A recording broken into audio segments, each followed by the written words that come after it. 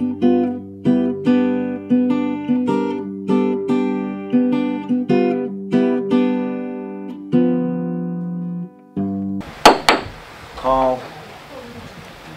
the uh, meeting of the Arlington Redevelopment uh, Board uh, for August 19th, 7 PM.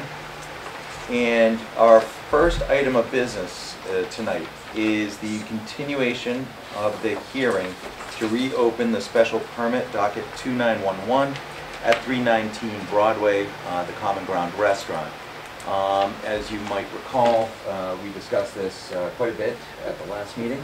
Uh, We had public comment lasting over, uh, I think, an hour and a half. Uh, And uh, we continued it uh, so that the applicant could come back uh, with uh, some different things that the board had uh, uh, requested uh, in order for it to uh, make a sound judgment.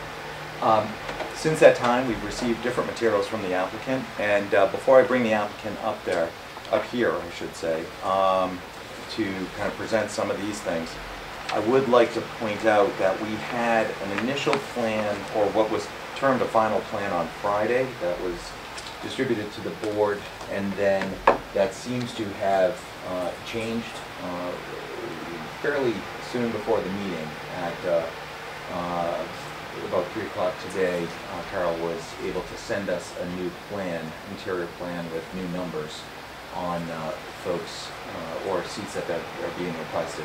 So I'm gonna, bring the applicant up now, but um, just for the board, uh, for maybe a discussion with the board, um, I think as far as the late plan is concerned, um, talk to the applicant about it, but uh, my thoughts are, uh, and uh, we'll a a few of the things, is that I don't think that we've had enough time to digest the new plan, um, and that with respect to parking and the seating, uh, the seating and the parking that goes along with it, um, my inclination is to uh, continue uh, to the next meeting that portion.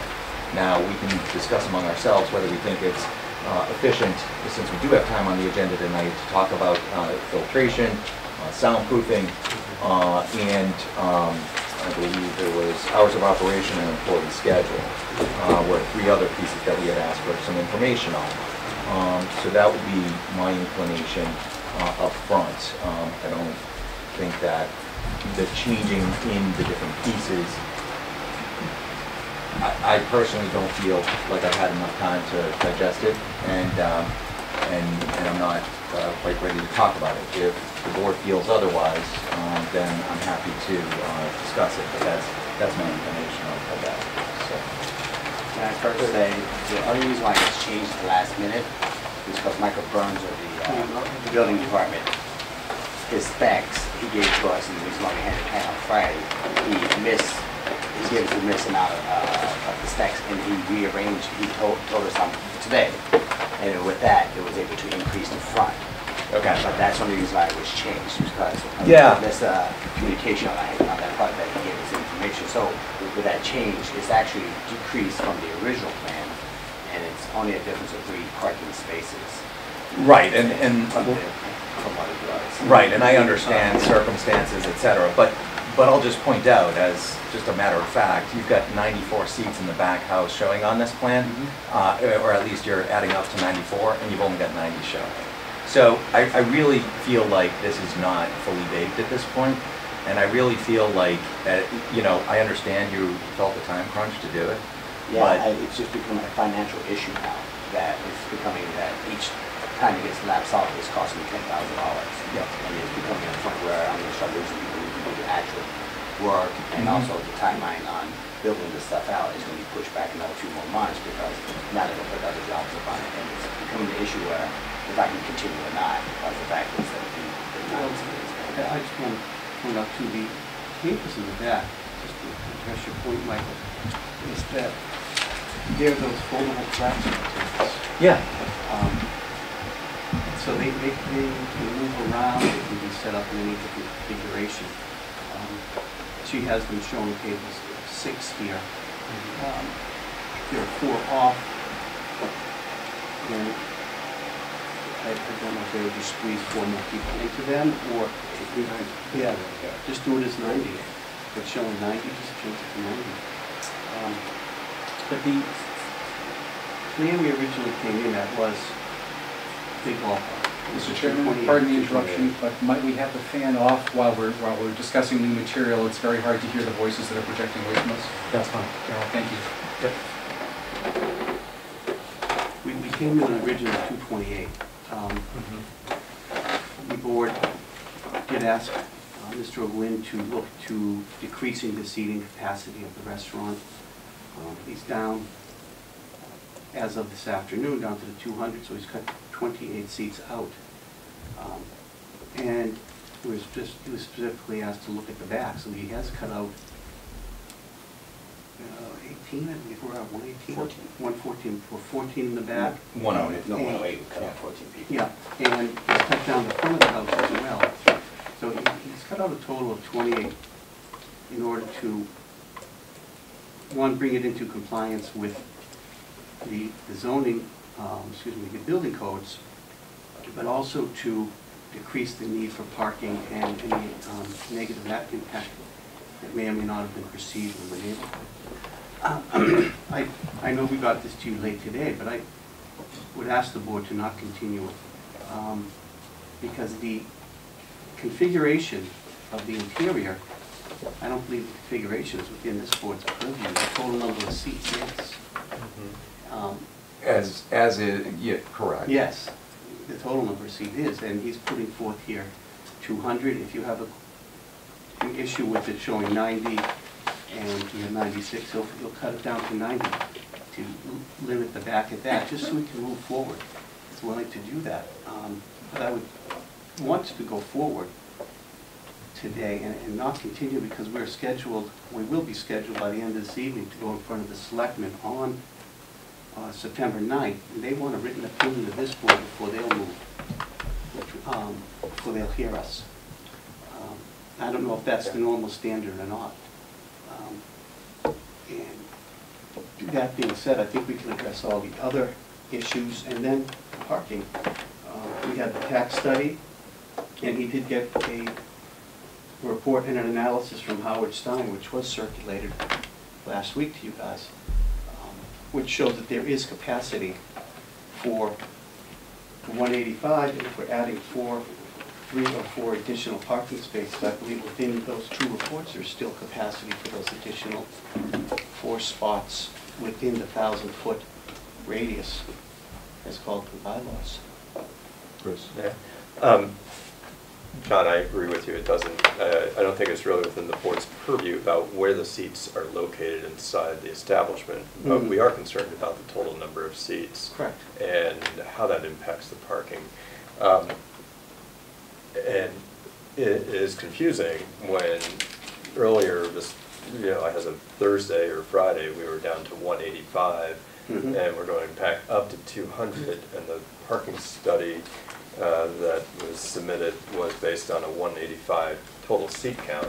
Yes. And we can get into the details of the parking study in just a second, but um, as I read the study, there were times where there was sufficient capacity within the thousand-foot radius, and other times where there may not have been capacity, or you were bumping up very close to the, to the, to the capacity level, specifically Saturday mornings, and I bear in mind the comment of the author of the study that, that read time is at eleven AM, which is not really the main operating hour of the restaurant, which is gonna be more Mhm. around the one o'clock time frame, and there could be some difference on that. But even so, I think that's where, if I can speak for Mike for just a second, it's difficult for the board to know until you tell us exactly how many seats we're looking at, and which plan we're looking at, which one is operative, and whether or not the parking study is still relevant if we're going above 185 seats. And I'll also add to that, that, you know, the, the other part of this is understanding that, that the building enforcement officer is okay Mhm. with the number of seats and how it's done. And I don't think we have that at this point. So, I don't know if he spoke with Carol or not this afternoon. I spoke with him after I circulated his plan. I- Because he's the one who came back to us with the. Uh, And I, Said yes.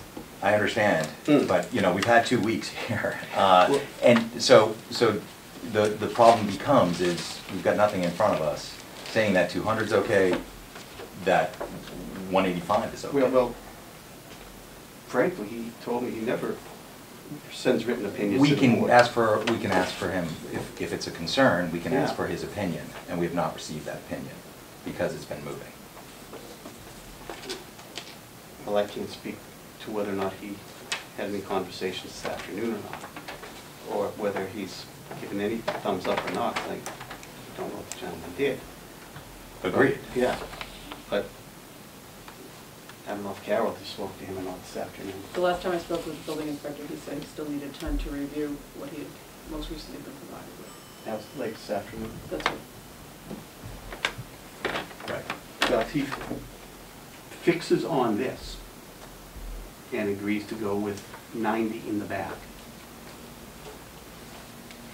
and the building inspector, way- like Mr. Burns put it to me, is it's always provided it's within conformance with the building laws, provided he has built.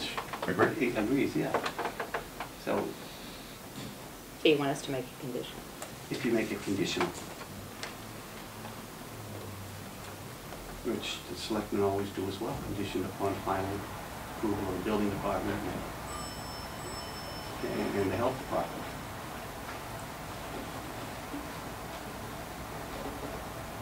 It's like, I can't obviously direct him or give him any No, and I'm indication not, to give it a written opinion, I can ask. but I'm not asking, what we're asking for him is, and which is part, if you look at the bylaw, Mhm. you're to provide him with copies of it, so that he can recommend or provide his, you know, professional opinion on what it is, and, and that's what we've asked for.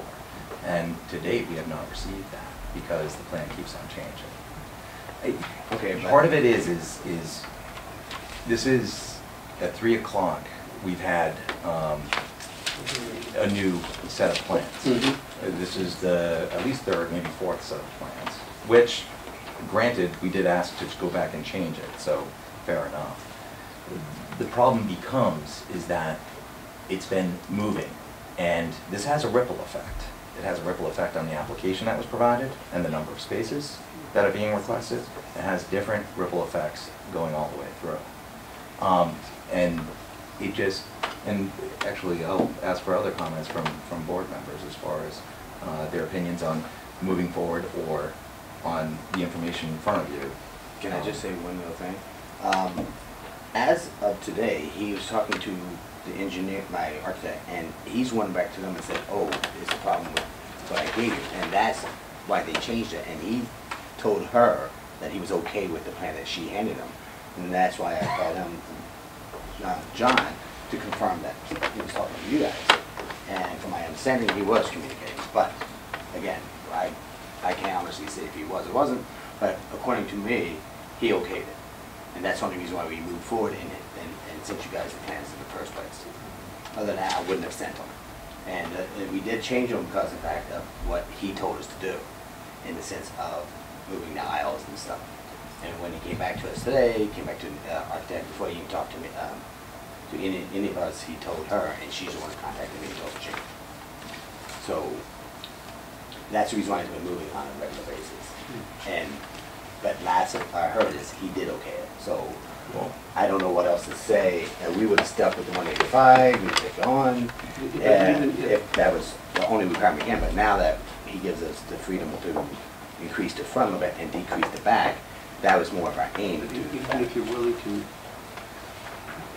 lock the back in at 90 instead of 96, 94. Ninety-four. That's my, what. my eyes are going. Yeah. I mean, No, no, it was- it- he had, she had, um, Oh, 94, six in the yes. front and ninety-four in the back. Right, so you- you're cutting out four additional seats, Yes. and he's willing to So that's, lock that down and agree to that as part of his, um, that special permit, and that would fix your parking at, do the math, would be uh, 49 spots instead of 50, right? Mhm. Um, And that would only be an increase of two spots, Great. oh, three spots over the Friday. Mhm. This Friday you had up one because of the funny math. 185, I figured, was the way it worked out, I added one additional spot. For one. Yes, it would be 49 spots as opposed to 37. Yeah. I don't know what that's the issue. I am trying to do math in my Now, it comes into being forty-nine spots. Yeah, Yes, 49 Andy. spots total. You gotta be there on the ninth. Yes.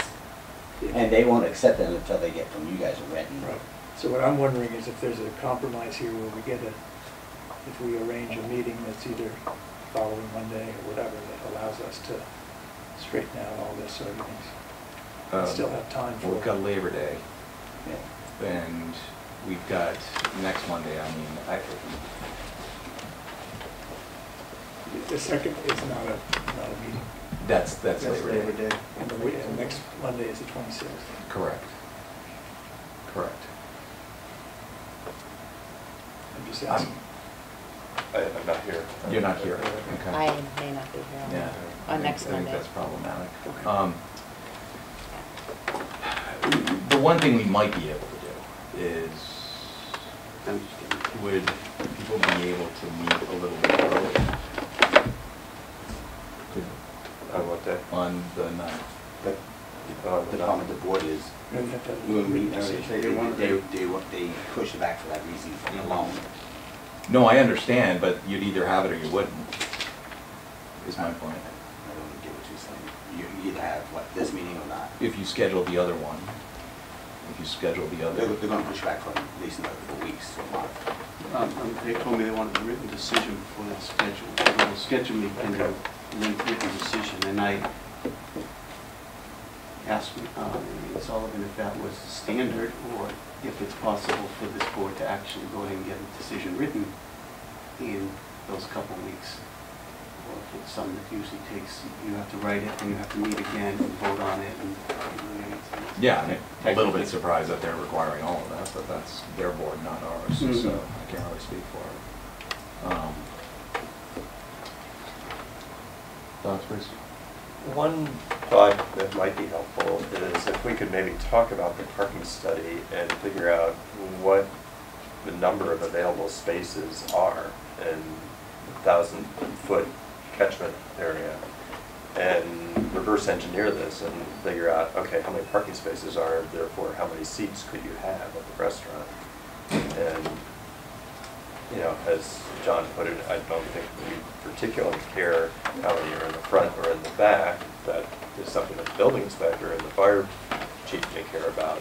But at least we'd be working with an agreed upon number of how many parking spaces are really available in the Russell Common lot, the railroad lot, and the other public parking spaces, and see how close we get to your number. Um, I'm still struggling with parts of the Howard Stein Hudson report. Maybe you can shed some, walk, walk us through that, John, and shed some light on what you think it says. Maybe we should just discuss everything at least and then see what we're coming Okay. Oh, yeah. And then make a that- that- decision. Okay. So that was If one the board- Yeah. I did not want to have the board feel like they were being rushed into any of it. So if everyone feels comfortable, because we're just talking about the seats, Mhm. you know, and uh, essentially, then I'm fine with starting the discussion. I just didn't want Mhm. folks to feel put upon because of the last minute nature of it. Yeah, So- but, but uh, I've asked Christine and Drew and Andy. Yeah, and if they want to proceed. Christine, do you I'm want to fine with, to talk about? with proceeding, you know, we already have some traffic counts and we already Right. know the situation. Okay, You know, Saturday, midday, as you suggested, is, is the worst time. and We already know that's the worst time and I don't know if we can reverse engineer it here today, Any- but anything we can else? talk it through at least. Andrew? I'd agree with that. Okay, Andy? Okay, all right, then let's talk it through. So the first thing is the parking study, if you want to take that, John. Um, When we first started, we, we located a TAC report from May twentieth of twenty thirteen, where they essentially did a study themselves of the available spaces within the center, but they also included, which was beyond our thousand feet, the uh, library, and the entire railroad parking lot. Um, But they didn't, do on the TAC report was go the other direction. They were concerned with the, um, the center parking areas. Um, They got into quite a lot of detail. The other thing they did not discuss was the permit, permitting for the permit parking. The permit parking um, determined from the treasurer's office, who is the permitting authority for parking spaces in Russell Common. Uh, Those are daytime spots, uh, eight in the morning through six PM, Monday through Saturday. Sunday, uh, the permits don't apply. They also issue permits for one AM to seven AM. Um, But those again were irrelevant to our, our case because of the, the timeframe is beyond the time the restaurant's open. Um, With that TAC report, I, Mr. O'Gwen contacted the Howard Stein folks. Looking my copy. Um, Yeah, where, where they did go to full thousand feet, and both, both sides of the restaurant um, extended down Broadway, another distance to make it a thousand feet, and they gave you a circular map, which I wanted to print out in color, but I don't have a print, color printer in my office. Um, In that, they also showed all the restricted, unrestricted, the one hour meter, two hours, and it goes down quite far, down the Massachusetts Avenue end. And that, good, comparing the two circles between the TAC study and this study, it goes several hundred feet, I think, further down Mass Ave towards East Arlington. And they capture in quite a lot of different on-street parking, all of which is unregulated, um, besides for the standard one hour, not metered parking with the guy walking around with the chalk. But as I look at their report, the only time um,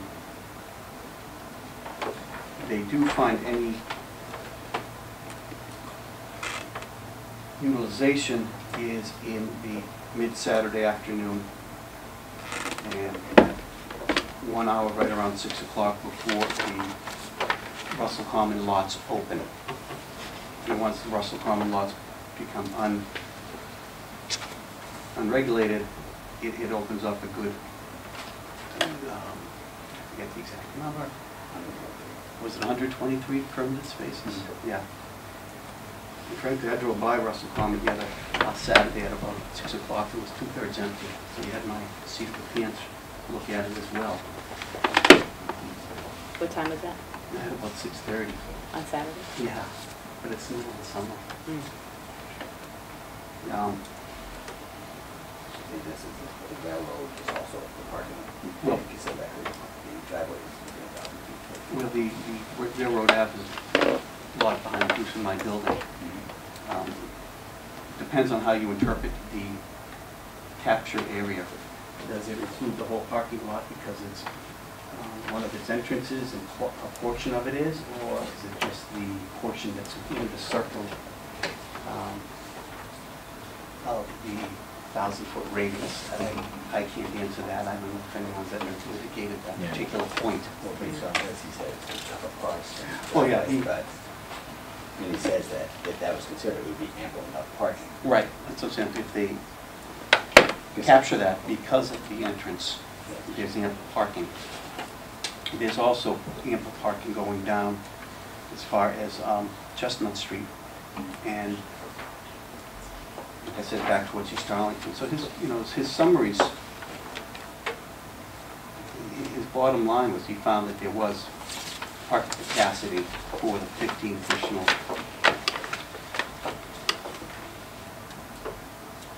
one, uh, Medford Street, the only time you found real capacity overload was during, frankly, Saturday afternoon when, and the Sunday morning church times when they double parking.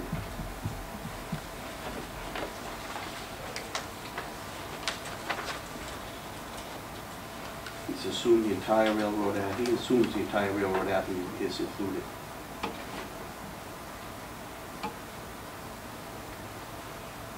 I don't know, uh, And that's when you said it would be ample parking. how, how far you want us to, to interpret. Maybe Questions on the parking study, Um, or in general? Um, Actually, if I could defer, just, I'll come back to it, I need to, a moment to articulate the question. For the parking? So the parking study and looking through it, The, the analysis that you guys looked yeah, the at. hot, Yeah. H and S.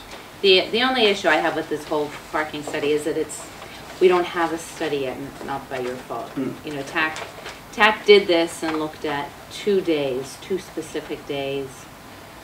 Two at random spec- At days. spec- two random days at specific times in the same month. Mm-hmm.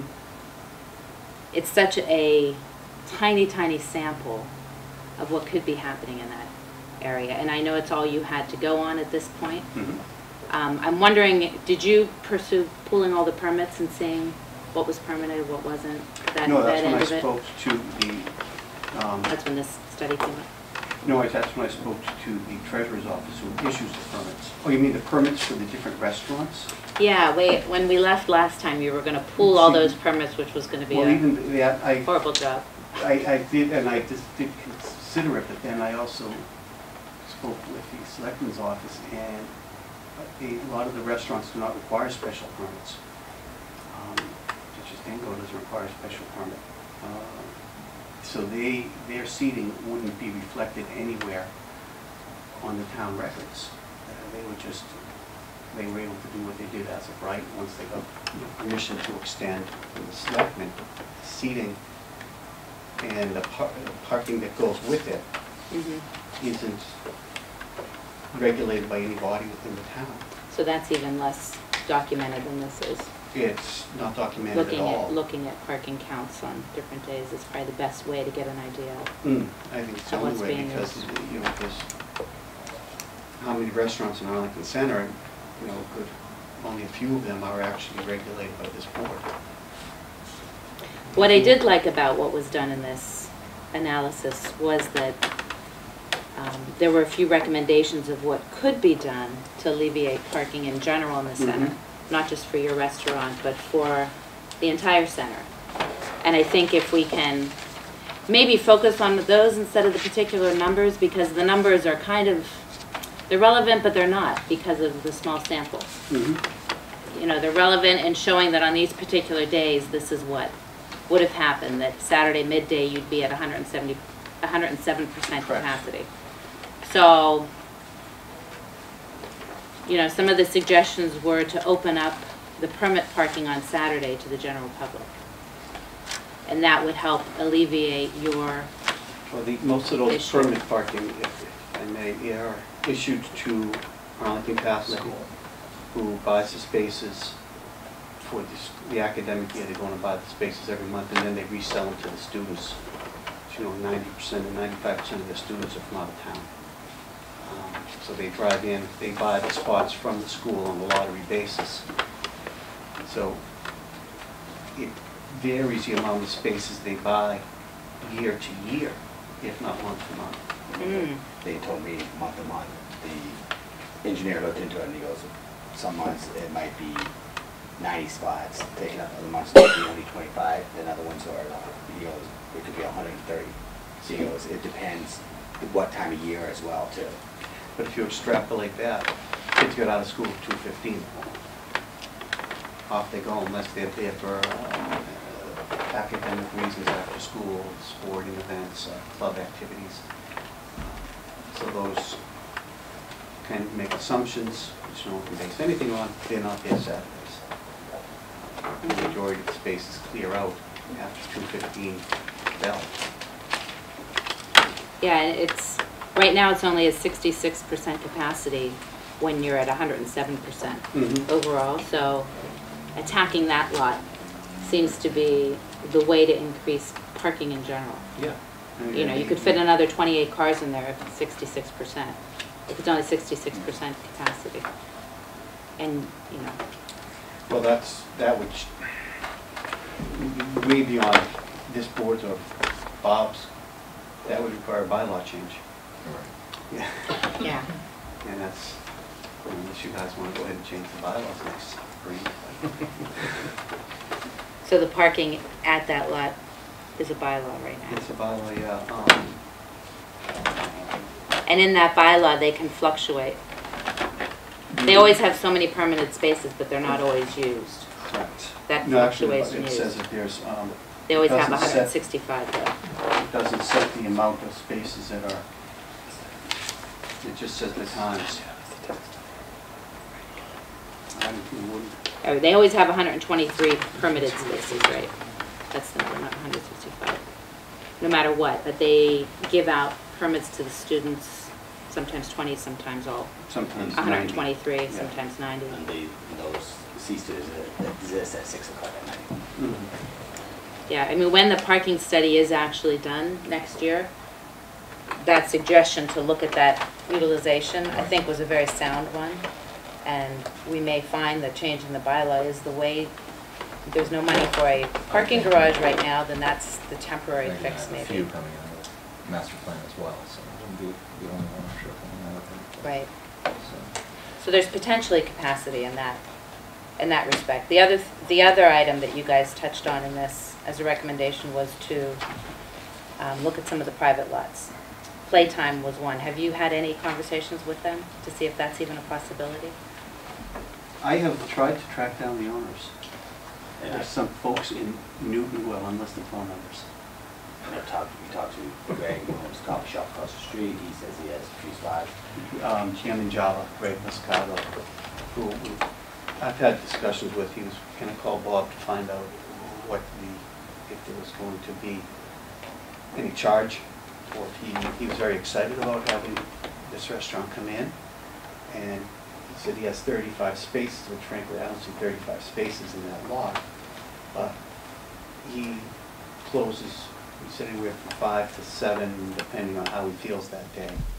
And would make some sort of arrangement if we wanted to. And Bob, I contacted him twice. Text him, email him, and he's contacted me, he went back and goes, oh, sorry, I'll get back to you. And I'm like, all right, so I was trying to track, track him down. He was positive, but again, I don't know what. Right, what- what time it is. Yeah. Yeah. I didn't know if he wanted to have a, um, rent the spaces from him or just volunteer to give them to him at nighttime or we had no arrangement being able to make, which is what he wanted to talk to him about. Yeah. Because that lot are- is currently at ninety-nine percent utilization, not Mhm. counting the permit, because you can't touch the permit parking on Saturday at eleven o'clock. And I know your peak, you said was at one o'clock, so maybe by one o'clock that Oh, yeah. percentage would go down, but maybe it would go up. It all depends on what's going on in the center and Right, I. what time of yeah. year it is, whether it's Christmas shopping time or, Mhm. yeah. And Got it's it. not, So- but it's also on a Saturday, and my thing is Saturday, one o'clock in the afternoon, most restaurants aren't gonna be peaking anytime near until like six, seven o'clock at night. Mhm. I mean, we, I would hope that I would be completely packed, but, uh, you know, the likelihood of that, be happy if I had twenty percent of the capacity at that time. Yeah. Playtime is open on Saturday, so. Yeah. That, at that time it's probably their highest They, utilization they time. too. close at, I think, six o'clock. Yeah, I Except looked one up night their a week. hours. They close at six except on But the Thursdays. Yeah, is they when stay open at eight, morning. yeah. Yeah. But that, you know, Saturday is the issue and they're open, yeah, at that time on Yeah, they- Saturday. they- So they- unless they have extra spaces consistently, that's something you would need to find out whether See, that both- is even an option to Either help. the Jam'n Java or playtime would only be guaranteed spaces at night after they close. If- if- During the, Even if they work out. yeah, if we worked something out, if they were willing to do this. It would only be at night, so that's not gonna help your Midday. Saturday midday. No. So depending on how we're gonna rule on the railroad lot, if we even can figure that out, Well, I don't think whether, we're ruling on it necessarily, I think we're Whether taking it it all counts. in. We- you you know, also And everyone can have their opinion on Have the it. spaces running down Mass Ave On the opposite on way. the opposite direction, which aren't counted in the TAC study. right, and it looks like that's about, you're doubling the spaces that would be out of the top part of the study. You're you're taking out some from the top, and you're adding some in the bottom of Mass Ave when you look at the, hmm. Well, the, right? You're taking away these spaces that were in the study, Right. and you're adding this and this. correct, So you, so you're adding but we. we're- half of what you're, Well, we've taking taken away out half more more. from the because the TAC covered um, up the to here. library parking lot. Right, the library, we're disregarding the Yeah, library. they, so Right. H and S disregarded the library, brought us back down to the railroad lot, and then extended down that way. Yeah, I'd, I'd agree that it's probably conservative because it looks like there's more on-street parking here than Mhm. there was here, Yeah. almost double. But these were one hour versus, uh, Everything it's probably the same mix. Yeah, it's the same mix. I It's would- probably the same mix. Yeah. And, you know, the, I agree with what they said, that these parking may not be used as heavily as the ones right in the center, because Mhm. they're a little bit farther out of the center also. So I liked some of those recommendations, and I Mhm. thought they were really, really valid. Um, I think opening up the permit parking somehow is the answer in the temporary fix. Right. Yeah. I'll let other people Andy? give some comments. Um, pass from Andy? Um, Could you help me understand this chart. Help me too. I can't go that. Which chart? What I want to know is. Is that the TAC chart or the HNS chart? Well, let me put it this way. Just for a second, let's use 47 spaces. Is that valid enough? Is it the required amount of spaces? Well, if, we'd be forty-nine, we're at 196. 49. So where within a 1,000 feet do you get 49 spaces? Well, 20, bases are already entwined, because this, what's was happening with the, the idea of, uh, The existing restaurant already has Existing 20, restaurant. 20, 21. so you need just 29 more. plus 29. Yes, plus 29. So we're So in the 20, you're, sub- where are the 20? Uh, where are all 47 is what I'm asking, because you're, whatever happened in the existing restaurant, you still need 47, right? Well, I think total technically, we- 49, yes. 49, sorry. Yeah, but we don't have to find the original, You don't have to find them. yeah. Okay, so you're Because- looking, you're looking because for... Gemma found them. It was on the pen. Therefore, they exist. So you No, have to but- find but that- 29. That's right, though, that's the Exactly. presumption from the existing. Okay. So so you have you- to find so 29. We're looking for 29. Okay, where are 29 spaces? How are you assuming that? Depends on the time of day. Just at one time of day? Maybe the, the glib answer is within the thousand feet. And, okay, I Well, got they that. are, I got they are that. Where, where in the 1,000 feet? within Russell Common parking lot, And- and- except for that Right. during the one hour around Saturday So afternoon. how many in there? You just, uh, what you're saying is that... That's, how's that's it- on our parking utilization day, that table there. Okay, so take, take one of them. This is saying, just showing you during the day, at how many cars are named, at five twenty-nine, five oh one. Same Right. thing, three forty, five forty-nine. Your summation line is what Bob's pointing at, which. Okay, so take it through, it, take it through. You have a grand total within the lots, 529. five hundred Okay, twenty-nine. that includes on-street of the different varieties, right? Mm-hmm. And then off-street lots. And the off-street lots include what? Russell, Russell Right. Road Library. right, but no, Say- say it none again? of this. None Are you this. looking at, is, he's not looking at yours though, he's looking at, He's the looking- one yeah, from he the is. TAC No, no, I study? think he's looking at this one. this one included the library. This is still from the TAC study. The, Oh, okay, the, the table last chart, table three, didn't include the library. That's probably the one we should be talking about, just to avoid confusion. Pull that one out. That's this one here, very This is the one where they took out the Yeah. library lot. This one? Yes. Okay. Yeah, So so we have a capacity a- along your left column 464. during the different times of day. No, they Okay, did no okay, summation different because they're times. going for different times of day. All right. Um, So the 341, 464, 356, 460. Those are, They have the existing utilization. I'm not sure what the existing count column is frankly myself. Um, They have the existing utilization, 75, 95, 99% on that Saturday midday. The existing count is just what they counted. How many, how Like many in, cars were for actually example, parked? the With capacity, TAC counted. what the TAC counted minus the library, because they took out Yeah, the library. okay. So the number came down from TAC and and this is, and this Set that is up.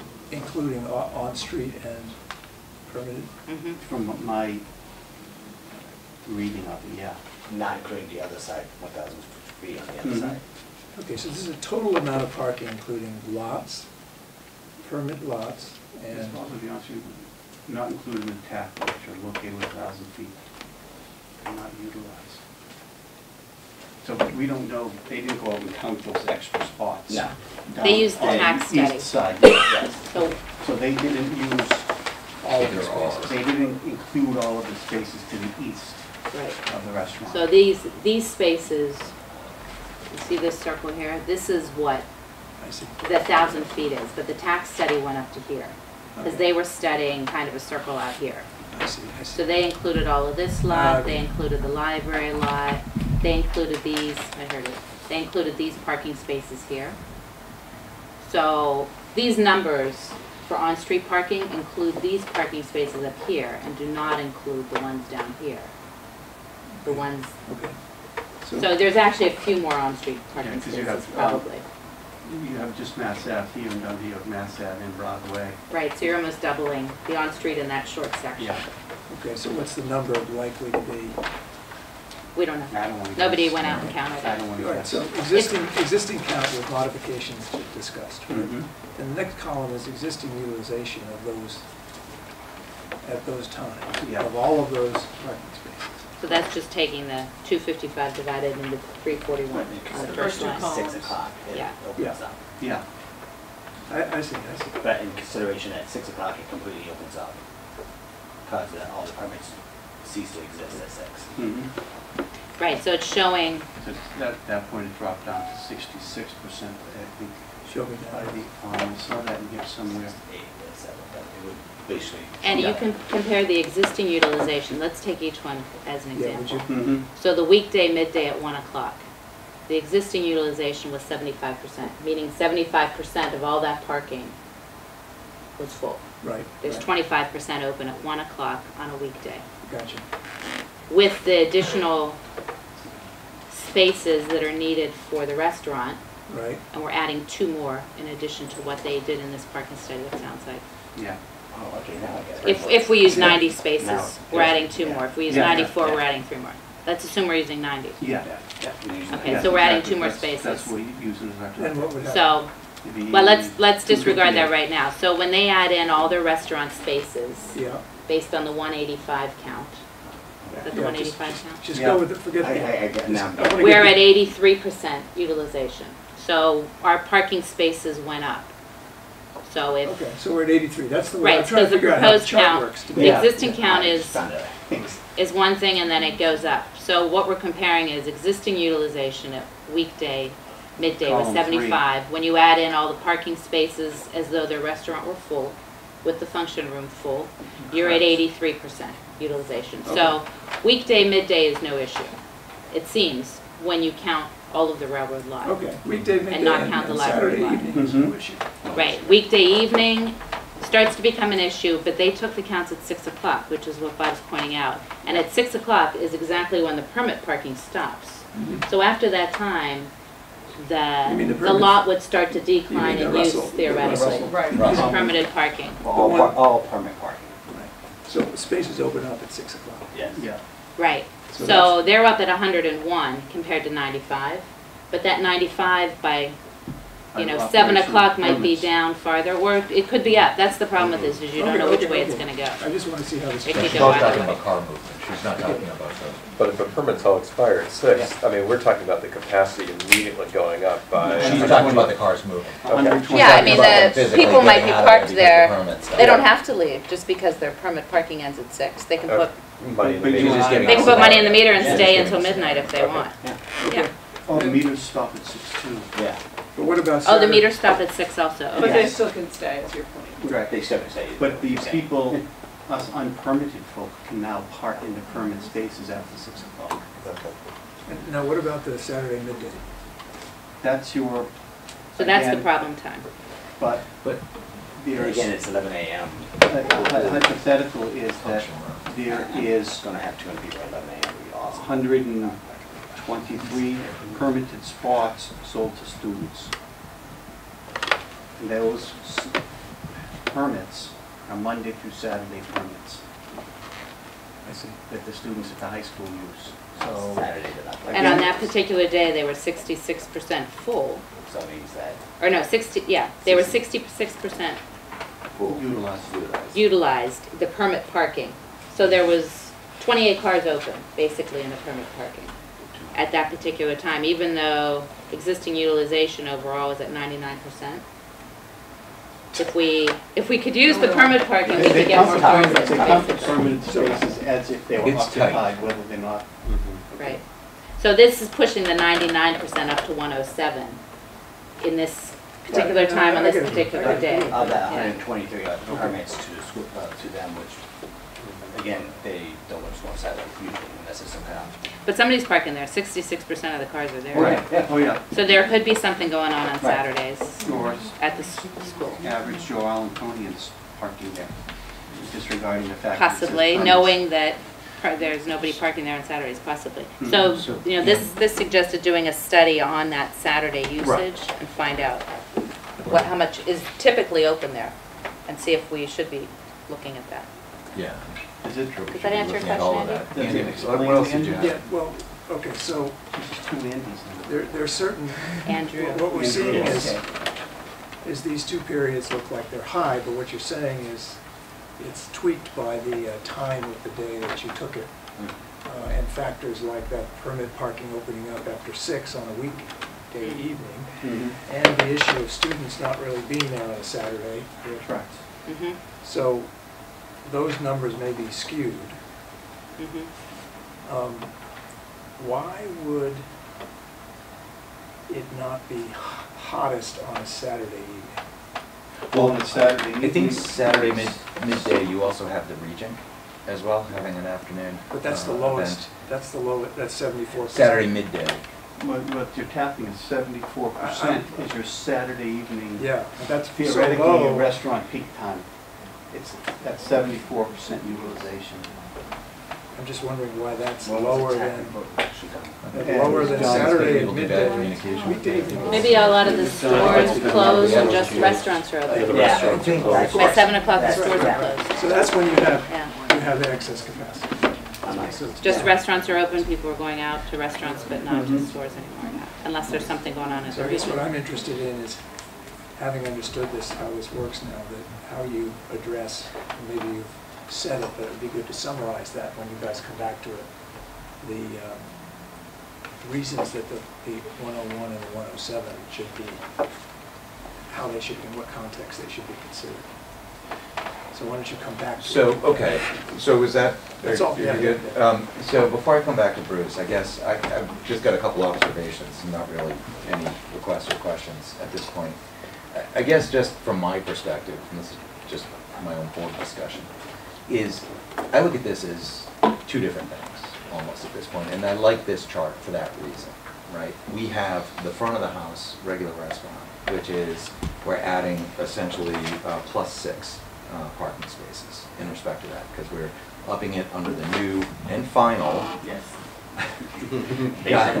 plan, uh, 106 seats, which is uh, 26 additional uh, seats, which is actually seven, seven additional spaces.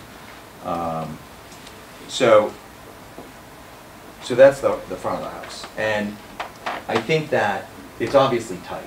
And I think just anecdotally, we all know that parking is tight in, in Arlington Center.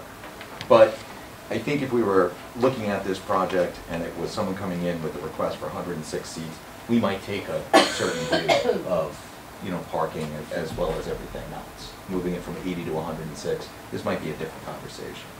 Then I look at it as a, as a- almost a second project, which is the functioning in the back, right? And if that is truly a function, then I'm not foreseeing, you know, some of the parking issues that this leads to, such as an eleven AM on a, on a Saturday being an issue, right? I mean, I, I just, my own personal history says that, you know, other than maybe a shower or That's what I was something like thinking. that, right? Baby I shower, mean, bridal shower, sure, but that's a They- function room too. Sure, Yeah, but that's usually. but, but my point is, is that, this is my own view, right? Is that, forget about it here. If anyone, wanted to- anyone wanted to do a function room in any of the other spaces, CVS closes down and wants to put in forty seats. Part of me says that we have to start thinking about this and not being so specific about my own view is, is exactly right on, on, well, is, does the study say that there is enough parking? There isn't. There's not enough parking for anybody in the center right now. And the, my, my personal thoughts on it is, is that in order to move some of these things forward, we have to take a different approach. I think that the reason Saturday evening seventy-four percent utilization is because people don't do enough to communicate where they should be parking, right? And I think that's the bigger problem. The reason that that's so low is because people aren't using that parking lot for restaurant parking. Mm-hmm. They're just, you know, going around the block until they find something and parking in front of people's driveways and everything else.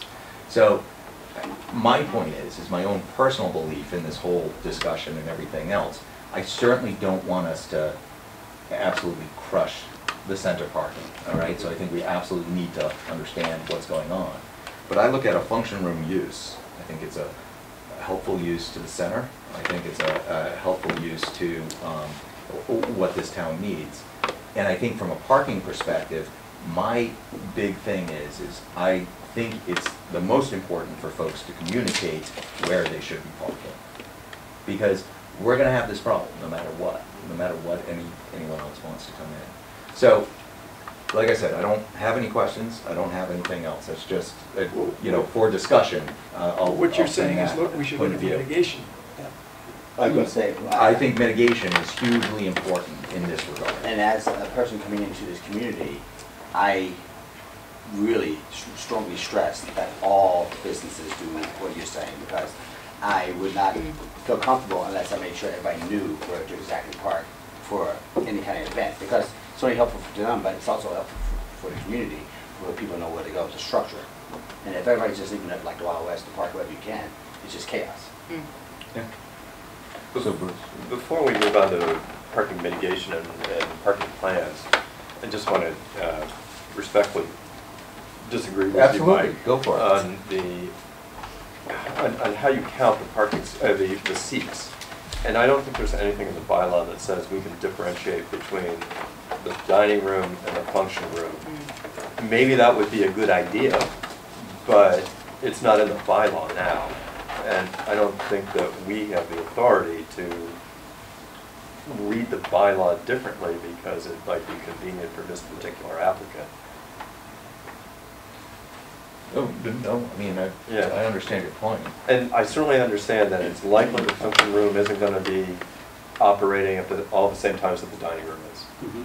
But again, if I just go back to the bylaw, it says ca- seats in a restaurant, it doesn't Why differentiate. can't we put a between- condition in that says there'll be a function room for special events?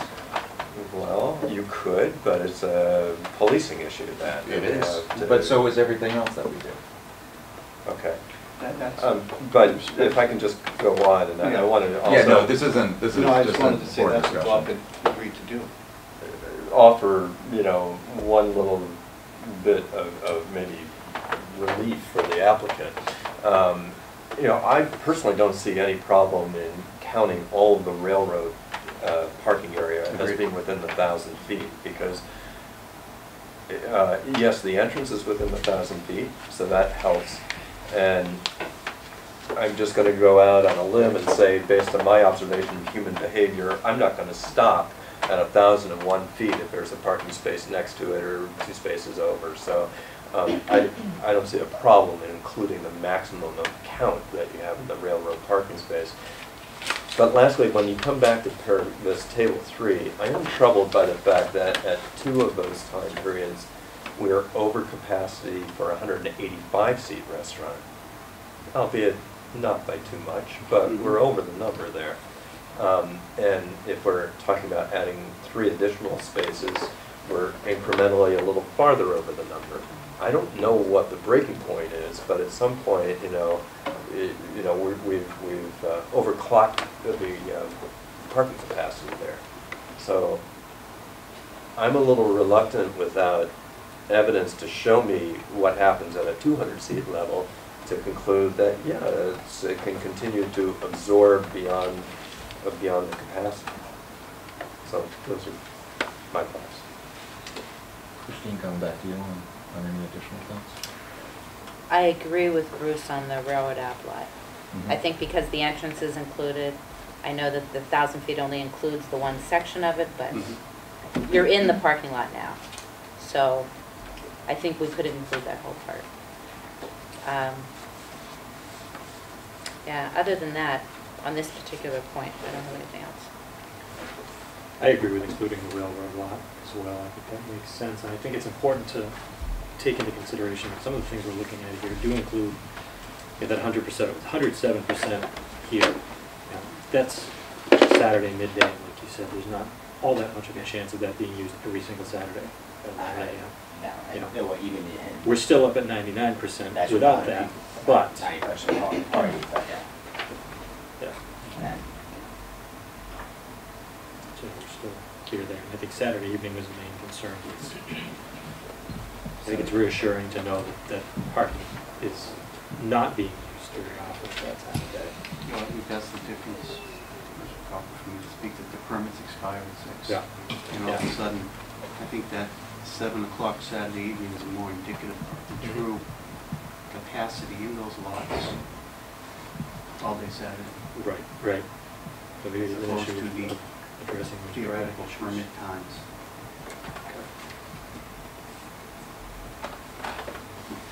Uh, I agree with the uh, Russell, I mean, the railroad lot. Um, I think the shared parking is de facto what's happening. Uh, But we have something in our, we- we've discussed this before, Kelly, where we, we do ask for arrange, if an arrangement can be made for a shared parking arrangement, an agreement can be made for a shared parking arrangement mm-hmm. that can be part of a, that can be considered by the board as part of a parking solution. I believe that's the case. I believe we've done that before in other circumstances where it wasn't a permitted, it wasn't a public lot or, or public Oh, parking. You but it like was- playtime or gym and job. Yeah, that's what I'm talking example. about, yeah. Yeah. So if But you that's gonna actually- be after six. Yeah. Yeah, okay. And those aren't the problem times, unfortunately. seven o'clock in Really? the morning. Gotcha. I mean, the 101 could come down because of that, possibly. So it could help that number, but it won't have, help Saturday midday. But thinking of it too, that having your restaurant completely full Saturday midday and your function room full, At eleven o'clock in the morning, maybe, that'd be a dream, but I doubt that would Right. happen. Or even a function of ninety people at eleven AM. It could happen a few times a year. Okay. But you bring the Regent Theater in to. here, into any of this equation and, That's correct. yeah. It's hard to Well, and I look at think you're just this little slice of time. But I think you're seeing the Yeah. Regent Theater.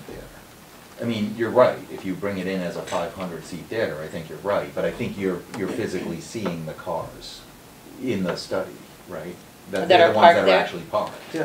on It depends Saturday, on what yeah. hap- was happening at the Regent No, and I understand, but I'm saying it- you can't say, okay, and then we're gonna toss this on top of it, because I think it has to, you have to say that the study does Yeah. include that, Yeah, right? I mean, we have to, we have to know that what we're looking at, what TAC did was valuable.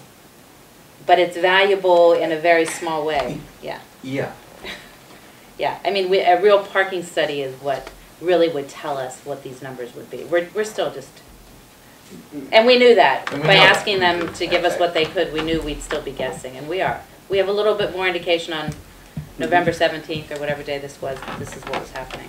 are there any other questions on the parking study? Because I think I'd like to move on to, because uh, we're definitely behind schedule at this point, I'd like to mitigation. move on to parking mitigation. And uh, if you could go through uh, some of those things, please. Um, we- We've laid out in two aspects the parking mitigation. The first is three-point plan regarding the employees. Um, That's specifically dealing with employees. Uh, As part of his um, participated lease with the landlord, he is going to actually get two on-site spaces which weren't taken into consideration in the parking study. So if he, in order to, to encourage his employees, which, as he tells us now, almost all of them take buses, uh, MBTA to and from work. If that continues, he's gonna encourage that. Um, He's agreeing, we've looked into what time the last buses run through the heights. I put that in part, portion number three of section one, employee commuting and parking. If the employees who are taking the buses have to leave early they'll let them go so they make sure they will get that last um, MBTA bus out of town. The stops are right across the street and around the corner in front of the Regent. It's the uh, 77 to Harvard Square and the 65, I believe it was, to um, Lechmere. So those, those two buses, they'll let employees who need to catch them out so they can catch that last bus out of town. Um, It's assuming that employees work out, are out of town. Um, If the employees do decide to drive, he's gonna encourage carpooling by those employees by opening up one or both of those on-site parking spots to them, so that will take so if you're carpooling, anywhere from two to three people out of the mix, and they won't be um, driving cars into town. Of course, they will not be able to park in that um, space right in front of the building, because those are all one-hour spots. So if employees did drive, they'd have to go out every hour and change, move their car. That's another reason that employees won't be using their own cars. Um, I guess if necessary, he could, as part of his employee benefits, work out some further incent- incentives with them, such as subsidizing a CharlieCard or whatever, but that's, you know, business decision I'm not gonna volunteer that he is gonna do. I, first of all, Because it's- and most of the employees that work, who are in the industry that work and are very professional and know that their foods, beer, and stuff, understand driving is not, it's not a fun, because the fact is, you have meters, you're gonna have to go out every two, three hours. So most of them are either taking skateboards, bicycles, buses, or trains. And that's, at my other place, I'm the only one who drives, no one else. And that's only because I have to go to different markets to pick things up and I have twenty employees there. So it's, the employee's gonna fall in the same category. And so that, that would be the employee part of the deal. As customer parking, um, he's, we set out a, a number of different plans, um, to direct them to the Russell Common parking lot as well as that Railroad Ave parking lot. Um, And what I've suggested and he's put in there, he's gonna actively encourage customers not to go down Compton Ave, Alton, and, um, Felton Streets to look for parking because there's no parking, there's no parking allowed. What, what it's gonna come to is awareness. I am gonna, be on all my websites, Facebook and Twitter, it's basically gonna be out there for parking, where to park and general area. And And basically, those are, on- and, and the emails, and any park, in any event or function is gonna be specifically told where to park. That this is the place to park for functions and events. And usually it's just communication, awareness of customers is all that's needed here. It- Everybody's happy to know if you tell them where to go. Thing in the world, I hate is going to a place and not knowing where to park or what, it- or just taking guesses at it. When the function, it will provide specific instructions, and on his um, menu board, they'll have a directions how to get to the, the two parking lots. Um, You know, that's all detailed out in those seven bullet points. Okay. Uh, Questions? On the parking regulations? So at this point, you have a commitment from the landlord for those two additional parking Yes. spaces? Mhm. Okay, so that would count towards the 29 additional spaces that you were I wouldn't think so. talking about? No? No, I don't think so. It is. Well, it it No. would. No. it- it Employees wouldn't- weren't counted in Yeah. seat count, so. No, it, and those are behind the building, but if that's just two more cars if he won't be Those putting are on back the where the street. dumpsters Yeah. are. Yes. Yeah, yeah. Maybe two less cars in public areas.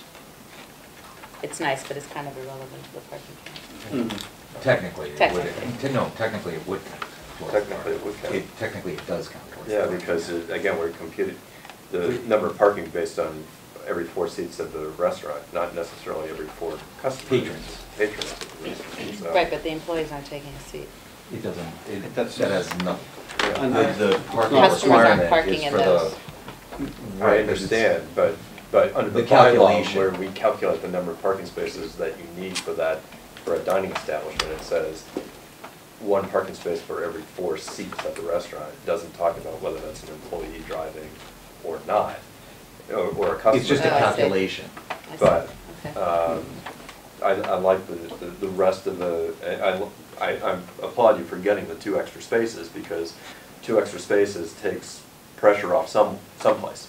Compliments of landlord, she's, Yeah. she's done all right. Good, good. And I thought the rest of the parking mitigation plan was good. I think you're doing everything that you can to try to encourage the customers to find uh, the lots in town. Um, So, and- and I applaud the uh, encouragement to use public transportation. Christine?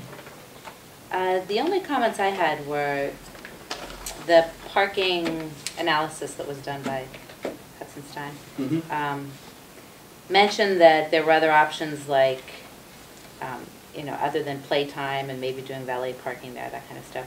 They mentioned a shuttle from Alewife. Is that something you're seriously considering? No, no, I don't know where that came from. I would have the slightest idea what he's talking about. I mean, you can, you get to Aloe, I'm sure you can take a bus to there. I mean, I don't get it. I don't know why Yeah. he would even suggest Okay, that. All right, I just wanted Red to, extension? To check on that. Yeah, that. I don't know what he was They're gonna compete with the And the that's MBTA. some kind of special function going on, or you guys were having, we were having some kind of event in Arlington, and I would contribute to something like that, but I wouldn't. He Make he any doesn't comment. anticipate buying a van, Yeah, sitting no. there for that occasional run. okay.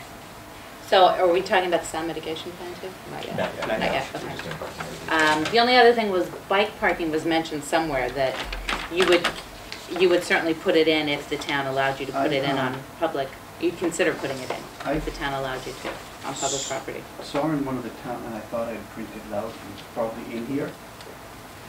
One of the town GIS maps shows a rack directly in front of the building. Uh, But There's not one there. There's not one there, but I, it it shows one there. Trust me, I love that. I'm just wondering if we want to ask for that as part of the parking Well, it- mitigation, to state something about your intentions on Well, it bicycle depends on parking. what the city, because, I mean, I know Boston, something like that would consider, like a ten thousand dollar bike rack, is being the bike rack considered to what I might look at a thousand dollar bike rack, to someone else might looking at a five thousand, you know, what I mean, it's, um, the number of sizes and is it Sure, bolted sure, down sure. into the ground, what's the, actually, what can they do? I mean, I would help contribute or help advocate for it, and within my means, I'd be happy to donate towards it, but I'm not gonna put a ten thousand dollar bike rack in. Right. You know what I mean? No, it's also town property. I- If that. No, I mean, if they allow me Yeah, to eh, but the, I contribute to it, I push, I will. understand that there's, um, Business Owners Association that's looking into maybe trying to redo the There area in is. front of it. The road. Bob wants to, and will work with them, include a bike Because I'm rack already in that contacting region. The people of the horticultural society and already in talks about doing the front over with the flowers and stuff. So maybe we just need to make a statement in here of your intentions. Oh, yeah. Mhm. I- Is, is that I'm all about something it. we want, or is that not really valid because it's just an intention? Um, well, if it's not a condition, I think we can, I don't know, think of- think about what we could do there. I mean, it doesn't really. We can have as a, as a condition. I'd like to see something stated I mean, about, I just had a Bern, uh, Bern uh, function at the common That if it comes about up, he bikes and stuff, participated. And bring them into contributing towards it. the Arlington area too. Okay. Mm. I don't, Maybe not. I don't think it Okay. has any teeth is the issue, but we can talk about it, put it on the list. And I don't know how many bike that we can racks talk are in about. the area, how many more would be needed. It's always going up because biking's going up, And I'm all, so. uh, all about help promoting it, like I said, I just had a Right. function with Bern, uh, the owner who owns the helmets and stuff, promoting at my place on last Saturday. And I'm sure he'd be happy to come to Arlington and promote for bikes and stuff there too. Mhm. Okay, that's all I had on. Andrew, anything on parking mitigation? Yeah, you mentioned in number nine here about customers calling in for a reservation or providing an email address.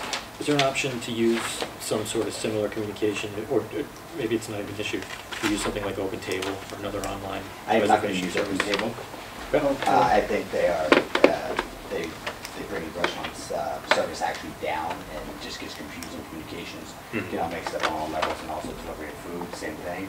Uh, I think it's just, you know, the quality just goes right down for it. Um, we will have it up on our website, Mhm. uh, place for parking, you pull it out, it will pull down a tab, it will give you, connect, it will give you a map, directions from where, um, you're going, uh, how to get to the restaurant, where the parking will be. It will be on our to-go menu, it will be on our Facebook, it will be on our Twitter, and then any emails go out, there will be a little, um, uh, link to it that you connect to, and it will bring it up to it as well. And do the best I can to communicate that regular. Yeah. Thanks. Question. Andy? On item seven, how would you contribute? There it is. Um, I think the bikes is interesting and the improvements to the uh, plaza where, where you Wha- Whatever way, I would have to be, get into the community and start um, circulating and get to know individuals. Uh, I am very much an advocate on the community and with, and working with to um, make it better and to help all, everything we can. I mean, I do it in in Allston, uh, I have my, fam- we do it in Newton as well. Uh, We advocate for that, schools. Uh, So when I come in here, I'll be one hundred percent, especially in that square area, to make it beautified, to make it more accessible to everybody, from bikes to foot traffic. Uh, I, I couldn't really honestly tell you how I would, but I would just be a way of, if I could get into on one of the boards to help out and advocate for parking signs, uh, and just, you know, come up with like some kind of drawing for a better way to communicate where they're at. Maybe more visibility and some graphics and for people to see. Uh, I don't know how else to explain that until I got into, yeah, The mix. But you would be eh, willing to contribute, uh, whether it was Oh, yeah. paying for signage or, Oh, I, um, my mentor, Jerry Quinn, he always said that once you, uh, get into community and if you're making money out of that community, you should you should be back to it. And I agree with that one hundred percent. That's how I was taught, so. Um, Appreciate the uh, parking mitigation plan. I think it's uh, some of the things that we had talked about, and I think it looks pretty good. So, uh, folks are okay, let's move on to the sound mitigation plan. Um, When we were here last time, Christine asked specifically about how the rear room is gonna be um, insulated for, for sound, for protection of the abutters. We did provide Plan A three hundred, which I think you all have, um, where they are having a furring wall, and I detailed it out here. I'm no architect, but uh, seven inch furring wall with a gap space, three and a half inches of sound attenuation insulation, and three quarter inch um. And that is all up against a cinder block wall. Um, So he's gonna have quite extensive sound insulation in the back there. And there are no windows in the back. He doesn't have plan to put any windows in the back. Um, the only exit is the uh, emergency fire door, which will be kept closed at all times. Except for emergency. Except for emergencies, yes. Um, and to go further into that, the function room will not be having any live bands or ticket sales, won't be having any, it's a function room, it's not a concert hall. It will be used as one would go to any baby shower, or christening, or whatever. Um, You're not gonna have music or um, sound system projecting so loud that the folks can't talk for the pers- purpose that they're there. Correct, it's not gonna just, I mean, you're gonna have a restaurant right next door, so, right in front, so there's no way they can have sound going that loud, like it's, uh, some kind of one thousand person rave nightclub type thing, I mean, it would be impossible. And also, anybody in the back there is not gonna appreciate the fact the noise being that loud.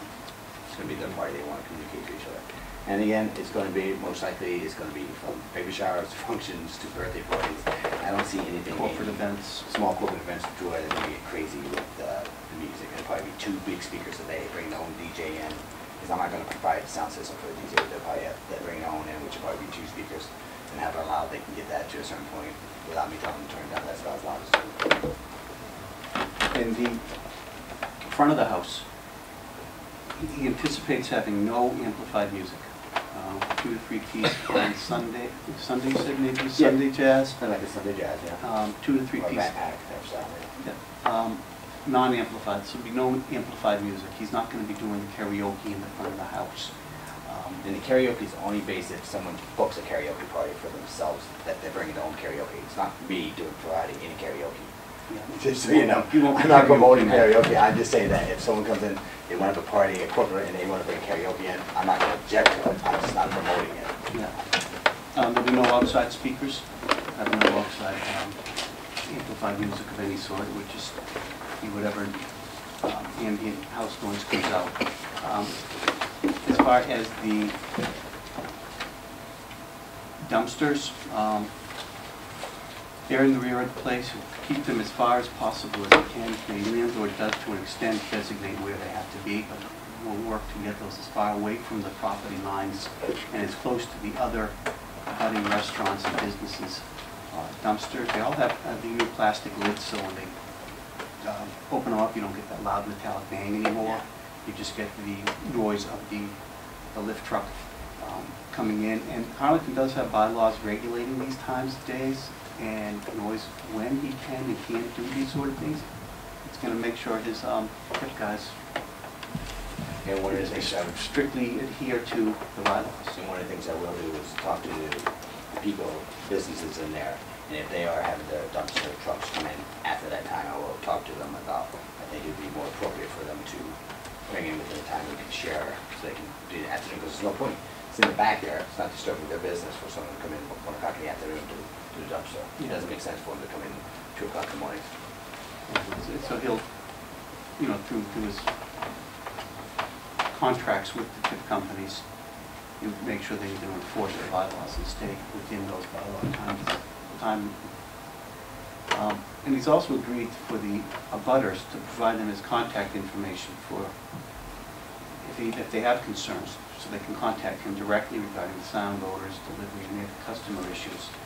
Um, I don't know, last time there was public comment, people commented that some people come down into the neighborhoods tipsy and Well, doing I such sort of things as that.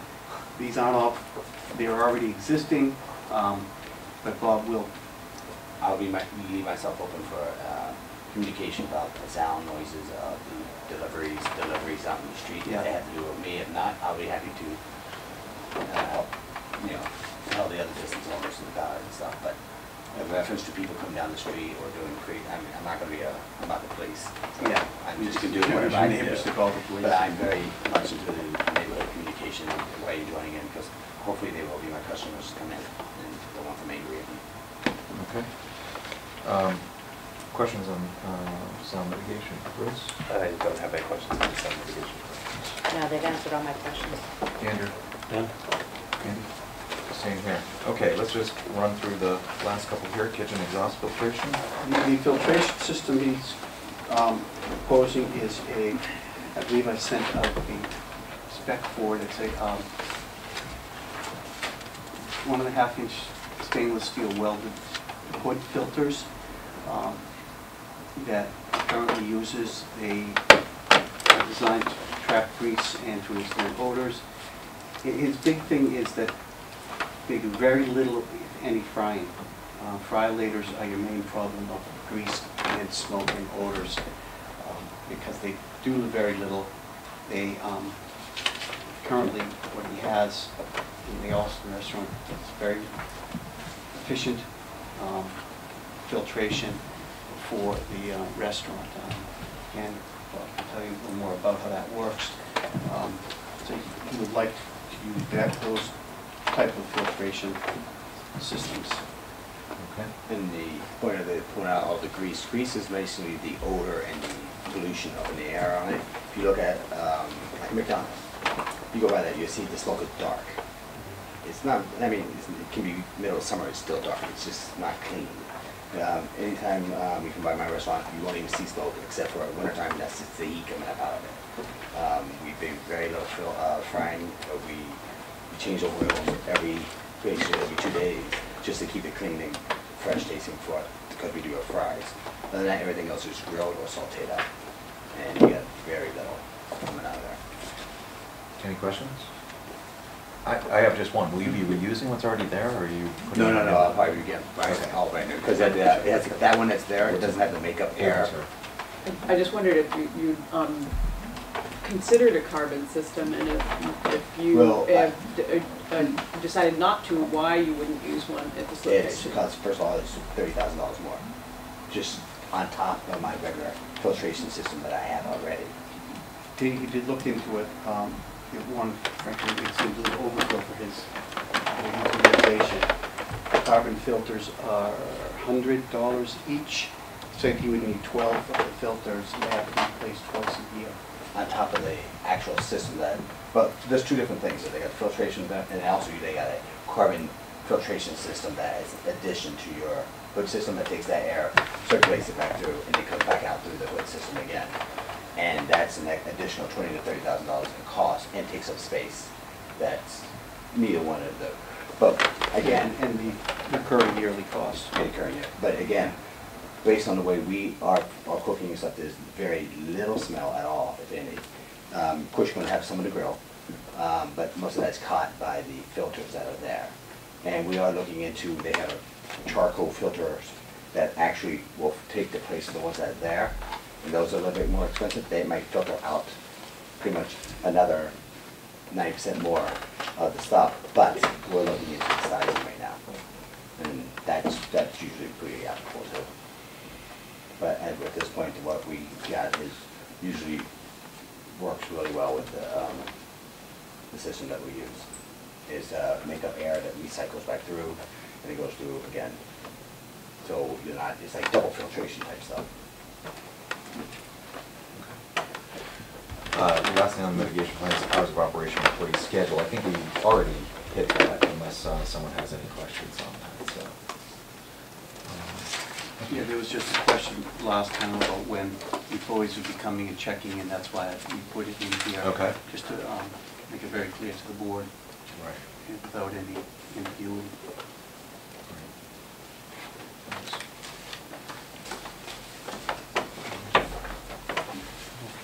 Before we start discussion, any additional I questions? have two other questions for Mr. Rubin. Um, So you would have been prepared to operate at 185 seat capacity based on the previous plan that you submitted. I would have been, because I was completely restricted by the, um, by the codes of of the building. I wasn't happy with it, and I was actually in the process of talking to the architects about pushing everything back to increase the front. Because the point of it is, what I was looking at, by doing that, I'm losing five hundred seats a week uh, during uh, just uh, the peak time if they were to fill up In during the the front front. house, right? Mhm. And now we lose five hundred seats based on an average of twenty dollars per person, we're talking about ten thousand dollars a week. And that's a really, really big bite.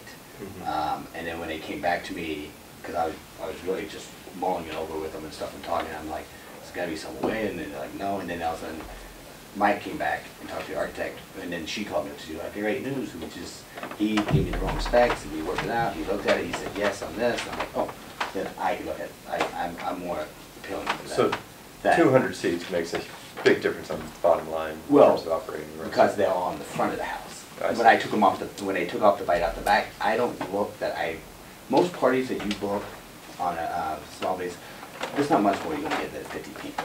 On average, uh, the years I've been doing it, the biggest party I've ever had would be a pub crawl. And I don't see that happening here. That's in the city of Boston. Most parties, functions I get is about fifty to sixty people, average thirty people. I don't get much more than that. I wouldn't see unless it's a big hoo-ha, and I doubt they're gonna come book it with me because they're gonna need space for two hundred people. Mhm. So the average party is no more than fifty people. Okay. So I was willing to take off the back, but I, did- I wanted to leave the option open just in case I get a party of sixty-five, because you never know, most likely fifty will show up, but you might get to mm-hmm. sixty-five. And the front is what I really wanted more function on to do, Okay. to do that. Then that's where the seats, the, every day that you're losing, you're losing money. The front's the bread and butter of the business. Yes. Okay. And then my other question was, with respect to the operation of the function room and our earlier discussion about pushing the, the parking capacity, um, could you operate your restaurant without having any function room activity on Saturdays before six P M? I, only reason why is because it really wouldn't, I, I look at it also as part of the community. Mhm. You have baby showers, you have bridal showers, you have, um, from, um, functions, from, uh, birthdays to, um, just anniversaries. And a lot of the baby showers and bridal showers are not going to be after six o'clock in the evening. And that, and Saturday would be, hopefully we'd have quite a few little, um, baby showers or bridal showers. We'd have like a luncheon, maybe at one o'clock or something like that, and have that. I can't say that, I hate to be constrained to that, and I think it would be Uh, It wouldn't benefit me at all, and also I think it would hurt me if all of a sudden someone calls them, I'm like, no, I can't legally book anything until after six o'clock. And who wants to bring the baby out at the, or be part of it, you know, pregnant, walking through the place at six, seven o'clock at night? I'm I'm sure they will, but pretty close to it. I mean, that's usually what happens on a Saturday afternoon. That's, those are the type of parties I usually work on, book anything else besides that. I guess they gotta go eat at the restaurant. Um, we had talked last time, I think Bruce brought it up about the LEED energy efficiency checklist Mhm. that we usually have you fill out for special permits. Have you, and you talked about all the things that you were gonna Yeah. do. The- We're all about that, yes. The Are we architect- ready to fill that out, or? Well, first of all, we have to get the okay on everything, so then we can say, okay, this is what we're putting in there, Mhm. and then I'll fill it out. I have no problem after that. It's just, I don't know what to put in, where am I going with this? You're not that far along yet. Well, because I don't, I'm, Are I, these- I'm already spending thousands of dollars already, sitting here waiting, doing all these other plans. And then the next step is to spend more money, but I gotta get the okay. I mean, I spent quite a bit of money, but I can't spend any more money, because if everything gets denied or gets changed, then it's no good to me. Right. And and then, so I won't know what I have. I can tell you, basically, it will be of energy efficiency as much as possible. Um, The designer designed schools who are all about that, the colleges and stuff, and the restaurants in there. Mhm. So he's one hundred percent on the board with that. So how do we handle that at this point in the special permit? It's not addressed? I'll give you my personal guarantee it will be. Um, That, but I'll fill it out afterwards, whatever you need, it's just I need to know what I'm gonna put in it. Yeah, I understand that. We're encouraged to incorporate. It's not a requirement. I'll make sure anyway. We'll continue to I'll make encourage sure you. anyway. You can, you come look at them all. Well, as he said last time, it, the more energy efficient he is, the better off his bottom line. Yes. It- Yeah. Exactly. An LED, We would I- strongly encourage that. an LED might cost a few dollars more now, it But it'll pays for last. itself over Yeah, years, it it'll lasts last. forever. Yeah. Ten years of them. The only other question I had was, we talked a little bit about figuring out where all the parking signage was. Did that go any further? I know Carol said more parking signage was gonna go in, and there was a plan maybe as to where that was going. And it's funny, because I drove around looking for your parking plan, I've only seen one parking sign really up. I haven't seen really anything, I drove around looking for I it, did for too. that purpose. And I was like, There's, That's you why know I'm wondering if. They uh, need to have more park, I mean, you really Yeah. seriously need to have some signs up, there's none up. I, Okay. I drove around, I was like, I saw one. yeah, there's not even a sign. No, it's a big peak. To go down There is a the- plan, there, it's, Okay, um, and you're willing to work Oh, yeah. with that, you put that in your mitigation plan? Yeah. Okay. Okay, that's it. there, there may be no need once these are, these are up. It's really hard to, to tell right now whether there will be additional need once these signs go in. Do we have any timing on that? No, this is separate from this As soon as conversation. DPW can do it. Okay, but I mean, it's on, it's. Unfortunately, it's- It's on the list. It's on the list. Okay, that's, Yeah. that's more what our question was, okay. Uh, Ian? Uh, I don't have anything extra. Ian? No, I think I'm okay for now, so, so if that's it for the applicants, then, um, any further discussion? Uh, otherwise, my thought is to bring ourselves through the, uh, different elements of the Okay. EDR and, uh, have a discussion around each of the points and see where everyone's head is at. Obviously, we're not voting on each or, or whatever else, we'll vote as a whole. But, uh, thought is that we can kind of have any questions or, or whatever else with respect to it. So I'm going through Carol's um, memo of July 24th, in the different sections of permit. Uh, Section 10.11A1, uh, uses requested are listed in the table of use regulations. The use restaurant over 2,000 square feet is allowed by special permit and is in fact already covered by the special permit, just not in the, what's been permitted so far. Um, There were so many of these, could folks pipe up if they want to discuss one Yeah, along the way, yeah. if that's okay? Uh, Eleven eight two, the requested use is essential or desirable to the public convenience or welfare. Um, And the application that the use as a restaurant is desirable to reoccupy the vacant business space and to serve a menu not otherwise offered. So, um, with respect to that, I guess my, my comment on that is I, I do think a function room would be helpful, um, to the center. And, um, and I do think that the restaurant um, is desirable. That's my, that's my thoughts. Um, anyone else? Well, I concur, and we did hear from uh, some members of the audience speaking in favor of the idea of a uh, neighborhood community type hub atmosphere, um, which I could see working very well in Arlington.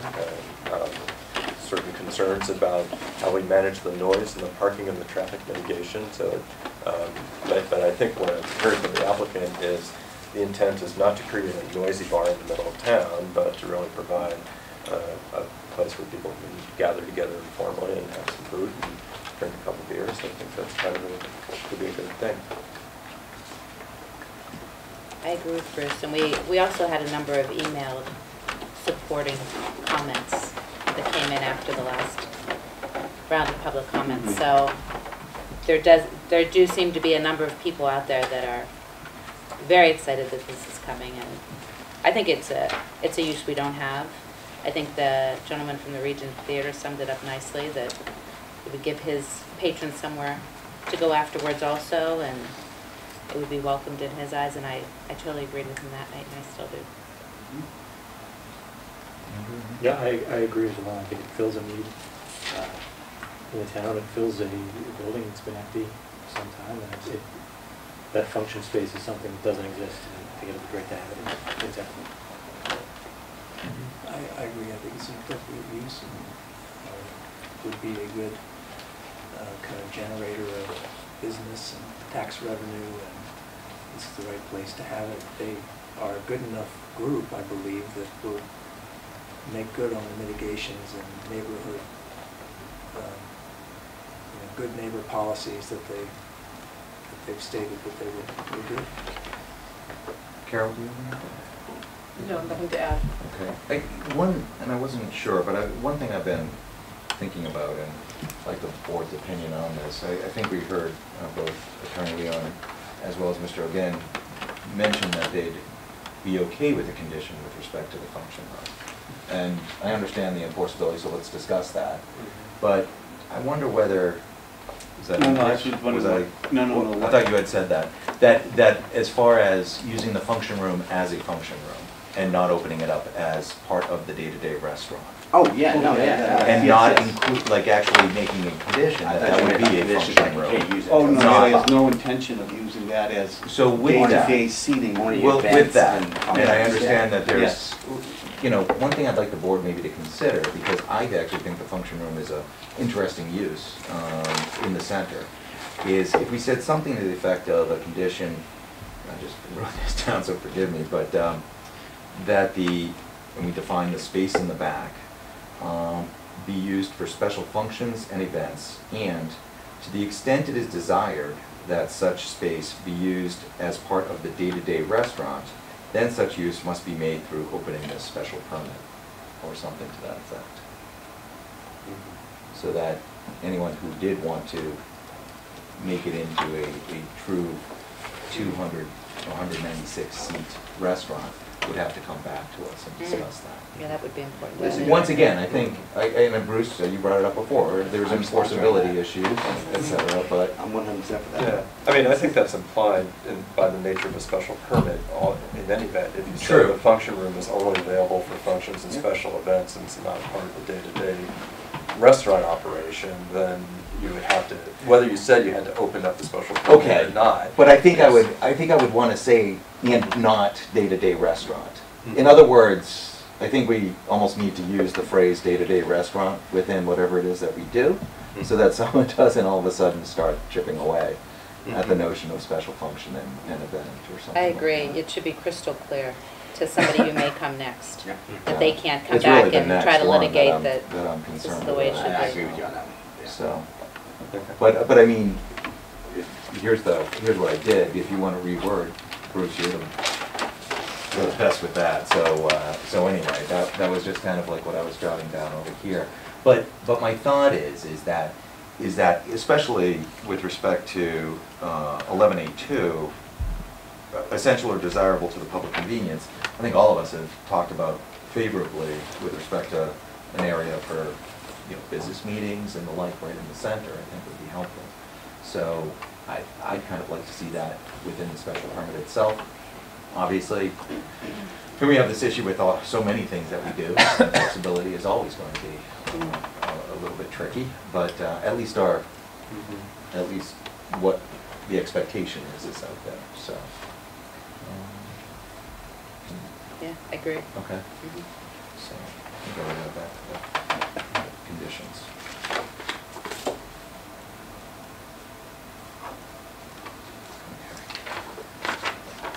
Okay, uh, ten, eleven, eight, three, the, the requested use will not create undue traffic congestion or unduly impair pedestrian safety. Um, With respect to traffic, I think, you know, we, um, Prairie Restaurant had eighty seats. Um, Probably causes for pedestrian use, so, um, you know, I, I think we can talk about parking in respect to this, um, this element, but we could also talk about it in terms of EDR EDR four, which I think probably makes a little bit more sense, so. Any comments on, uh, traffic and, and circulation? I'm sorry, traffic and, uh, uh, Pedestrian pedestrian safety. Can the mitigations be included as a condition? as Yeah, I'd like to. I'd like to think they will be. Uh, The form in which those happen, I think we just need to think about it. I mean, if we ever had had a condition that includes a memo, basically. Um, But, It uh, would be convenient, it's kind of nicely It spelled is- out it and is- summarized. it is but spelled out and really summarized. Yeah, we should always ask for that. You want it in Word document? so, Um, Well, we may. we may just. Take you up on Yeah, something. we may just take you up on that, so. Uh, But yeah, Andy, I think that is, is key, is with respect to, well, when we get to it, EDR four, I think that uh, Okay. parking mitigation uh, uh, memo is gonna be very important. Mhm. Um, moving on to eleven, John, yeah, sorry, you had other things on that? well, Carol has mentioned in here Broadway Plaza being designed for pedestrian use, and this goes back to, I know the Board of Selectmen is ruling on the license. um, The outdoor they need, seating? The outdoor seating. Right. Do we want to say anything about that in our Um, special permit?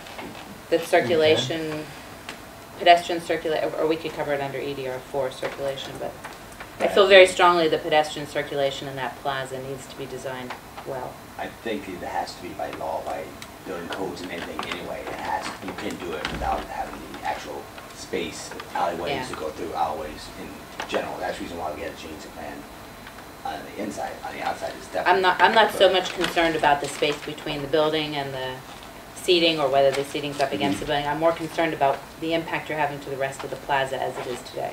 I know the plaza could get redesigned, hopefully it will one day, but that would be my concern. Mhm. So I don't know what we, if we would write something that pedestrian circulation within the plaza cannot be negatively impacted That's a loose term. with the, it is a loose term, we have a loose plan right now, so. Difficult. I think it's also, it is the, within the purview of the selectmen, um, because. 'Cause it's it is outdoor area. Outdoor It's seating. public. Um, You know, it was suggested at a pre, at, at a prior meeting that it was something that we should have, Mhm. uh, to give some consideration to. And looking back at what the board did in the past when we had the zoning bylaw that allowed for the outdoor seating, yes, we sponsored it because it was a zoning bylaw, but I don't think it's ever really become part of what this board does in looking at special permits for dining establishments, other than taking into account that the outdoor seating does not count towards the parking count requirement. Um, So, my own view is, I think that is the, the selectmen's uh, uh, issue to deal with. And that was the town council's view as well, so, and that's. that's Oh, it was, we- okay. Yes, so. But it may be worth a comment, if we can at least comment to the board of selectmen that they should be aware Oh, Yes, of, cognizant of concerns. uh, of, I'd and feel also more the with that. design and dimensions of the outdoor seating area, particularly where the existing hardscape in Broadway Plaza may constrain where those seats go. Um, Because I there's. think that's a great idea. Hardscape and softscape, there's a Yeah. tree, there's a light. But So having all of walked that. back and forth through Broadway Plaza a couple times since our last meeting, um, I was puzzled as to how you were going to fit in the seats. Well, I, I am, It I'm is a just looking puzzle. at that because uh, you get the drone tree next door, they put theirs out, so then it's really, I'm thinking I might not even do it Yeah. until someone can change the front of the whole plaza because it Or might not maybe be you just do a appeasing. few, Right, that's what I'm saying. rather right. than the whole area you're trying to Exactly. do. Yeah. So, uh, yeah, I think a it's matter of comment me to the getting in board, there I- I like of that selectmen idea. would be very good. It's a I mean, they're of- waiting for our written comments to make their decisions, so. You know, once I get in there, I get more of a feel what's gonna happen. How would you summarize that? I, I think For what I was hearing were um, to um, provide the selectmen with the opinion, and and I think we can kind of vote on that, but uh, the, the- the concern of the redevelopment board with the outdoor seating and the um, uh, pedestrian uh, safety and circulation Okay. in Broadway Plaza.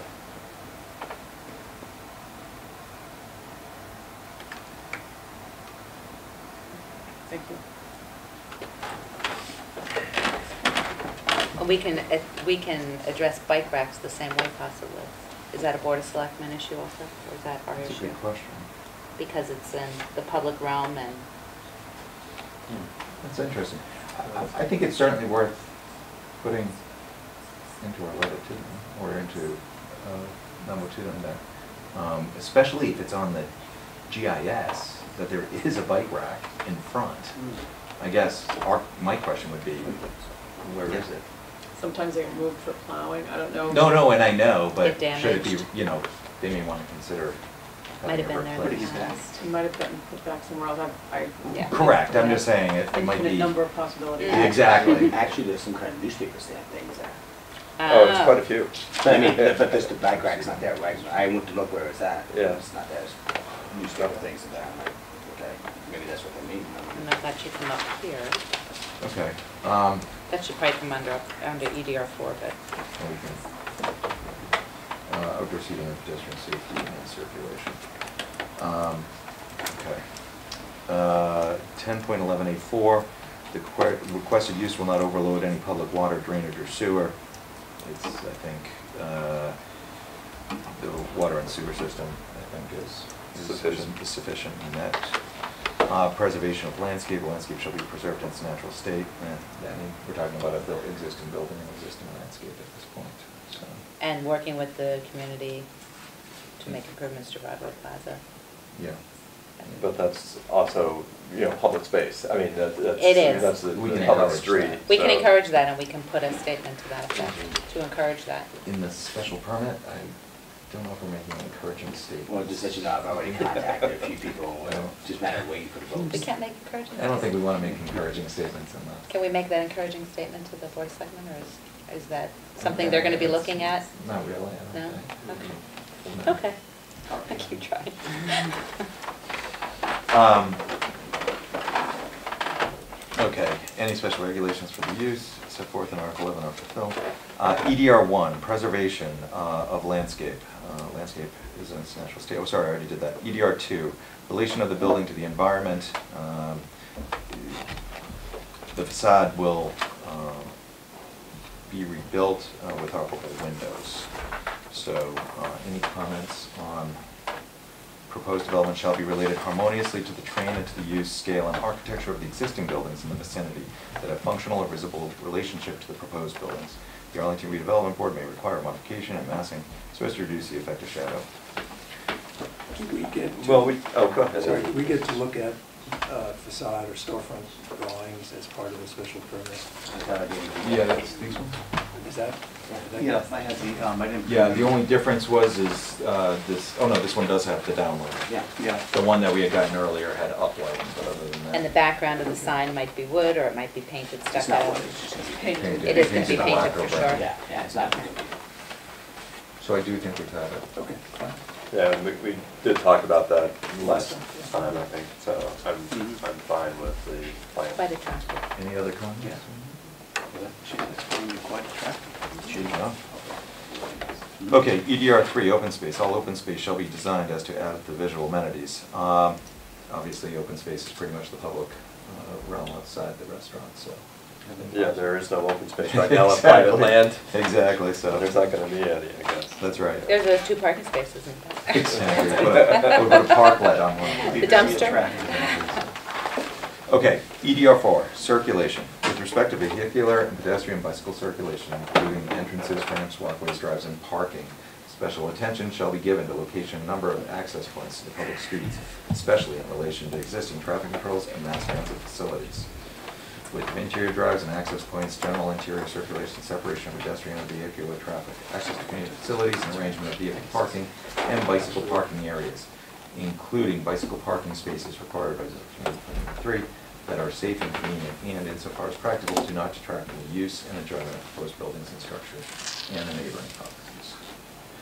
So, um, with the additional seating uh, that is uh, proposed in the application, there's now a requirement of um, 29 additional parking spots, which, in accordance with the bylaw, uh, public, publicly available uh, parking lots within 10, uh, 1,000 feet may be included uh, in that parking.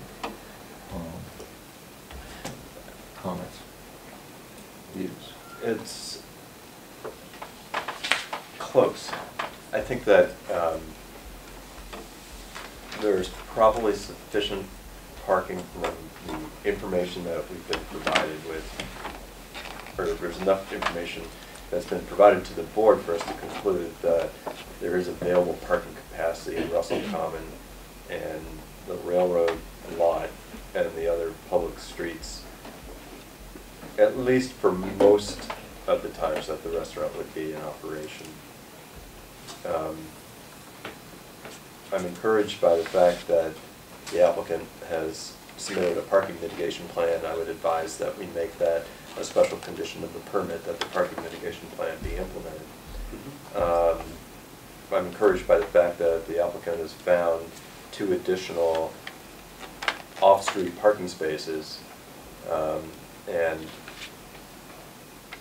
I would recommend that the board include in the permit that the applicant find replacement private parking in the event that those two parking spaces were at some point in the future lost, either if the landlord were to take them back or change the lease or uh, what have you. Um,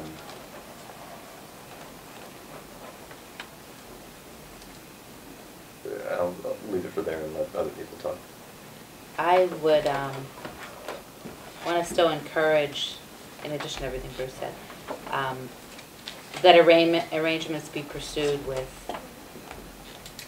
um, playtime, Jam'n Java, other private owners of, of parking lots, because whatever arrangements you can do with shared parking will only help the overall parking issues if in the someone center. Communication with me and opens up, and then I'm happy to get in communication with them, because I would look into some uh, valet parking as well to help for the older people and people who just want to use it, and like to have it on a lot nearby. I would love that. If, uh, I'm looking right now, putting the doors out, where we put it out there for people to communicate back to us about it, and see what happens. Do we have a mechanism to keep encouraging that, or? Keep showing up.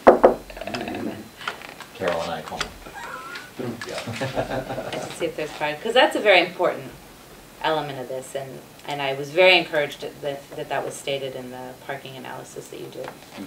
Because any, any kind of shared parking use like that, and it's unfortunate other business owners aren't doing the same thing, but they haven't been forced to yet, No, they I mean, haven't been again, asked if- to. If Greg calls me back, I'm on top of it. as soon as it- I've actually texted him a couple of times, and I guess he's not quite so, uh, text savvy getting back to people, and he called me up and just said, I won't back to you, and yet. I'll Right. keep pursuing it. Yeah, and if there's any other ones out there that you can I put out identify. already, and should see what Okay. happens. Uh, Great. Kind of get back, no one's gotten back to me, so I don't know if they're just a little nervous right now, or what.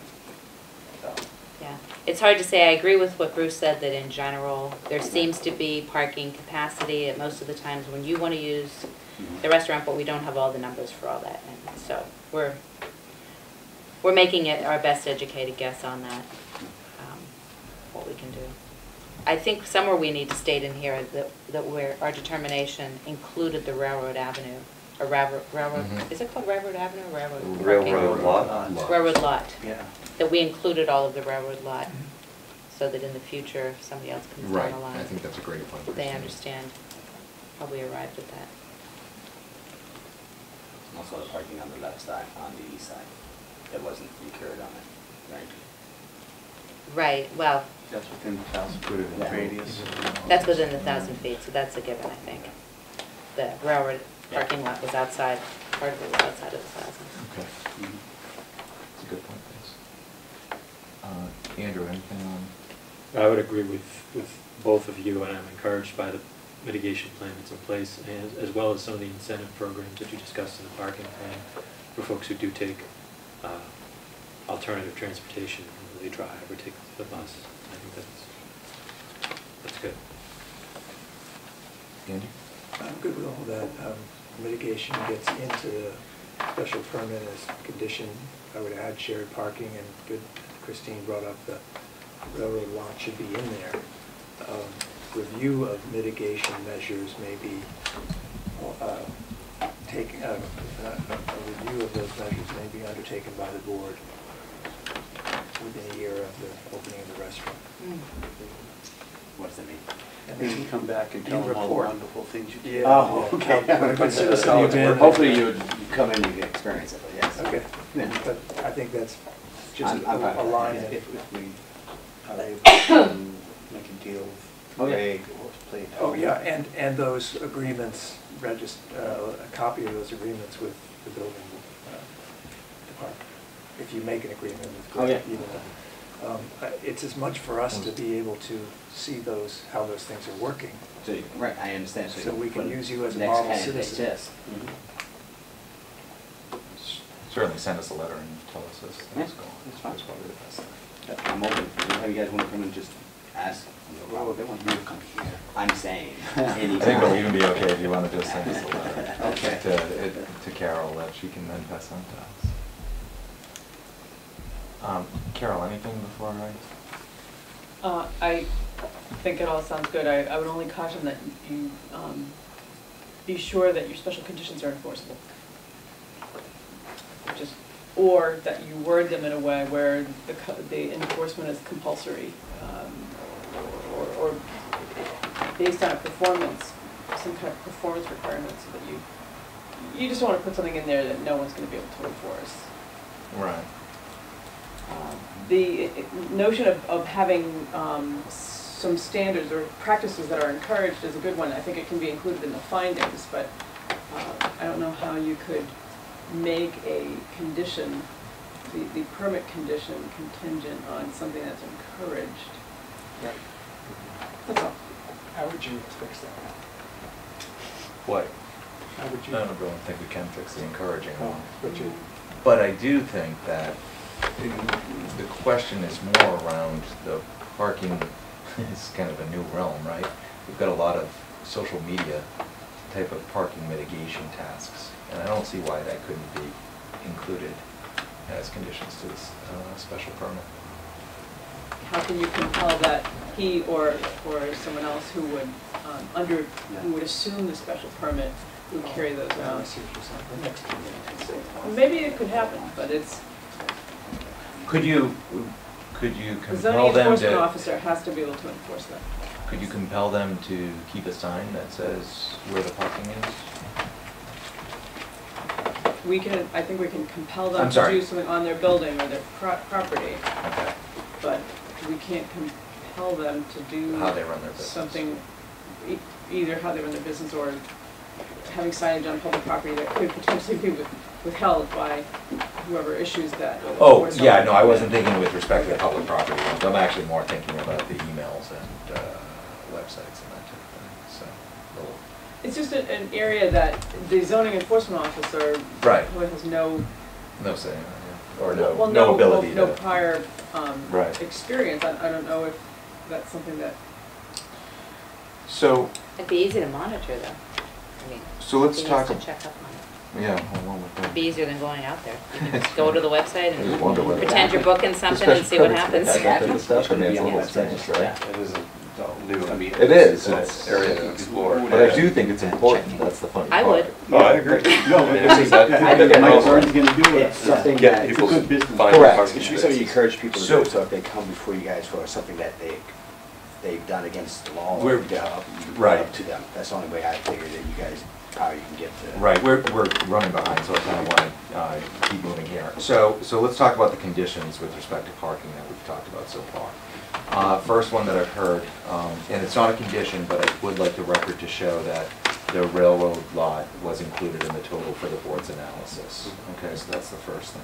Second thing I heard uh, is an actual condition, which is um, two on-site spaces shall be maintained.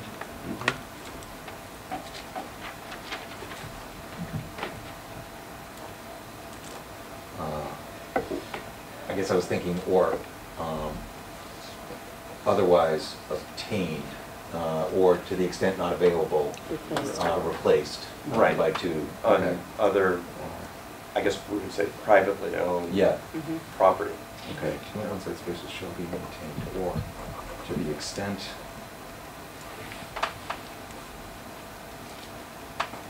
such spaces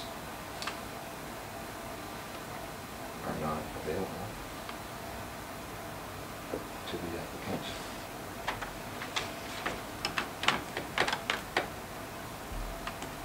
Two crowded spaces.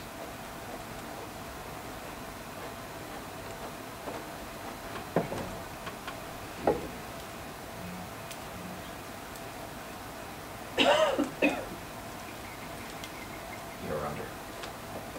You'll get that to me later? Yep, Okay. Here under, you can add it here under? I got a hair under there. I like the hair under. Very legal. Thank you.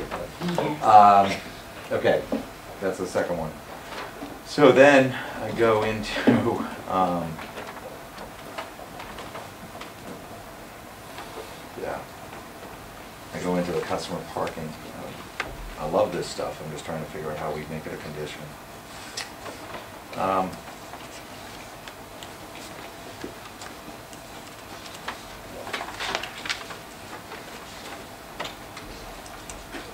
Can I back up just Yeah. for a little bit? Um, Go back to the kind of the fundamental, the, the two hundred seat, um, is the board accepting that that's the, going to So be the total capacity for the? for the- One ninety-six, sorry, that's a great point, Carol. Oh, we're gonna do Um, So 196. in respect to this, we're talking about one ninety-six, and I, I'm sorry, I thought I said that at the beginning, my bad. One um, ninety-six total for the business? One ninety, one ninety-six for the business, and it's going to be, um, set forth as, um, I have it right here, two seconds ago, of course. Um, that's going to be, here it is. I got it, one hundred and six in the front of the house, and ninety in the function room. And may I suggest that um, you s- simply add that subject to review uh, for building code compliance by the inspector services. Okay. Because we don't know what we assume that that would meet, but you Right. just don't want to have to have the Yeah. applicant come back if it doesn't, so. And so that's actually gonna be A seven hundred as uh, changed tonight, right? So it's this, it's this A seven hundred, Mhm. Is that what plan sheet A seven plan, hundred shows? plan sheet A seven hundred, with the only change That's being the that 96 even the back. ninety-six, uh, I'm sorry, the ninety-four in the back. But where on this plan does it say that? What, ninety-four? So- Two places. Says one oh six up front. I don't have my reading glasses, but I can Yeah, barely it make it here. out right there. Yeah. It says it here and it says it And it says ninety-four in the back, but we're changing that to ninety. Can I get a full size of this for the file? I emailed you the PDF. I can print it out, the biggest my printer will go Okay. is. I couldn't s- Yeah, yeah. I'll- Okay, so, I've had Yeah. okay. so the one I'm looking at i- is A seven hundred. And that's going to be with the following changes. You wanna say the issue date, issue date nineteen, Yeah, where two is that? thousand and Oh, there it thirteen? is, issued, yep, thanks. Yeah. Sure, read that, okay. Three o'clock. Yeah, issued, uh, Guys need to get glasses on. I have, oh, miss, at home. Um, so that's hundred and six in the front of the house, ninety in the rear of the house. Only change to this plan being is deleting ninety-four and replacing it with ninety uh, right near the back of the um, diagram, as well as in the little box. Uh, The little box says 94 seats in private dining. That should be changed to 90, and then the total. Couple below that, Yeah, right? indoor To seating 196. changes to 196. Okay? Someone's gotta look at this in two years and be able to read this and understand it. They're going to redo it and send you the corrected copy. Okay. They're not, we're, we're doing this Okay. with the expectation that the applicant is going to provide us with the corrected copy. Why don't you make the text larger also, like you did on this text, so it's readable? Yeah. Like just have them make this Large. larger, have them make that larger, then we can all read it easier, and the next people can read it easier. All the, all the seating count stuff on this little chart, Mhm. yeah, 'Cause it is easy to miss. So, so long as what comes back comports to that, then I think we can replace this A seven hundred with that. No? I'm not sure wh- where we're headed with this, so I'm just I- I- going with the if I may, the he current. wants- He wants a final plan showing the numbers we're agreeing today, so in the future. So that it's a clean copy. So are they coming back? No, No, Um, they're just gonna submit it send to it. you. no, it's just a clean copy so that Okay. we're not dealing with a markup. Okay. Well, yeah, And it's subject sure whether they're to coming back or not. the building We'll permit but- approval also. Right, Right, yeah. that revised plan will be subject to the building permit. Right, he said, he said okay today, I don't know why they called. Which it is. I don't know that, uh, well, I guess, would you put that in? Yeah, I we think do. We it's- have, we have some, we have some standard language that we put in, I We do for standard uh, conditions, uh, Yeah. there's like one through seven standard conditions. Right. And I'm pretty sure that, That's we can actually look at the old special permit, because I think that Oh, has all oh, seven of them.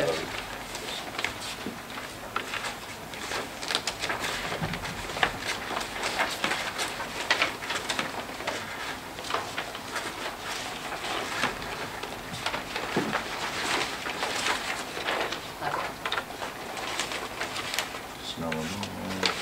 The final plans and specifications as approved by the ARB shall be the final plans and specifications submitted to the building inspector of the town of Arlington in connection with applications and building permits for the project. There there be show- there shall be no deviation during construction from the approved plans and specs without the express written approval of the ARB.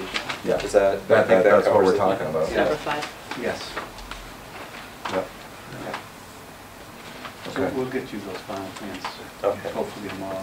I think we all understand what the final plans. Well, the, show is, but we can are gonna approve this one. It has to be exactly Yeah. like this with Right. those Just Without the. three it's just gonna changes. say Three 90. changes, 90, 90, 196. We use this one too. Oh, yeah, no, the big standard. So we're gonna those are use all of these. Yeah. Okay. All, all of these, Okay, so standard conditions as well. True, except six isn't standard for municipal trash pickup, because I brought that up. There is no municipal Yeah, trash that pickup. doesn't, that doesn't work anymore. So we could just reference the bylaws for noise and all of that stuff, Right. for trash.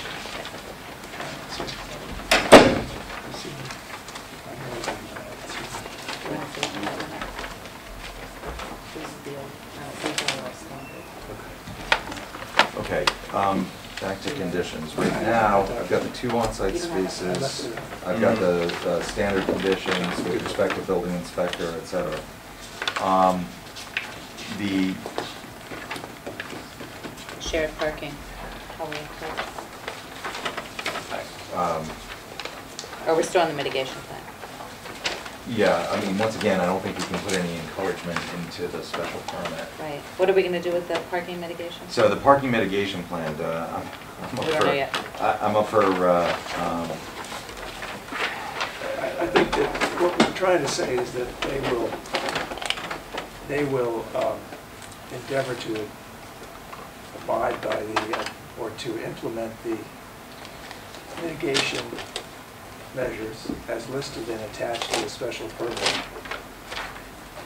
And I would add to those the shared parking, so that, that you retype it and add the shared parking, so that all the mitigations are in one spot, or do you want to leave shared parking out? well, I think, you mean shared parking is in the Jam'n Java?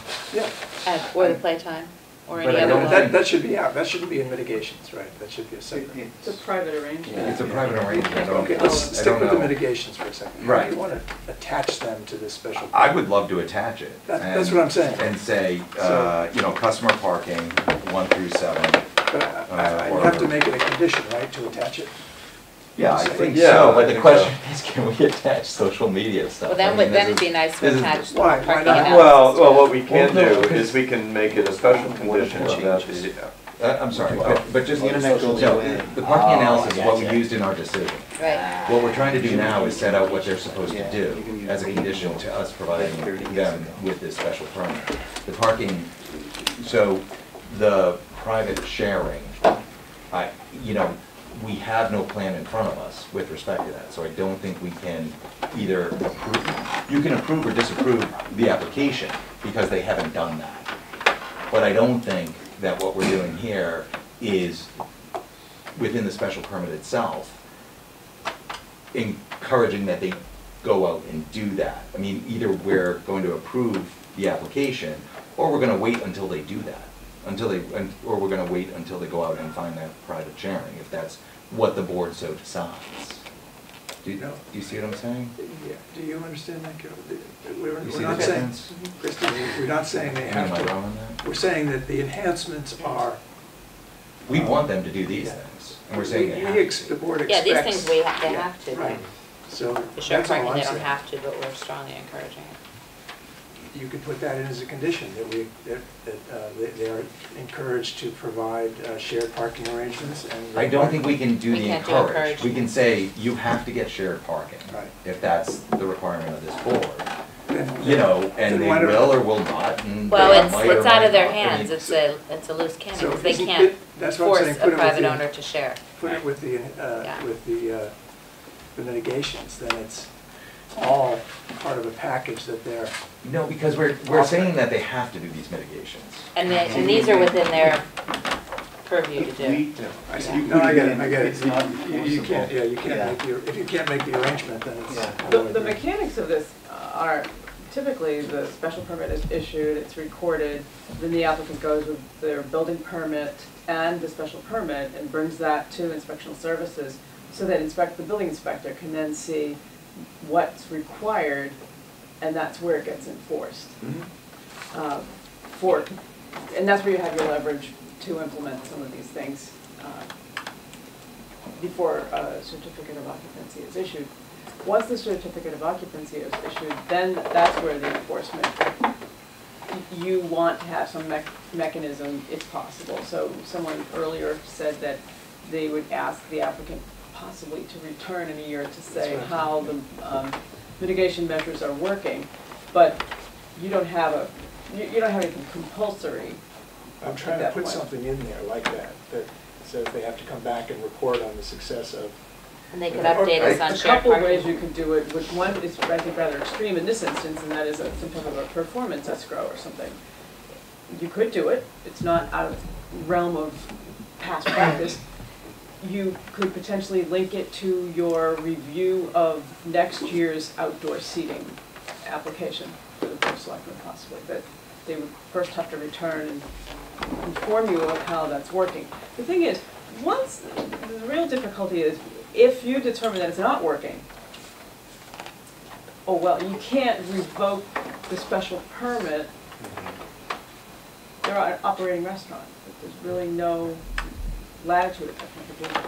So it's more a check-in, but, but you just need to understand and be able to communicate in the condition to the enforcement officer what your expectations are. If you don't expect that action can be taken in the event that the implementation steps aren't working or weren't implemented, then you want to communicate that.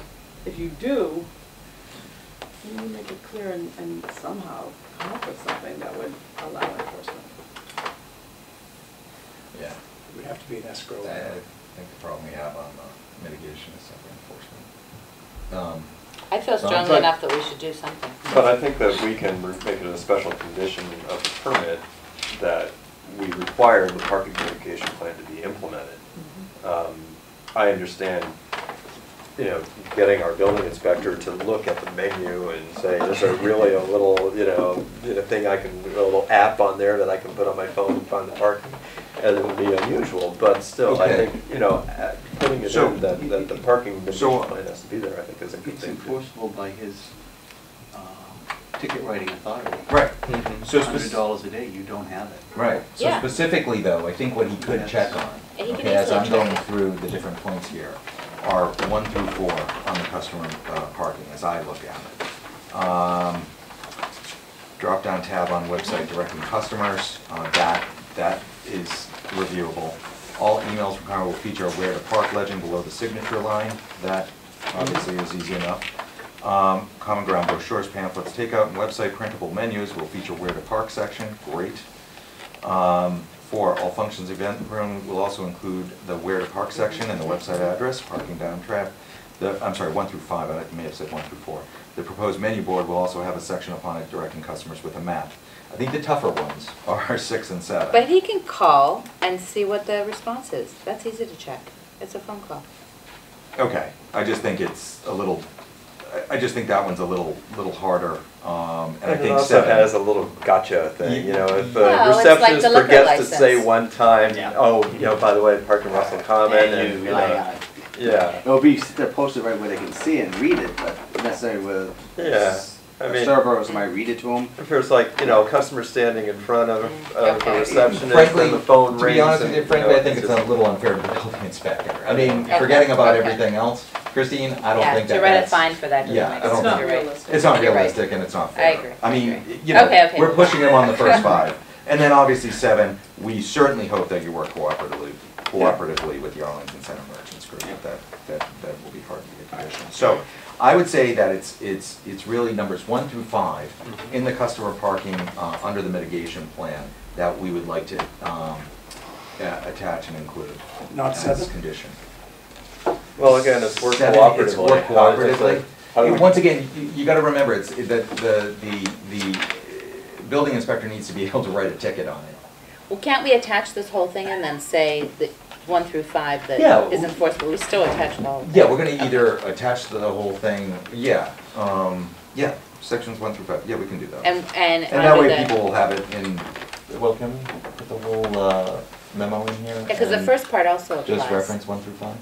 Uh, I actually don't like that, because then it shows that we don't care about any of the other things, because we're saying we only have to. Well, it shows we do because we put them in there at least. I'd like to say that we considered all of them, certainly wanted to do all those things. Right, but how will they know what they are if we don't Well, I include actually it? look, well, maybe it's the way I play, but it- like I, if, if I've got one through five that I have to do, and those are the only things that I mentioned that I have to do, means I don't have to do any of the others, right? In other words, I'd rather have this be a part of the record mhm. that we're deciding on, that all these things are great, and we want them to do all of them, Mhm. than to point out exactly the ones that they. So, so why don't you just take out six if that's the one that's bothering you? Well, I think I was also thinking about like the one through three and, and the, well, I don't know, I mean, I'm, I'm, we're. Well, we're already, Working t- on uh, that. back, I- uh, if we're talking about the one through three, we've already hit on the, the first one about the. Right, I don't think any of the other three, I don't think any of these three go into the conditions. I think we hit the one that we could, which is the two on-site parking. Right, right, You know, Number two is an encouragement, great. yeah. Uh, facilitate employee use of public transport, I mean, same. Yeah, Hard that's to basically talking about closing hours, and we're gonna And talk we about already have closing that. hours Right. in another part of the estimate. Exactly, So that's exactly, fine. agreed. And then one through five is enforceable, Yeah, six and seven are not really No. enforceable, and then we can get to the sound mitigation plan. but, So, so my thought, my thought was to carve them out and attach them. Okay. versus putting the whole memo in, but I'm, I'm amenable to fine. putting the whole memo and referencing these five, if folks feel Oh, more you mean the comfortable. entire thing, including? seven? Right. No, no, just take the. Just, just Parking rip out mitigation. one through five, Take all the parking mitigation. right, and just attach it as. a One through condition. three and one through seven. right? Well, no, Andy, because uh, two and three under employee commuting and parking, and six and seven under customer parking are not really conditions that could be enforced. Once again, So it's- you it's the- put it, I mean, if you put it in the special permit, it's a paper toothless tiger, right? So the notion would be to, to pull out one through five within the conditions of the special permit. Um, And pull them out as an attachment and say as the condition that the um, applicant will abide by uh, the parking mitigation as set forth in Exhibit A. Or will comply with. And this whole thing will just be in under discussion, you said? It'll be, uh, No, it'll be under, Under our- it'll be under special conditions at the end of the, uh, at the end of the decision. The memorandum, e- uh, every document that they hand you for your review mm-hmm. is listed Public record. and, Okay. and at the top of your special permit decision. Yep. that It's all incorporated by reference. If you want to turn some of those points into special conditions, you can do that. Right. But be assured that this will be part of the record. It's directly cited at the top of the decision, the written Okay. decision. Require the applicant to comply with the parking mitigation actions set forth in Exhibit A. Okay. okay. So a special condition will be, we require the applicant to comply with the parking uh, mitigation actions set forth in Exhibit A. Exhibit A will have numbers one through five under customer parking.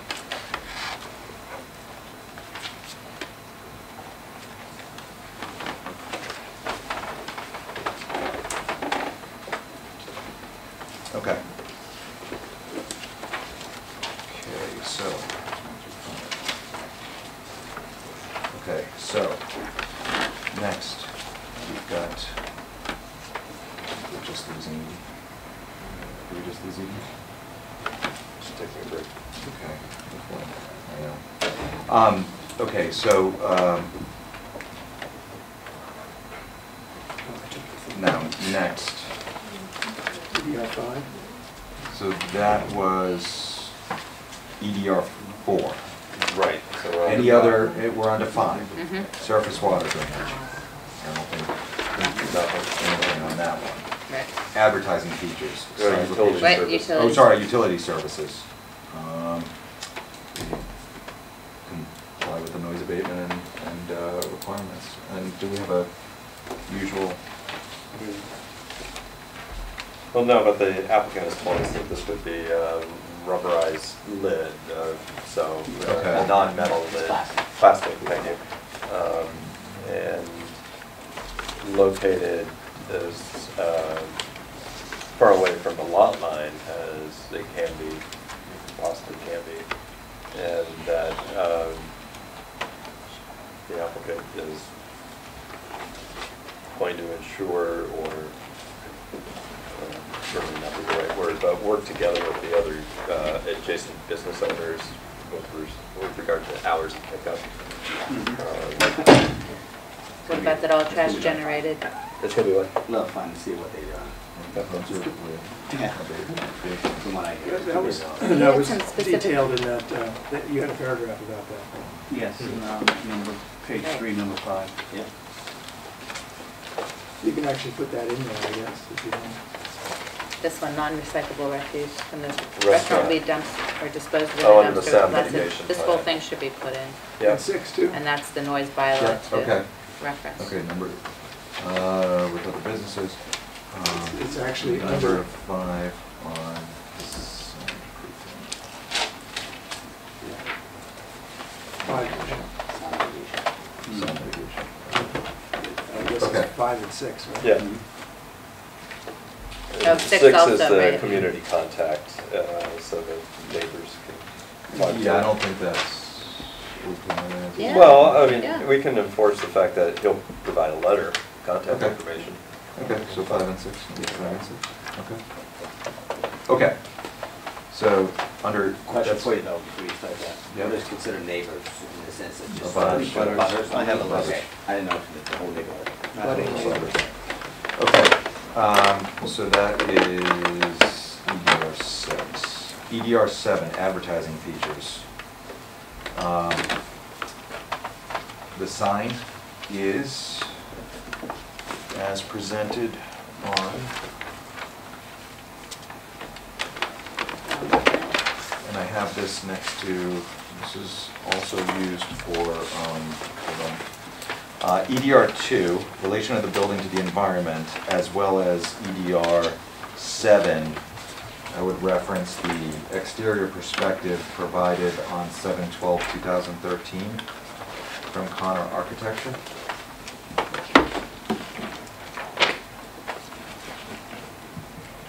With downlights. Yeah, it's, it's two sheets, that's right, it's, We got an update to this, didn't we, at the Yeah. Oh, did we? Okay. Yeah, I don't know if it has the No, you same can't- date, that because I had all these, this one, you gave us an update. I had all these questions, but your update answered it. Okay. So I think the date. Yeah, is that's why I'm different. including this one. but it has an actual, But that doesn't have all the words Oh, it and doesn't have everything. it has an elevation after the, Doesn't There was a, uh, here it is. It's dated, This is proper. issued, issue date. That's what it says. The A, I think this is after the, the lights are above, right? Well, no, it changed. I don't know. Like on this one, See, the um, lights were below, so this is, this is the property, the lights are above. Right, and you have Oh, your okay. insignia more in Okay. the middle of, uh, of the Yeah. awning. Okay. and- This is the property, the lights. above. okay, you're right, that is the right one, sorry. Okay, so that's the right one? Yep, it is. Seven twelve, The old one had no issue date. A two hundred, A200? A two hundred. Okay, Exterior A200. elevation.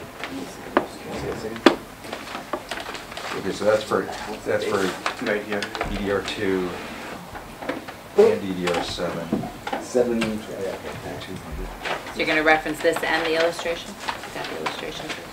Yeah, is that all part of A two Yeah, hundred? that- that's- Yeah, that's, that's just a big black. Oh, yeah, that is Black part of it. line. Yeah, Yeah. so that's part of it, so yeah. Yeah, that's the same as you have there. The exterior perspective, you could. Yeah, I know, but let me take this one. Oh, Can I take this one? I can print it. Yeah, print another one. Yeah, I can print But it. just in your naming, this is exterior elevation, this is exterior perspective, for the title, same date. Okay, any uh, comments on the uh, advertising features? The only thing that, No and and. I'm, uh, this is uh, belt and suspenders, but just to say the, the lighting will be downlit. I know it's shown on The the new one plan, is, I yeah. know, Yeah. but since the original had it uplit, just to, So you want that as a condition? uh, We've yeah. done it before. Yep. That's fine. Condition. That's, uh, As shown on A two hundred. That's the thing, it's about the lighting Be in the back light, downlit. Oh, like the day, Okay. we'll shoot now. Next, kids and rocks. uh, EDR eight, special features, exposed storage areas, exposed machinery installations, service areas, truck loading, and is subject to such setbacks, screen plantings, or other screening materials. Um, Actually, I think I'd like to talk about the soundproofing, maybe in here. Uh, Yeah, I Isn't, think this might be the best place for us to, uh, not under relation to Reference. Well, we could do it there. Um, Noise isn't mentioned either. Yeah, I guess that's, ex- I guess, I guess it is probably better at the, um, uh, relation of the building to the environment. So in addition on EDR two to A two hundred, I think we should also be referencing, um, the, oh gosh, where's this? This one? There it is. Three hundred. A three hundred. Soundproofing. So as a special condition. Under EDR, I guess we don't have to say what the special condition is in respect of, but EDR, under EDR two, special condition,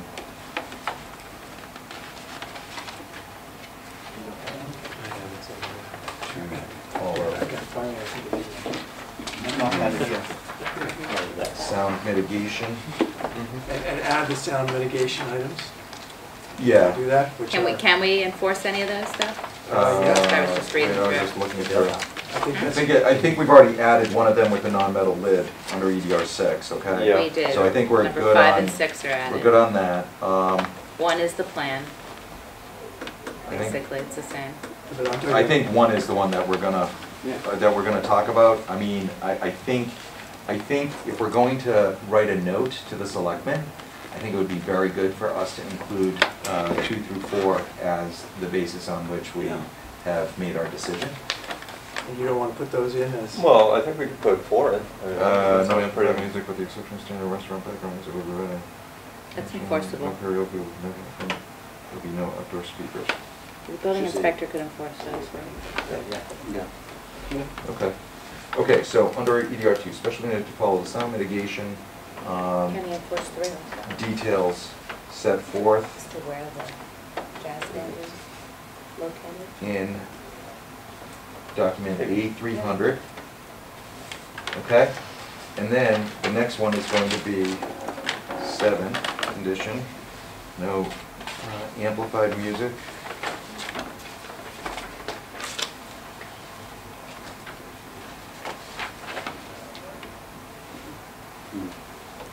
With the exception. Okay, so copy number four of the sound mitigation plan as a condition. Okay? And number Christine three. was wondering maybe we could put three in as well. Even, You know, I I Three is a really- location in the I really restaurant. feel like we're getting into the, it- it- my own view, and let's, Yeah. let's talk about it. But we're really getting into the entertainment license to some extent as to what's what and everything else, right? who's giving that enforcement? Yeah. Once again, I'm happy to include in our notes, Comment to this. comment to the Board of Selectmen that this played an important part in our thinking. Okay. That makes sense. As long as it gets to them, Yeah. because it was part of our decision, right? Their promise to characterize what this function room would be, Yeah, this restaurant would correct. be. You know, Well, as an aside, I plan, as part of my submission to them, to give them this mitigation plan. Okay, keep going. So that brings us about to EDR eight, uh, nine. Nine, Safety. safety. Uh, With respect to personal safety, all open and closed, for police. and Wait, were there any other personnel. special features? There's nothing else that being oh, added to the roof? Ventilation system on EDR. Ventilation on eight. Right? We did Sorry. talk a little bit about the, uh. He's got the one Not the for- ventilation system, but the, uh. Kitchen exhaust. filter. Exhaust system. The exhaust Yeah. system, yeah, You can say it's approved as presented. okay. Okay, And loading, loading. What loading? I don't know, Carol's note says additional details on ventilation system and loading. What loading? The, Well, it's really just having the Ventilation. trucks go down the back. Loading oh, you are supply. talking about that kind of loading. Right, and, and in the, um, last hearing, in last meeting, he said that he would not have delivery trucks coming in. Right. You would have Gonna go in the off-street back, and that's All the what's delivery required. trucks are going alley through the Oh, back. yeah, no, I was, Yeah. we're gonna But that's a- you know. Is that they written all come somewhere? in No matter what, yes. Into the Is driveway. Yes, even there's no reason why they Presented shouldn't, I don't know why they would. But should we write that down? Yeah, you can make a special condition saying that all deliveries shall be via the driveway off, which is of I would actually mention Compton. every one of the businesses there, I mean, it's. Just say people- off-street. People back trucking it, well, not do donuts. Wouldn't say why not. All delivery would be off-street. Off Street. Down, uh, Not, off not the street. from the street, Okay. off of the street. Yeah, off street. Okay. At reasonable hours or the bylaw hours? Yeah, I don't think we have to say when No. the bylaw says it's gonna be. Yeah, that makes sense. Just whatever. I guess I'll say. Right, just to reference the bylaw. Yeah. Should we reference that? Because it's just like the trash pickup. If it happens in the middle of the night, nobody will be heard. Yeah, exactly. True, but yes. But that could happen. Yeah, never know. And it could Okay. be noisy. Okay, continuing on. Number 10,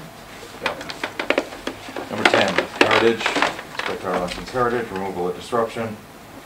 However, little or no evidence remains of any original board can find the state standard is met. Any comments?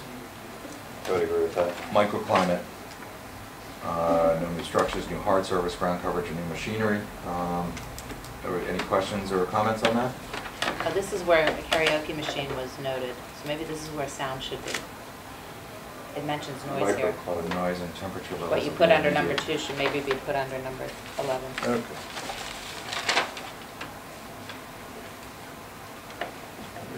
Two, okay, EDR eleven, fine. Under EDR eleven, special condition to follow sound mitigation, okay. All right. Twelve, uh, sustainable building and site design, uh, projects are encouraged, they've not presented anything uh, for us to uh, review. they could say uh, at the building, when the building permit is issued, you will issue a list to the building department. Just so we know for the record. Of what? Of- The LEED, the Meas- LEED measures performance taken. objectives, Okay. Our checklist. There you. I'm already doing it, so we can. Since we're a green community, it's nice to keep track of what's green You just about have to it. say you've addressed it, Yeah, I mean- in every one. Like I said, I'm already doing it, so no big deal, it's just Great. making a copy and sending it. Issue to building Yeah, it's easy to fill out. the Building permit, on issue of building permit, Okay. Su- uh, submitted to the building department.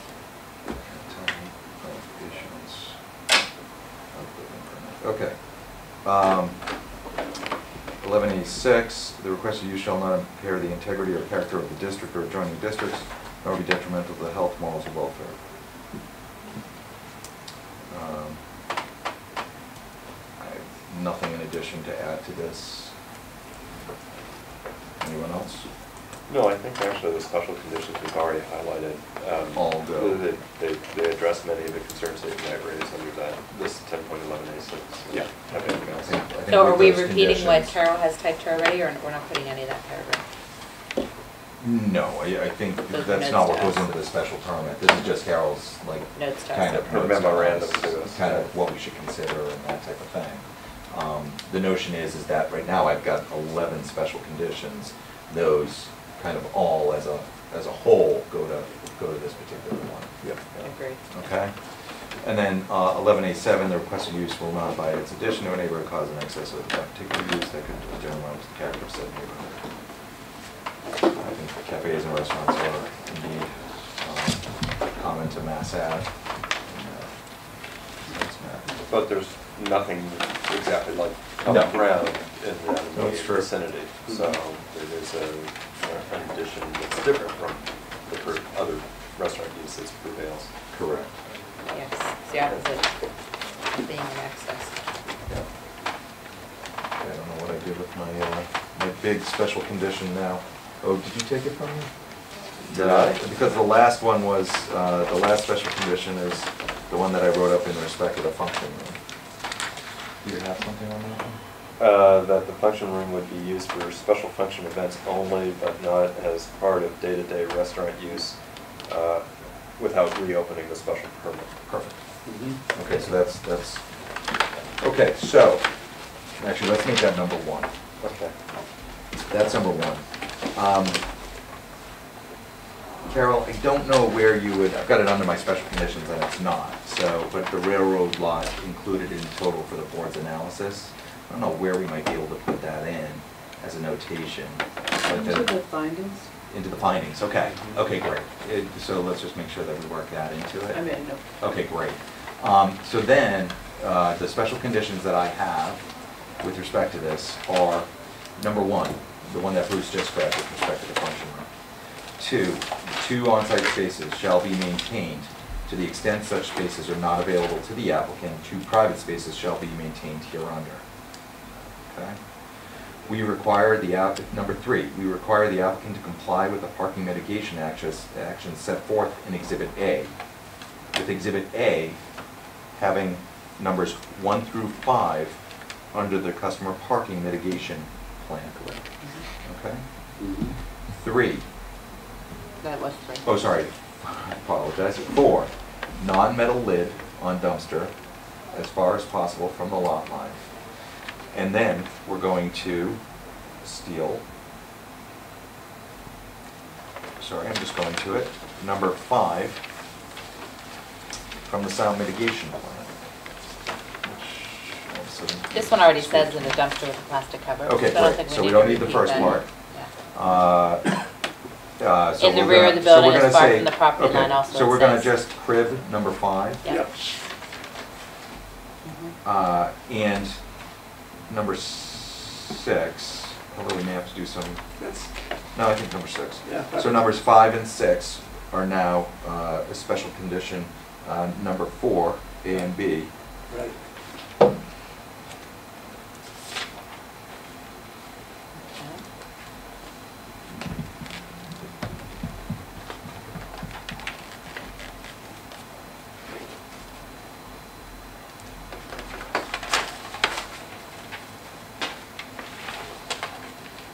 okay. And Carol, I'll get this to you. okay. Um, The fifth condition, uh, condition that the sign, uh, as shown on A two hundred, be downlit. Just sign as per A two hundred, all lighting down, all, all lighting down light, all, Yeah, lighting Okay. shall all be down light. Whatever the right, doesn't Don't sound leave it right. Face the ground. No, no. Down lighting only. Down lighting, only. thank you. Take some on loader. Yeah, exactly. Signage shall be as per drawing A A three. two hundred A two hundred and with down lighting only. down lighting only, thank you. as shown on A two hundred with down lighting only. Yep, We will have it when it gets lit. okay, and uh, we've got a lot to do. Um, Okay, under, uh, number six, under EDR eleven, uh, special condition to follow the sound mitigation details set forth in document A three hundred. So that's the soundproofing, Right? okay? Mhm. That's the special And which condition. ones are these? Oh, just the document, you don't want Just to the- add any of this, uh, okay, that was in a separate one. We did that already. Yeah, okay. You, you didn't get item number. four. Oh, so that's number seven. Yeah, Okay, so, so we got the got you, document. yeah, I got you. Then condition number seven, no, uh, we're gonna copy number four of the sound mitigation, Right. okay?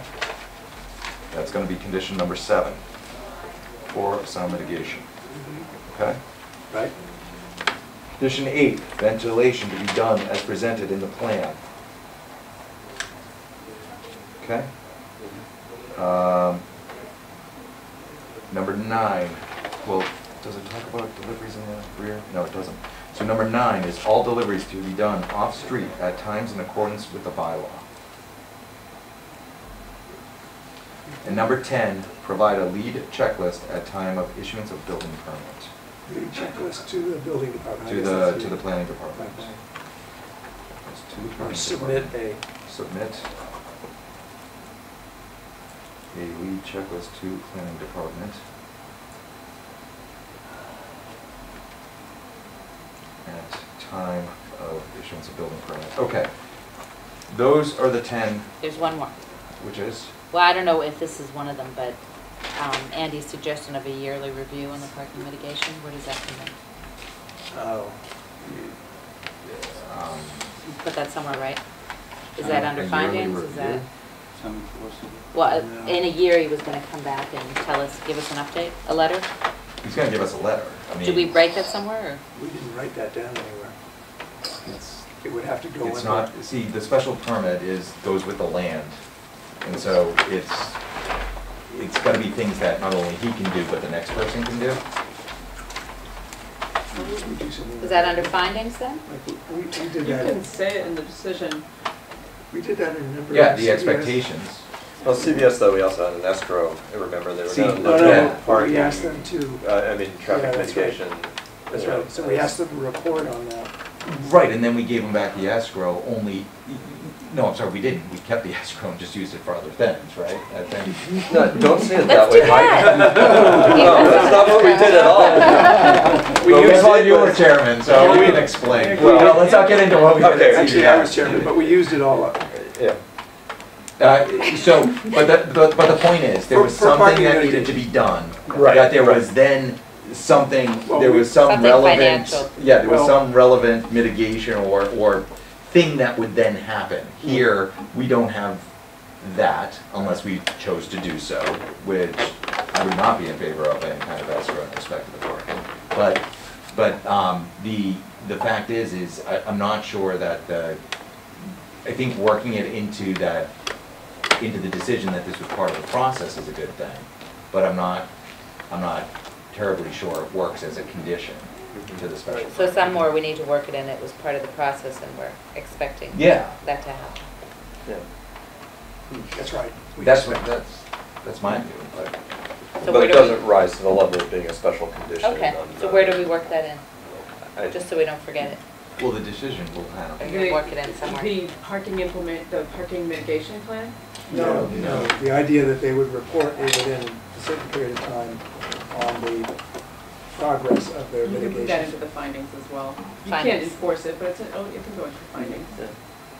Um, One other thing that we talked about, I don't know if it's a special condition, but the submission of a updated uh, seating plan, right? But uh, Yeah, that follows exactly. that follows, right, but it shows the correct number of seats Yeah. in the Yes. front of the house, the back of the house. and total. We, we mentioned that somewhere, didn't we? Well, I don't know if I don't we if need, it's- to- is it a special condition, or, I mean, it is No. in the sense that, because we're giving, that, I'm being presumptuous, but if we vote in favor of granting a special permit, Okay. they've got, the the applicant has the permit, right? Isn't that Okay, under the so- standard special So conditions no, that we're let's, including? uh, no, No, we're it's just an gonna- update of it. So, so let's just do, uh, Final plans and specifications, we could put it into this, can't we?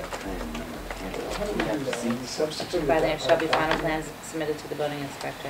It's the Can I we guess- add it into this? Site plan Yeah, I that tells the number Or of is that too seats. complicated? Yeah, she wants to correct the It's unusual to. see, personally, I think we're voting on it uh, all marked up.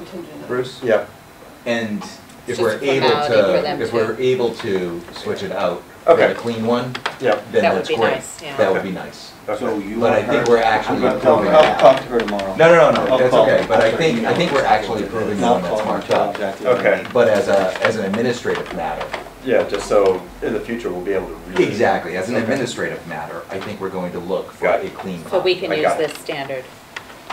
Yeah, yeah, I think, and, and then all of the additional, um, uh, all of the additional, uh, in, in usual, uh, special conditions. Okay. That we include. So that's, I think, everything. I think so. Let's, if we can just take a quick look at the original special permit, because as long as we have, Christine just had it open.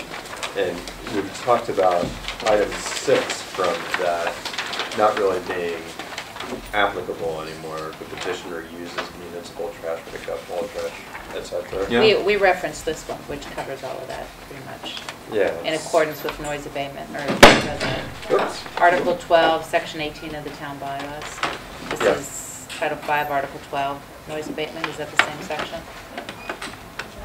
Yeah, I, um, I don't, you know, I, I can't remember what the, what that refers to in the town bylaw. Feasible, the same trash pickup company will be, That- company that's, will be um, instructed to keep it. Times of, times you're allowed to use heavy equipment, which Okay. dumpster, emptying trucks fall under. Okay, It's very specific and it falls within that uh, definition of heavy equipment. okay.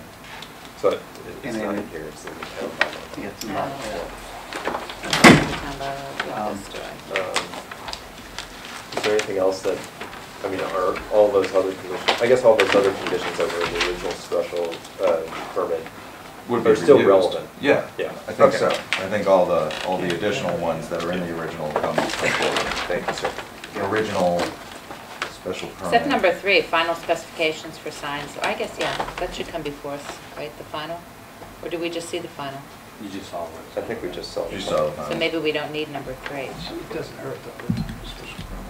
Special permit. It's redundant, but Special conditions. Well, let's just go through them quick.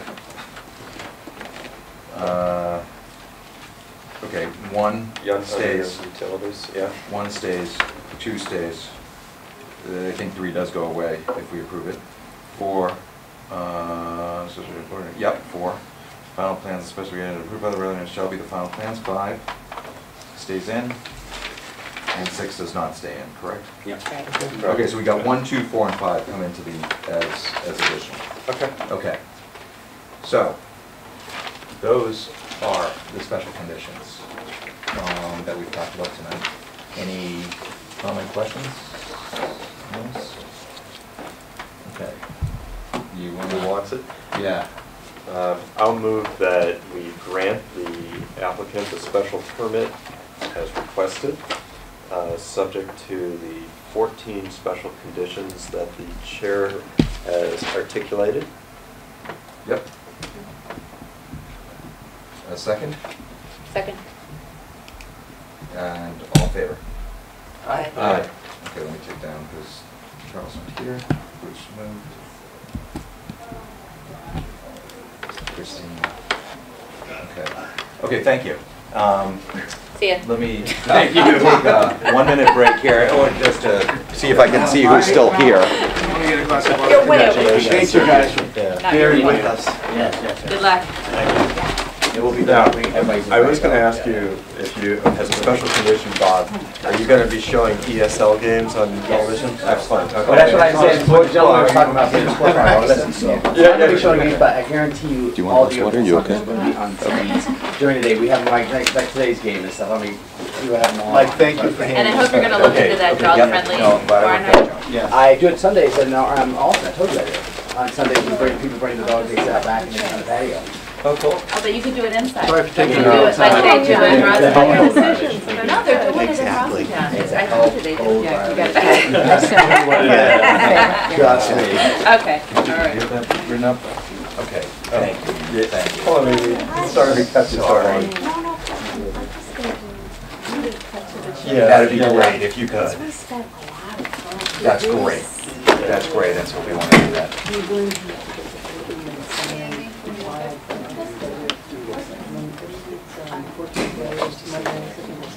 Yeah, yeah, yeah, okay.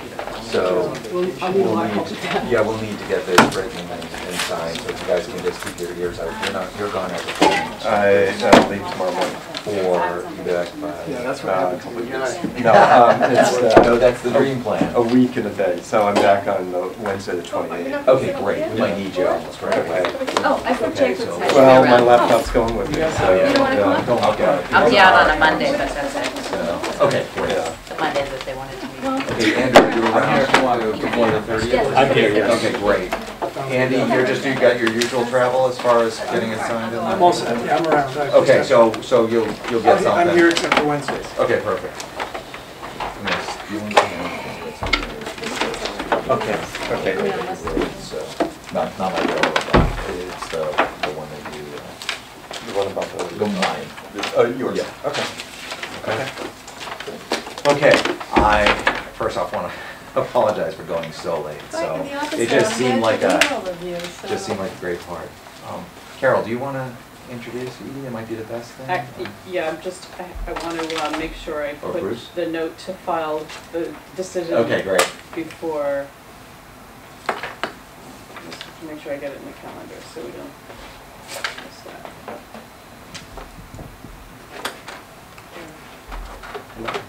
Hi. How you doing?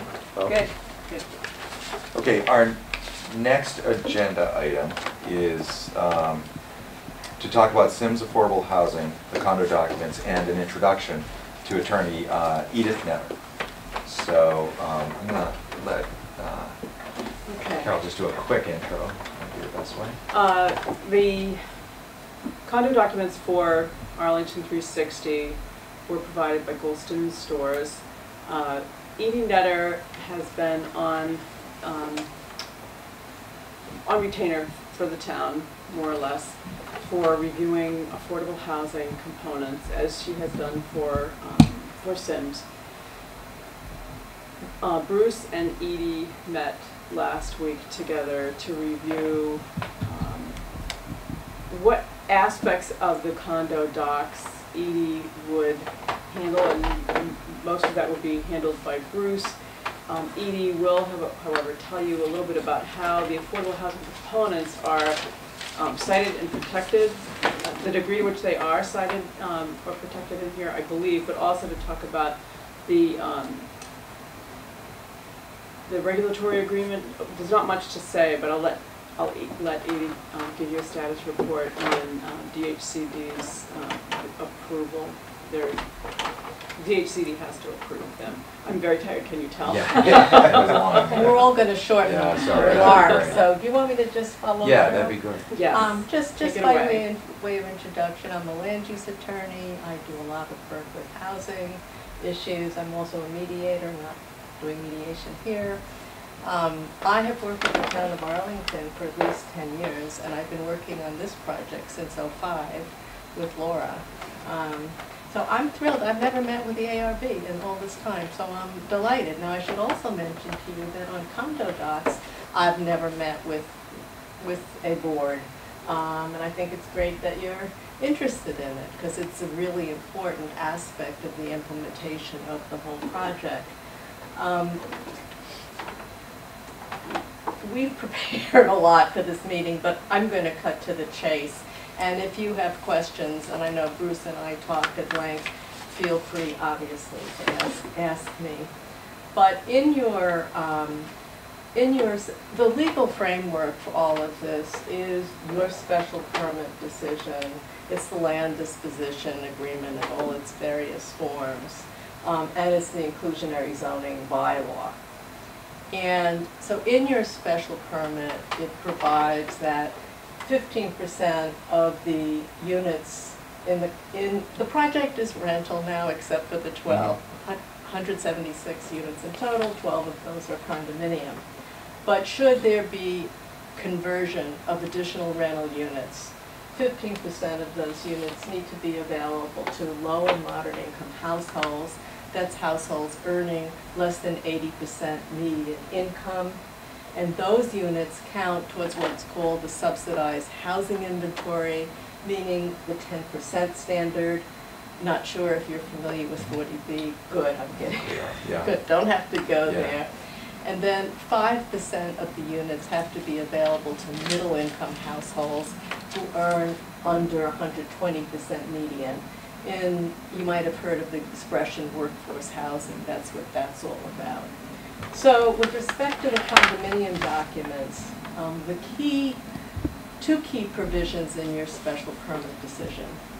One is the condominium statute provides that the, um, are you all familiar with very base, the basics of how a condominium is structured? Yes. Well, I just, just, just that. Yeah, everybody, that. Has a unit and then they have a percentage interest in the entire condominium. And typically, that percentage interest, that ownership interest, it- well, it's always based, the statute provides on fair market value. Generally, fair market value is calculated based on, the percentage interest is calculated based on the square footage of the project. So what happens is that the um, market rate units, um, let me, let me say this in another way, and I'm Have tired more of a also. share. Sorry. What we're requiring is, what you're requiring is that the, the percentage interest of the affordable units is based on the restricted sales price Mhm. not the square footage, which means that the um, percentage interest of the low, moderate income units is going to be slightly less than a market rate unit of the same size. The reason for that is that the fees that you pay are based on, okay, your percentage interest. So, if you have fifteen percent of the units, just fifteen percent low mod, you always have a minority interest, or you include the moderate income units, twenty, at, at most, it's twenty percent of the units. And the goal, and what your special permit provides, is how do we increase their, the, um, role of, and the voting power of the owners of the low mod and the middle income units. And the way we do that is instead of saying um, it's based on your percentage interest, we say one vote per unit. So it equalizes things. Now, this is not typically done around the state. However, the condominium statute does not preclude this. There are certain instances where um, you have to vote based on percentage interest, but otherwise you can vote one vote per unit.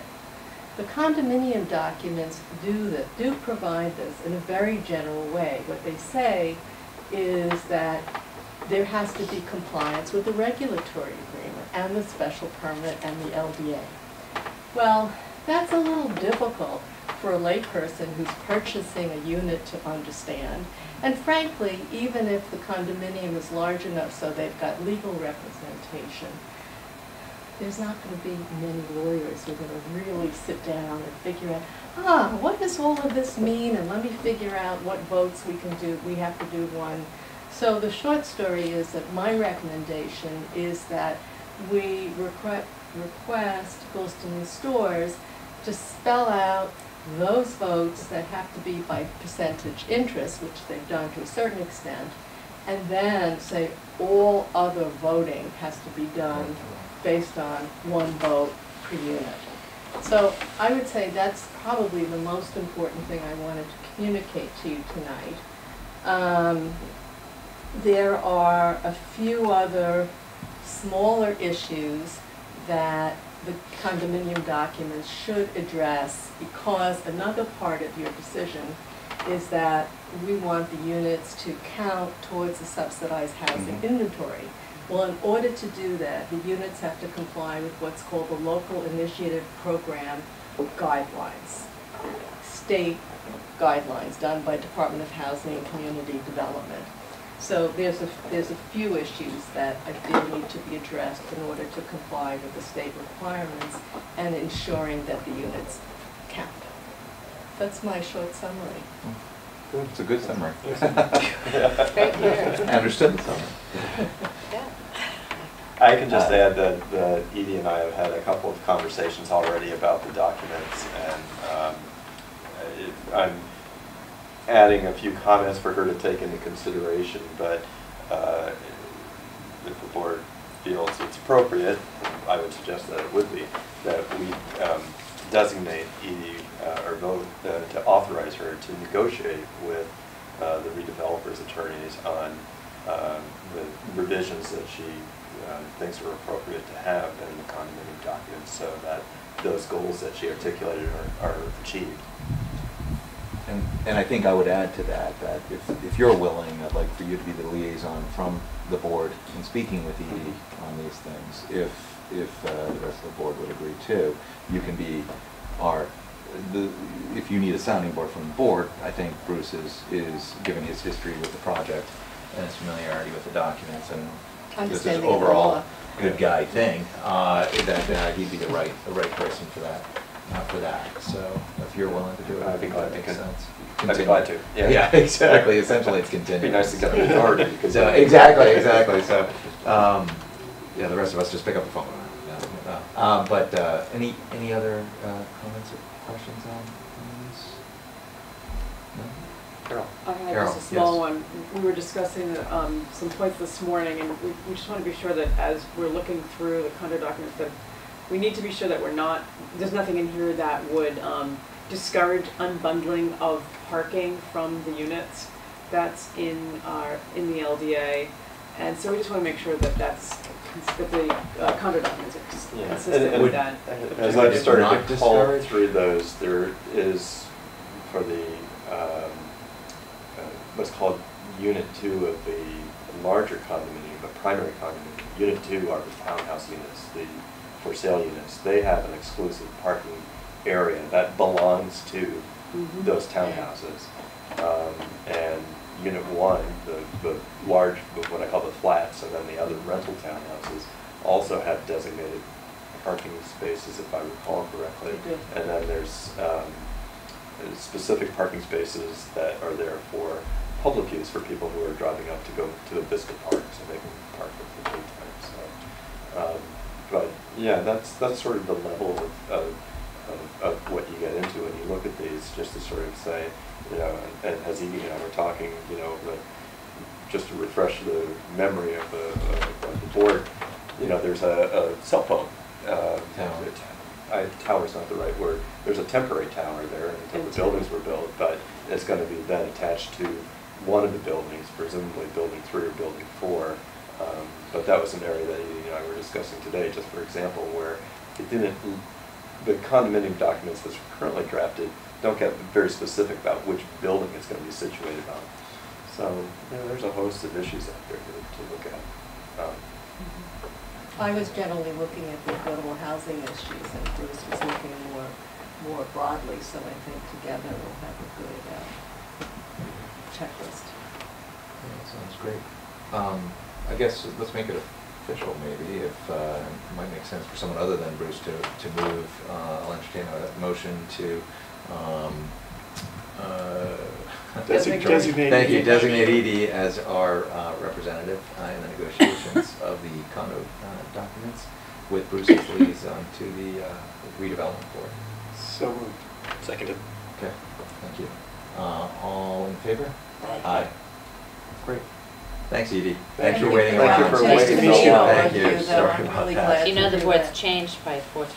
Yes. Yeah, yeah, exactly. What year was it, two Yeah. thousand Confusing. Oh, five? five is when I began, I went back to look at my old, uh, those emails. Mike, can I just add a few Yes, please. sentences about what's happening next with the, Mhm. um, the agreements with DHCD, the town, Yeah, and the please, developer? timing, yeah. We've been, we, we had signed agreements, and then, um, when the project stopped and the number of units went down, it sort of, we had to do an amendment to that agreement, and it sort of opened up some other issues that we're now trying to close down with DHCD, and I think we're very close to that. So there's gonna be an amendment to that agreement that you are going to be a signer, and I would say it will be within the next few And weeks. it's very short. That's an amendment to the rent regulatory agreement, is it? Yes. Okay. Great. And also, you're in process of getting approval from DHCD under the local initiative program to ensure that the units count. And, and DHCD is also a signatory to the regulatory agreement, so there's some state involvement here as well. Yeah, a lot, actually. A lot So Bruce will be the, um, the board's liaison to communicate with Edie? Yes, Okay. and to the extent, you know, additional negotiation firepower is required, you can step into that too. Is there anything other than this amendment that's gonna come back to the board that we're supposed to be looking at? Well, the board is supposed to approve the condo docs, so Yeah, there so has to we'll be a vote. Was that We'll your actually vote understanding on of But how there that'll will be work? something at some point, a That's why we document. wanted, that's why we wanted Okay. Edie to come. Okay, and then, so that's the other thing. What's the other thing? What did you- They are have to approve the condo docs. Yes, And when, what's the schedule for that, do you I think? think, well, it's- it's About in a just a few couple of too? small issues that we're asking them to change. in the condo that's how we look at it.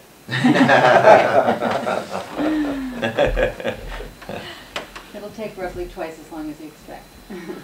Jim wants to say something, I think. Did you want to say something? Um, nope, I mean, other than, you know, we look forward to, to um, moving through and concluding this as quickly as possible. I just, I know Edie's been very conscientious and so is Laura about trying to facilitate, and I think the board understands the challenge that we have with having condominiums that are on the market. And the sales process needs to have these documents going, so while we all want them, and these concerns are real and valid, and we need to kind of have a balance between the, the voting rights for affordables and also some of the considerations for the higher end, larger condominiums that we're trying to sell. So I think there's gonna be a balance of things, and I'm sure we'll work through those quickly.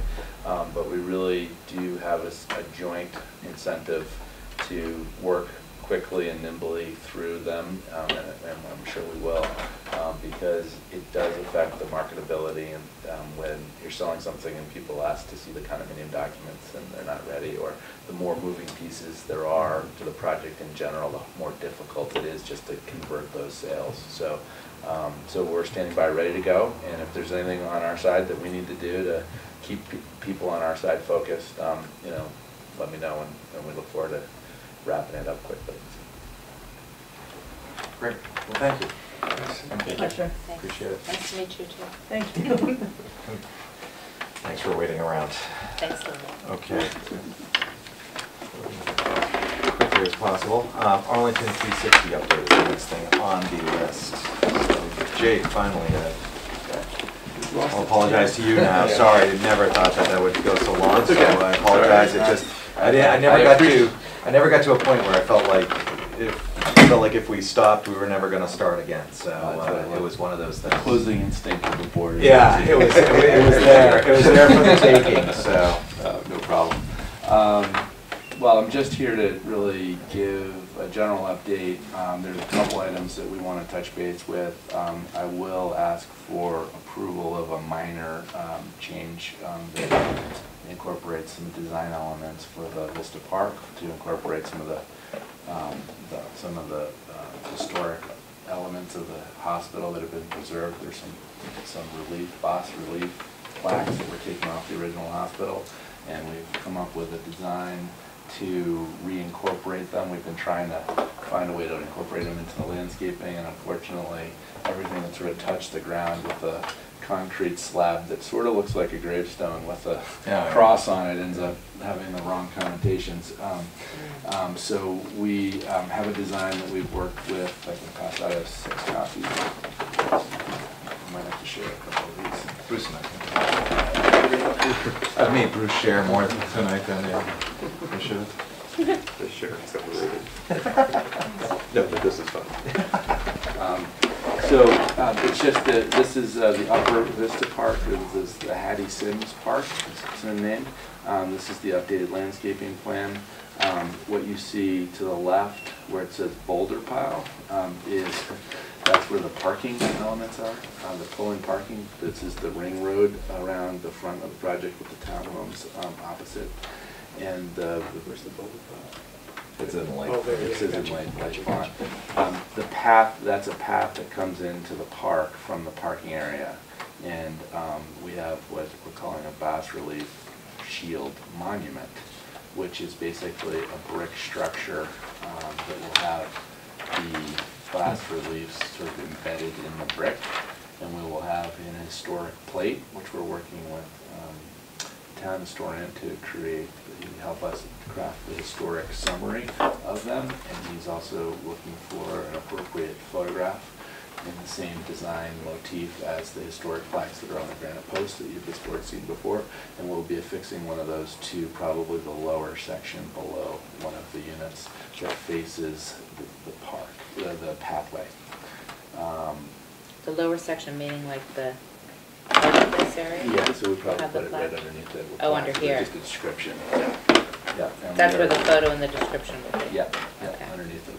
And are there four of these? Yes, Sorry. there's four of them. There's nice symmetry. Where are they? Um, There's where are- one here. There's just one, there'll be four on, one on each One- side yeah, of the on monument. the, on the whole monument. What, what was this before? Was this a granite piece? There was nothing there before. Oh, you didn't have to. This isn't taking the place of This the isn't naming taking of the the place of park. anything, this is just an added feature that we are. Oh, oh, the other one's over here. Yeah, the, the, the identity sign, like the name, the Yeah. granite slab, And, yeah, and that's this the is, name. and this is what, for? Sorry. Yeah, this is just four sided, so here's a three To, D. to display what? These, uh, they're, they're twenty-four by thirty inch, um, they're been, they're poured concrete molds For, of We've what seen had those been up ones. on the cornice of the hospital originally. They were peeled off and saved. They're in the town historian's driveway. Didn't Oh. we see those once? You brought us an image of those? I remember seeing of- that. we've been tr- And, and one and of the. pieces of a cornice? Yeah, they were up in the corners of the cornice, embedded in the brick of the original hospital. Up under the eave. Yes. Like medallions almost, Yeah, yeah. but shaped different. And they're just poured concrete, they're of a cross, it's not a religious form. it's more like a red cross kind of cross. Yeah. Um, and it's just, uh, there's, a- there's some symbolism, but it's more of a historic element. There are very few historic artifacts that were incorporated that were sort of worthy for reconsideration, and I believe the heritage section of our special permit requires that we make a priority to incorporate found uh, historic artifacts in the landscape design. So we've been struggling with this design, and we Mm. think this is the simplest and most elegant, and um, doesn't have the wrong connotations or possible connotations. Um, So every time you put it on the ground, it. Yeah, we tried gravestone. putting mounds up and leaning Yeah. them, we tried sticking them in the flower beds and, you know, sticking up, but it ended up looking like gravestones. What about laying them in a sidewalk paving? Well, they they're not trip hazards. They are trip Because they're, hazards. they're just elevations and things like that. So. And they could um, look like toppled over gravestones. Yeah, yeah, Why the brick? Is it because the buildings were brick? yes, yes, yeah, yeah, that's the. The existing material. buildings were brick? We'd be using the same brick that we're using on the existing buildings. Oh, for your Same- buildings, but was the original Symmes Hospital It was brick? brick. It was brick also. And what's this top piece gonna be? Um, that probably a, um, Limestone? uh, concrete mold top, which is similar to the toppings of the planters that we have, um, in the hardscape of the landscape design of the courtyards. Jake, is this the only location? I got confused, you said there were four. There's talking four four that are, go one- around. each- they're one on each side. Okay. So there's four of the historic elements, and we are putting them in one brick structure. Right. And then the top part uh, has the history of the, of the. We, we will have, uh, shields. just, just underneath it, probably on the set face side that faces the pathway, Okay. we'll have a plaque that I will come back and show you once Okay. it's written, once the, the description is written by the town historian, and he's looking for an appropriate, um, historic Hmm. photograph to show what they had looked like, um, that we'd be doing just underneath the front one. Okay. It'd be the same design as the, the, the, remember the granite posts with the design that'll be sprinkled around the top, the difference, of twenty-five years of history. And why down on the bottom? It might be hard to see down there, rather than up above one of them. Um, we could do that, we would just have to make it taller and it might look a little empty I don't think you want, I don't think you want it any taller. You don't want any taller, that's pretty tall. What's on the top of it? Four and a half feet. Maybe you could sit on the It's just top. a- a precast structure. Yeah. Precast concrete? Sitting in there, you won't be able to see there, it's too tall. Yeah, so all of the, the, the planters in the courtyards have the same brick mounding with the precast.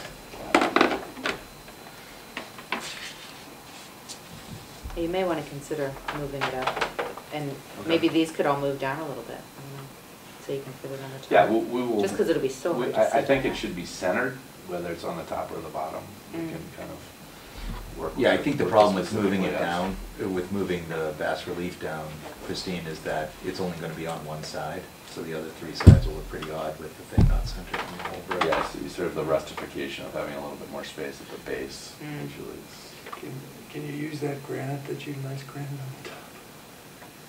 um, yeah. And then move the, move the plaque up to the top, just under it, so it's right up underneath. Instead of surrounding it with brick, just move the plaque up. So no, no brick border No, at the at top? That whole thing isn't a plaque, that's the, the, the concrete mold, actually. And the plaque he was just gonna put. No, in- I know, but this is a special concrete mold, right? Right, all four of those are. Just move it up to just under the, under the concrete, to- of the uh, granite top, which matches the granite of the other posts and things that you have. Okay, It just looks a little heavy. yeah. I think if you take one side off it, it'll just look a little nicer. So where would we put the, the plaque, the the historic, which underneath it, or? Well, I put the plaque on the top, but you could also put it underneath. On the top, laying on the top? Well, It might be hard to read, unless you can bring the whole thing Yeah, down because you're those- moving them up. Those don't wear well. okay, so then put it just below the plaque. Yeah. plaque. But you have to bend down to look at it anyway. Really blend down, But at least it's, a li- well, it's higher than it was gonna be. yeah. Yeah. Have you included in the budget a, a half a Santa? That will probably have to go on there during the holiday period. Yeah, I know, that's the, No, actually. It'd be Don't cheaper lay a probably wreath. just to Yeah, do the I can see legs that, yeah, going head first. You put a If you wreath did there. just the- It's like the chimney You for the big Sistine underneath it. Exactly.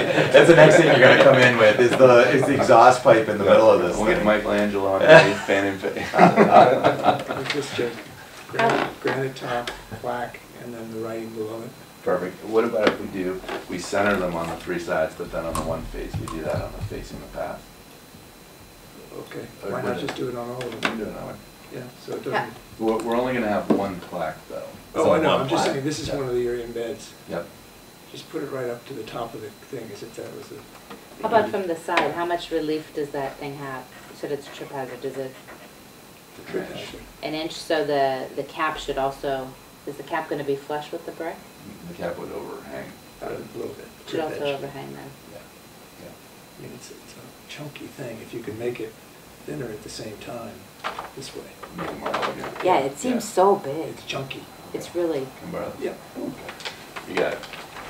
it seems out of scale with even being outside because it's so big. Yeah. Yeah, we'll try I to make agree it a little with more Andy. elegant by making it narrower. I agree. Narrow, Yeah. and, and drop, bring the thing up to the top, so you're Mhm. not seeing it surrounded like a Mhm. window and a big chunky thing that looks like a mock-up. Got it. Okay.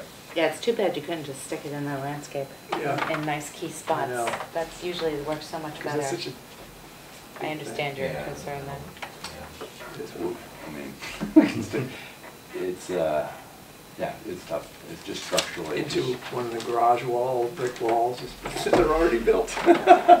Yeah, aren't, there's no walls around the park, I was gonna ask that, where it could be incorporated That's, that's into what we it. had thought, but when you get into the design. Or um, tops of walls even. you- th- This is curving around around it. It's not all. Mhm. Oh, right here it's There are benches. and there's they're a fence in freestanding it. Benches, yeah.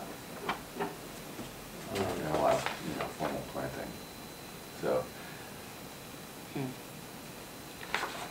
It, it's been a struggle. We've, we've gone through maybe six different concepts. that- How, how thick is it? They're, they're three inches thick maybe.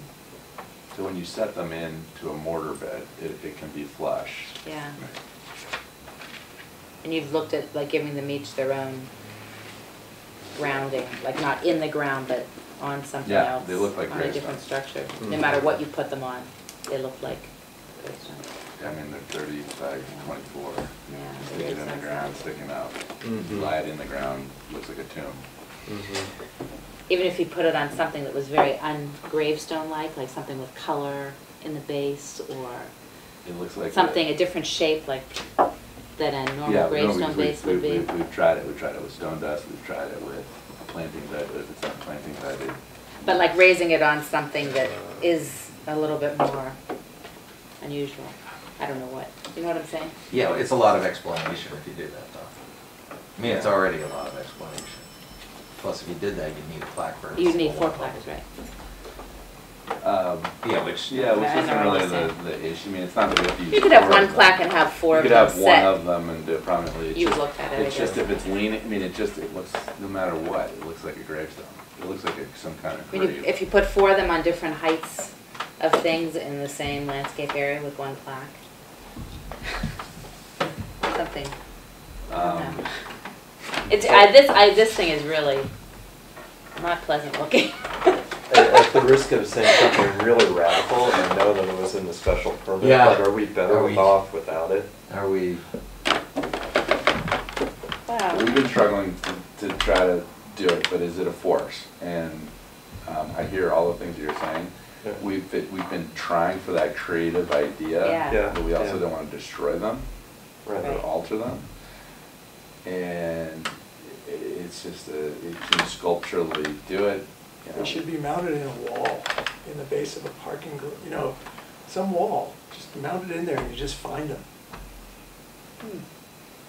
That's, that's what they should be, on one of the brick walls somewhere that, But the public space is, it should be in a public space. well, uh, well, that's all public where you're driving around and The retaining wall. retaining oh walls. man, the massive wall, I think it'd be a little. Not there, lost. that's too, but I'm saying in the Plus brick it's wall. Well, that, I I was thinking on the top of that wall, but if this is a curb and then there's You a know, fence. up, up around the. That doesn't- Yeah, it's just, I mean, we've, we've talked about that, we've talked about doing that in the stairways. No, you know, laid in. That, that would be Laid another place, but those are more They're private more private, and more managed and less accessible and less seen. and these need to be, And this is historic. Right, so it needs to be. Nature, there's a story behind it. Do you, do you need to have, I guess a tripping hazard is a tripping hazard no matter where it is. You've got these two benches here, two benches here, and two benches here, right? Uh, You got these benches, Yeah. that, that, that needs to be clear in between the two benches? Mm. There's a thought, I mean, yeah, tripping hazard is only in your pathway, your, your major pathway. If you brought the benches out just a little bit, and you just put them down in the ground, right, ne- right in between In those two between 'em benches. laid. No? Uh, I say no, I don't No, care. no, no, I, I. It goes back to that It's tombstone just a, thing. it's a, tomb- it looks. Oh, you think that even looks like a tombstone? It tombstone? looks like, In between two it's like benches? where my dog's buried. I mean- It's too bad you don't have an image That's of what one to it show looks us. You don't like, have yeah. in your file. I mean, I love my dog. Yeah, yeah, yeah. And actually, You're really nice to him. Actually, you don't wanna dig with the sister is, for the former dog. Oh, it was, it I was just don't wanna deal with, my dog died and I love him, and can we put him in the park? No, I guess I was thinking if it was in between the benches, it would have it's a less, it would have less looking like a, a- like Yeah, a no, plot, it, maybe. it would but- look less that way. Um, it still I would be a tripping It was- hazard, whether it's, you know, technically one or not. Um, you know, in a public park, you're protected for trippy hazards. It's just, does it Yeah. look better? Mm. Does it really accomplish what we're trying to do? Um, It was we've in an arch, right, originally? No, they originally top of the were, um, in the corners, um, up above the cornice, up in the corners Mm, of, okay. just embedded in the concrete. I mean, in the, in the brick facades. Um, and when they tore down the buildings, they chipped out the, they chipped them out and Mhm. took them off the building. You need to create a fake facade and put them back into it somewhere. Yeah, can you make this into a That's where a they scale belong. model of the old, uh, of the old Symmes Symmes Hospital. Hospital? And, but With- but it'll have to be with big the- enough. With the right sandblaster, It'll have yes. It'll have to be big enough to, uh, Yeah. You could make a gateway into the I, park. I, I'm kind of with Bruce. I think this is forcing an issue because, Yeah, I I will say mean- we are all fatigued with this, but, um, but the Yeah, town Liz historian, you know, thinks this is good and, you know, he wants, you know. Um, I have a great deal of respect for the town historian, right, yeah, and I I will say, but Mm. the, the amateur design person in me doesn't find it very appealing. I mean, it Mm. just, to me, it looks, and I, I hear what Andy's saying, you know, make it slender, taper it a little bit, whatever, but we're still trying to, you know, pretty up something that's just inherently not very attractive. Maybe if it wasn't in a brick structure like this, No, but I think I'm going with Bruce. I mean, it's just, if you're gonna have it, it's just a big block, yeah. right in your garden. It's a garden. curiosity, people are gonna go, Yeah. what is it? It wants to be, at, at, you know, built into some entry posts or something. like that. Exactly, like a bollard in the entries. Yeah, but Yeah. not, not just sitting out in the middle of That like. one could be in each bollard and one of them has an interpretive element or something. let me try one other thing. What if you put them just side by side by side without any brick? Thirty, twenty-four inches long. Just They they look like little tombstones. No, no, You no, can have make a, make- make the make box out the, of them. make the box out of them. I guess it would look, well, like a sarcophagus. Well, maybe, what about this? What if we? Poured into a Tiny concrete For the pillar. dog. I don't know, it's just, Set it into a I concrete don't, pillar. I don't quite Like care, a- but. A that is- narrow, that is thin pretty ugly. concrete Even I pillar. think that's ugly. Wouldn't that work better? Yeah. What would? Into a concrete, pour it into a concrete pillar, like set one on each side like you Rust, said. Eh? An an obelisk. It'll just, at least eighteen feet high. And that you could put somewhere in the landscape. And if there's four of them set into a different pillar, they wouldn't look like a tombstone, because they wouldn't have the shape like a tombstone. I think, This is in the special permit, right? That's why it's coming No, back. isn't there What's something in about special heritage in permit that? is like, Is that you have to u- try is to to incorporate some try historic. to incorporate historic found objects into the landscape design. Which usually isn't this hard. No, I mean, this is just, this is the only thing that was there, so we're trying to make it work, and, um, you know, at times it has felt like we're trying to fit a square it peg in a round hole, um, which is, you know, Rather large square peg as it yeah, this turns is, out. is pretty, pretty large square. So I don't know, um, What's your time frame? Um, well, we need to order this, you know, we're, we're getting ready for landscaping to be fully mobilized for the parks in September, so we have to buy this. you know, Could it now. possibly wait until September 9th agenda, board members? Um, Because uh, uh, if, in the meantime, Jake could potentially s- provide to the board an electronic um, file of a photograph of the cross, or one of them, and then the board could further consider whether Mike's idea of putting them between the benches in the, these four locations is not out of the realm of of aesthetic possibility, but also still give a little further consideration to potentially improving the appeal of what you have presented, Mhm.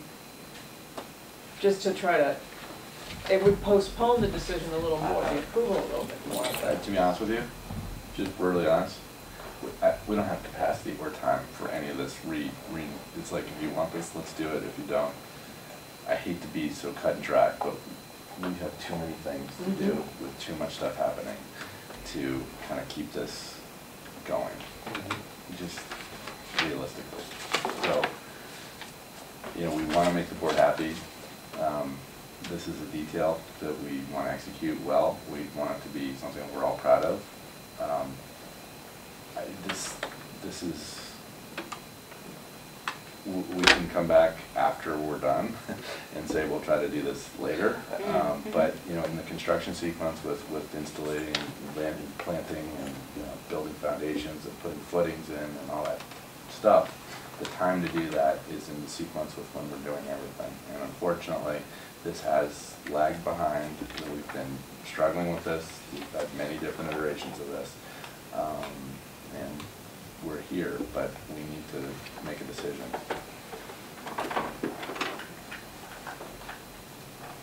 And we're happy to incorporate the changes that Andy has said. um, But I can't look at, I can't, can't design seven more of these things. Mm. Get the town historian to agree with which ones he likes best and execute everything else we have to do. Can it be delayed?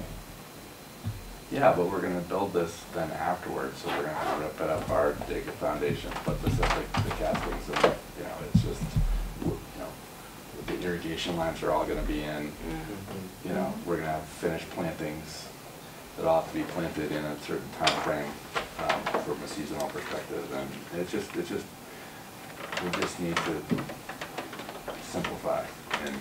Mm. narrow what we're doing and move forward. And Yeah. and unfortunately, there's urgency that we have, and I'm trying to be respectful to the board, but we get that, we just gotta make a call. It'd be easier if we had a picture of what it looked like, but Well, we could kind of picture it into this. No, the, the The, best. the bas relief. I I have one on my phone, my phone is dead. So it's- Reading the Boston.com while I wait for. So- So really, September 9th, you can't, you can't wait for that, on an up and down on Andy's thing. I guess, I guess two things come to mind. I- I, I truly, I must admit, I'm ambivalent towards this either way. Uh, I don't think it necessarily adds anything. Um, I mean, it's nice that, you know, maybe, maybe it's nice that we wanted to save those things. Uh, But in the end, I'm not sure it really. Well, can we convince the historian to hold off on it? Well, I think, I think, I think if we, but, Do we have to, do we have to convince the historian? I don't know. no, we can do, Your permit convince- condition. we can do what we Yeah, want. He's been helpful. And then just put How somewhere heartbroken would he be, I guess is the question, but, I mean. Put them in what- a what- museum what or are your something, thoughts? yeah. Something. Yeah, I don't, I wouldn't, Well- I'd hate to oh. lose them, but maybe there's a better place for They're them in somebody's yard right now. than this. If we had to vote on this, I would vote no. Yeah, and That's a pretty easy vote for I, me. I, And I I, heard- you know, I, I'm very sensitive, Jake, to how much work you put into this, and it Yeah. is, I think, a little detail, and you've been Yeah. dealing with like major, Big major details. factors. Yeah, this is- And, Yeah. and this is, you know, I don't want to Jeff over, over this. Yeah. Personally, it's not working for me, and I think it actually detracts from what I understand the Vista Park to look like, so I would say no, and I don't, my own personal view is, I think that we could, the, the, the project's gonna succeed without this fine, and it doesn't, it doesn't really sing out like it has that great amount of historical relevance to me. I'm not gonna look at that and go, oh yeah, that was the piece of the hospital that used to be here, so, I agree. How, do- how does the historian feel about the pieces? Well, he thinks CSR. it's the one architectural piece from the buildings, uh, that's sort of the, the physical legacy from what was there to what it is now. Um, I think he feels really good about, you know, the conscientiousness of, you Mhm. know, the the historic plaques that we are doing, uh, on the site. Um, Mhm. and he's, he's seen, you know, a few of the other designs that, you that know, didn't get this far. Yeah, this is- This far, far. This is the best one I've. Let me, let let me ask you one last question on this thing, and I'm, I'm only bringing it up. Are they all the same? Yeah, yeah, so maybe, I mean, another idea to kind of make it more elegant would be just to have it two-sided. Yeah, and have it narrower. I mean, Yeah, um, and have it just be a little bit more elegant. I mean, I, I, I And maybe I you understand walk- aesthetically. You see Yeah. it from both directions, it's clunky, but you perpendicular have- to the You have a top even. perpendicular, you have one on each side, and a plaque maybe. And it'll feel more like your other plaques, Then which are gonna even be less vertical. money. You gotta go for it, redesign because this something. thing is- Now you're I mean- redesigning again. I, I, I'm with group, I would eliminate it. yeah. I, well, I don't know, I like that suggestion. Yeah, I, but then I, you I have to kind of see feel like the historian that it's part of that site and it's, But then The one someone thing has that to you design have. it, Christie. Be nice to We be need a there. designer to go in and execute it. is your landscape architect designing this? Or is it, Yeah, so I mean, if the board wants to go in that direction and wants to authorize someone to be able to approve it, so we can get this done this week, that would be the way to do it. And if the board is not not happy with it, and doesn't feel like a strong sense of, hey, we're gonna be really proud of this, and this is accomplishing what we wanted the Vista Park to be, you know, I think it's the board's, what I can say is that we've really worked on this for a long time and tried to, you know, get to a different scenario. So this is sort of the best idea that we've had to make it more elegant. That would be accomplished if we did a two-sided and narrower structure with a thinner cap. Um, That might be more elegant, although I'm not sure that that might still dominate, you the nice engraved granite name that we have, um, you know, right at the entryway. Yes. Well, that's the thing, I That's mean- what I don't like about it. There's Yeah. enough stuff. There's Yeah. enough stuff. We have the posts and we have. You got the post and you got block. that. And this is just randomly placed in there. This is, It wouldn't have to be here if you did it two-sided, you could put it somewhere else. See, and I guess that's what I You would, could put it in the landscape. What it, it- remind me what your other signs are like, what they're mounted on? Just It's it's just like a a nice- six-inch granite post. the plaque beautiful. Just six inch, Has a okay, it's elegant, very uh, narrow. And then there's one stainless that's- Steel. I uh, was thinking it was wider. Then there's one that's a rough block down here with a plaque in it. Yeah, it's engraved. They're all kind of natural and part of like a Mm. uh, nice aesthetic and, and this just coming out of like, somebody, you bought it somewhere. this just seems forced. So, So where else can these go? I, I don't know, I don't know. I mean, I just, Jason has. you have two choices. We Yeah. either assign somebody to work with them to reduce it and keep it where it is, or we vote to eliminate it. Um, See if the historian can find another place for it. But we can donate them to the museum, and, you know, he has them in his driveway. They look great in his driveway. But he has a wall to move them up against, you know, rented area, so. um, Or, or it would force a delay in this thing if you really wanted to come back and put them somewhere. I don't think this works where it is. I I don't, I don't think that's worthy of being the first thing you see coming into Vista Park, even two-sided. I don't see it. I mean, you got this nice entryway here. But that's what I was saying it could, it could be somewhere else, you know, it could be here two-sided or somewhere else in the landscape, instead of right along the entry in the grass, maybe.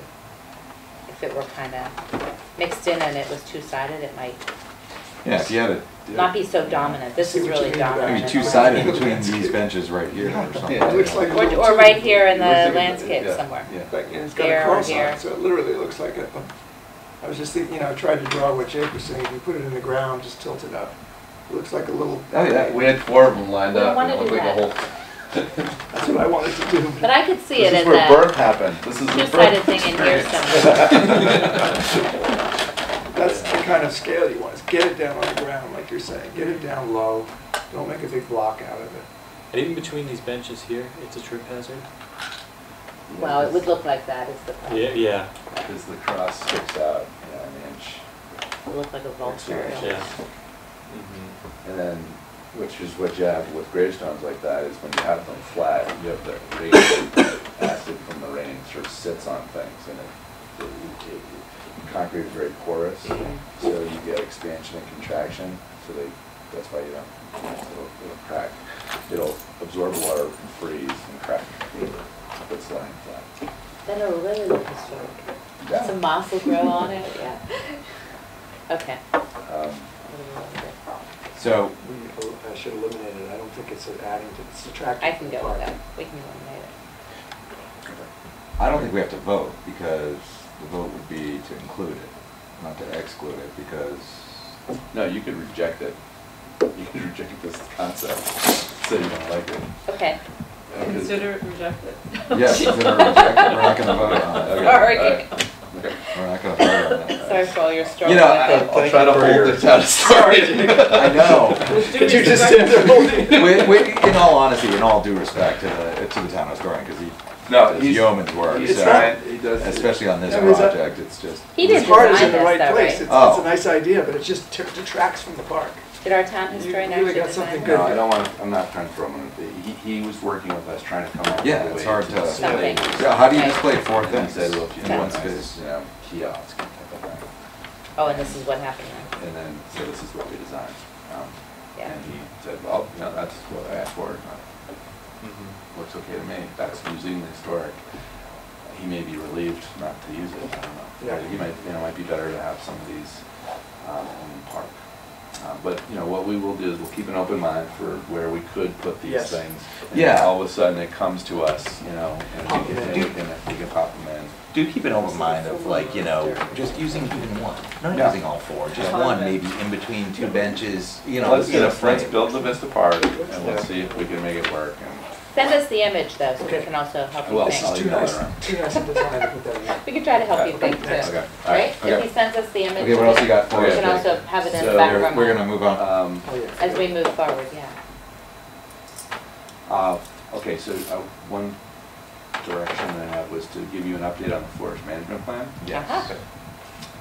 So as you recall, that was, there was an LDA requirement that said that that had to be done by July of last year, which it was a couple months behind that schedule. Um, But it's been done for over a year now. Um, And we've circulated it to the Land Trust and Concom for any amendments to the plans. And there was some dissatisfaction with some of the details of the forest management plan, and members of Concom have met with um, an emerging friends group to help sort as you recall, govern the open space, and it's a, it's a collection of people from different backgrounds, but including the neighborhood. And there seems to be a disagreement amongst the other parties as to what actually to modify in the forest management plan. So we've been saying to Concom, you know, this is your, this is, this affects the management principles that are down the road, that are not necessarily things that we, that that we've created these endowments to help support financially, the, the transfer, the ongoing transformation and maintenance of this, um, of the open space. There's priorities, there's maintenance standards, as you know, from the, um, um, the management plan that also draw on those principles. And there's just, it seems to be a disagreement that I don't necessarily totally understand between members of the Land Trust, Concom, and the new Friends Group. I think it has more to do with voting and who has control over what decisions. Um, Mhm. And so the, the the amendments, there was a little, what was the word that was being used? Uh, There was a one pager that was modifying the forest management plan. Just doesn't, Coda. a CUDA, a CODA that um, has been drafted but not officially endorsed. And um, we've been waiting for Concom to sort of sign off on this and the Land Trust to sign off on it. And we keep asking them to do it and there's an September ongoing 5th, debate. Right? And they're not meeting again until September. So um, this is one of those things where it doesn't really necessarily affect us directly. We want to do the right thing and keeping these things done. We have a clear obligation in the LDA to have this completed. Um, We've circulated a draft of it. Um, You know, on one hand, we would like to complete it, so we are thinking rather than, you know, let's take draft off of this and ask the forest management, uh, the person who drafted it, who was recommended by these parties, to do it, to just say, give us what you got, and if there's some amendments or people want to change it later, um, we'll leave that to the future groups to, to decide, you know. So there's part of us that wants to do that, but then part of us wants to make everybody happy and have them give us whatever changes that are necessary so that the board can vote on. So, Is it your understanding that, that the plan is now finished? Because that's my understanding, that it's finished and it's gone, or it's on its way to the Concom, and they will be voting on it at their September 5th meeting. um, That it that's has my been understanding. with all the groups. However, I don't believe that there's a clear consensus as to whether it will be approved or whether it will be approved in the context of the other elements of voting rights. I think it comes down to the neighborhood feeling like they want to have a say in the management. And there are folks that don't necessarily agree with that. And so it's really Right, the the neighborhood, parties all it's the general public, basically. Yeah, so we want to facilitate that, we want to bring people together, we want everybody to have clear definition of the mechanics of how this is going to be managed.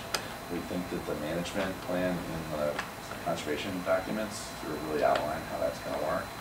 Um, And I, if you read, I think there also may be some anxiety because people haven't seen the final landscaping in place, and they don't see how the open space is being finalized. And they see the shelter portion of the project with the exposed, you know, there's just, you know, is it done, it doesn't feel done, you know, we signing off on it, wait, this is our last chance to sort of have a say in changing things if we need it. It sort of feels a little bit like that. I don't know if it's just anxiety, I don't know if it's psychological, but we've been asking and asking and asking, and we keep being told, yeah, we'll, you know, by the next ARB meeting, we'll have it finalized, by the next ARB meeting, we'll be finalized. So, you know, this is just one of those things, it's, um, it's not rocket science, it's not a big issue, it's just kind of getting it closed out is, is, uh, taking a long time. We would like to have this done because it is the piece of the CR documents, and when we're selling units, these are, again, people are asking for the condo docs, they're asking for all the, you know, all these regulatory documents just to understand what they're buying into. Um, they see forest management plan, it's like one of the little detail things that we just don't have, that's not helpful from our perspective to keep it as a, oh, well, wait, it's gonna, if there's a new thing, but it's coming and, you know, let's sign the P&S. Uh, You know, uh, it's just- it's just another Mm. challenge, so, um, that's the update, we're working on it. Okay, and you're keeping communication with Carol so that if the board can help in a- in Yeah. any way, or, or, you know, I- I'm happy to, to step up on that one. Yeah, the only thing I can think of that might help sort I know of the Christine's decision-making process is to maybe invite at a particular date, you know, someone to, or just request that they finalize. I don't know. Yeah, okay. I don't know if they have Okay, well, coming from the board well, can itself, we say, but. can we say that uh, our expectation, the board's expectation, Christine, at this point, since, since you've got your ear closer to the ground than any of us on this one, is that there will be a vote on September fifth, which would be tight, what is September fifth? That's a, that's a Thursday? Yeah, that's a Thursday. It'd our for our agenda. September 9th meeting. Yeah, the problem is our agenda. Maybe we could make You it put an it on the agenda agenda. item. We'll make it an agenda item, Yeah. but, Mhm. you know, with, uh, maybe near the end of the meeting, so that way, if we, um, We have to drop it. If we have to drop it, it'll, it'll, it'll be at the end. So That would be Sorry, good. Jake, that means it's at the end of the meeting again, so. Um, Can the board designate someone to accept it? To Accept the more, the the forest Forest management management plan? plan. At that Because meeting or before that meeting? Just be empowered to finalize and accept. Well, I think that's not something we do right now. I think we would do it at the September 9th meeting. Let's, let's cross that bridge at the September 9th meeting if we're not in a position on September, I mean, if, if you're waiting until September 5th anyway. And I can, Just trying to sell units.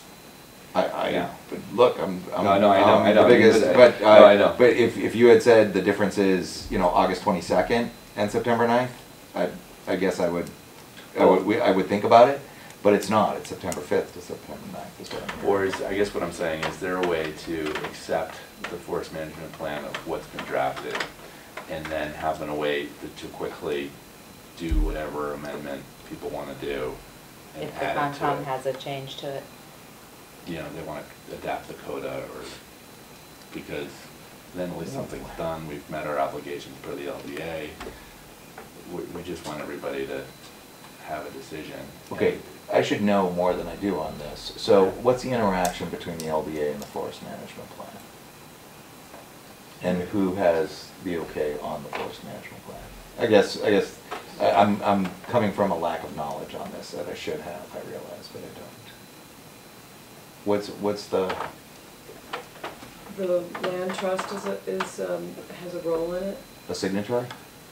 Well, Will they, So, you want me to take a stab at it? So, basically, the management plan for the conservation, the permanent Yeah. conservation restriction Yeah. goes to a tri-party agreement between the condominium association, the land trust, and the Concom. Okay.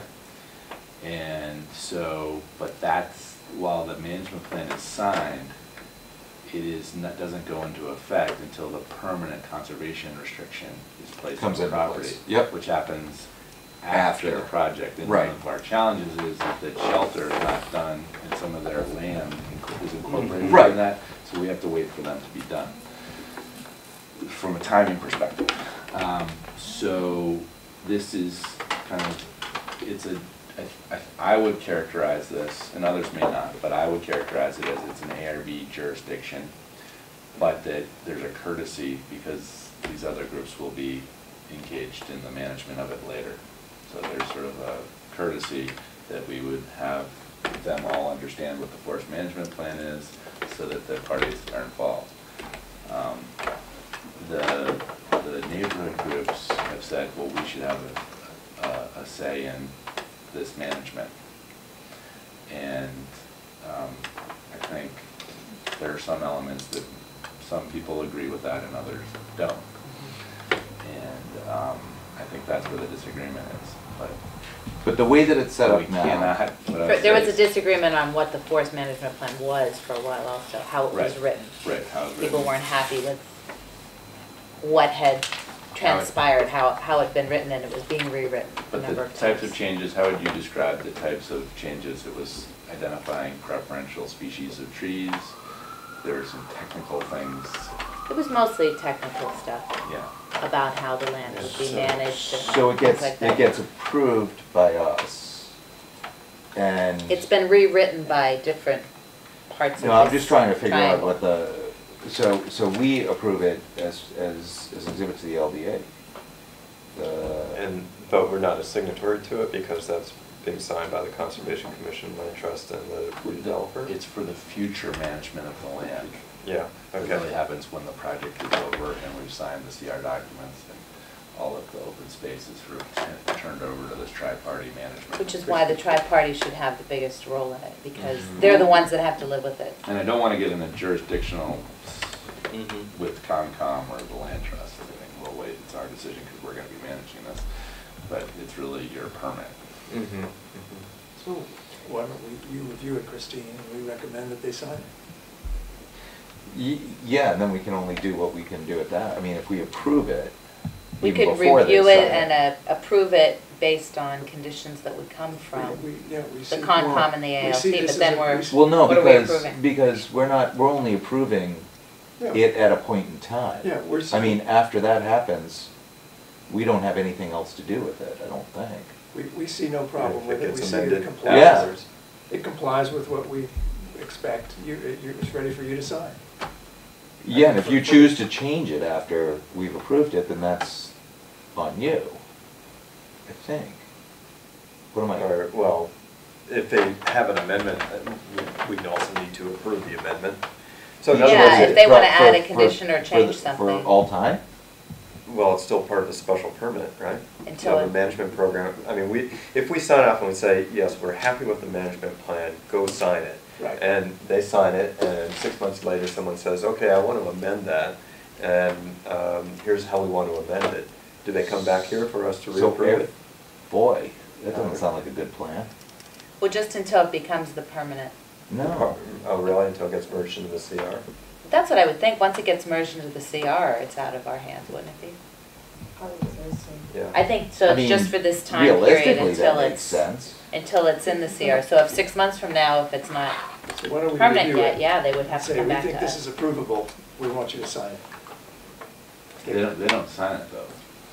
You, you They guys don't. accept, you guys just accept it.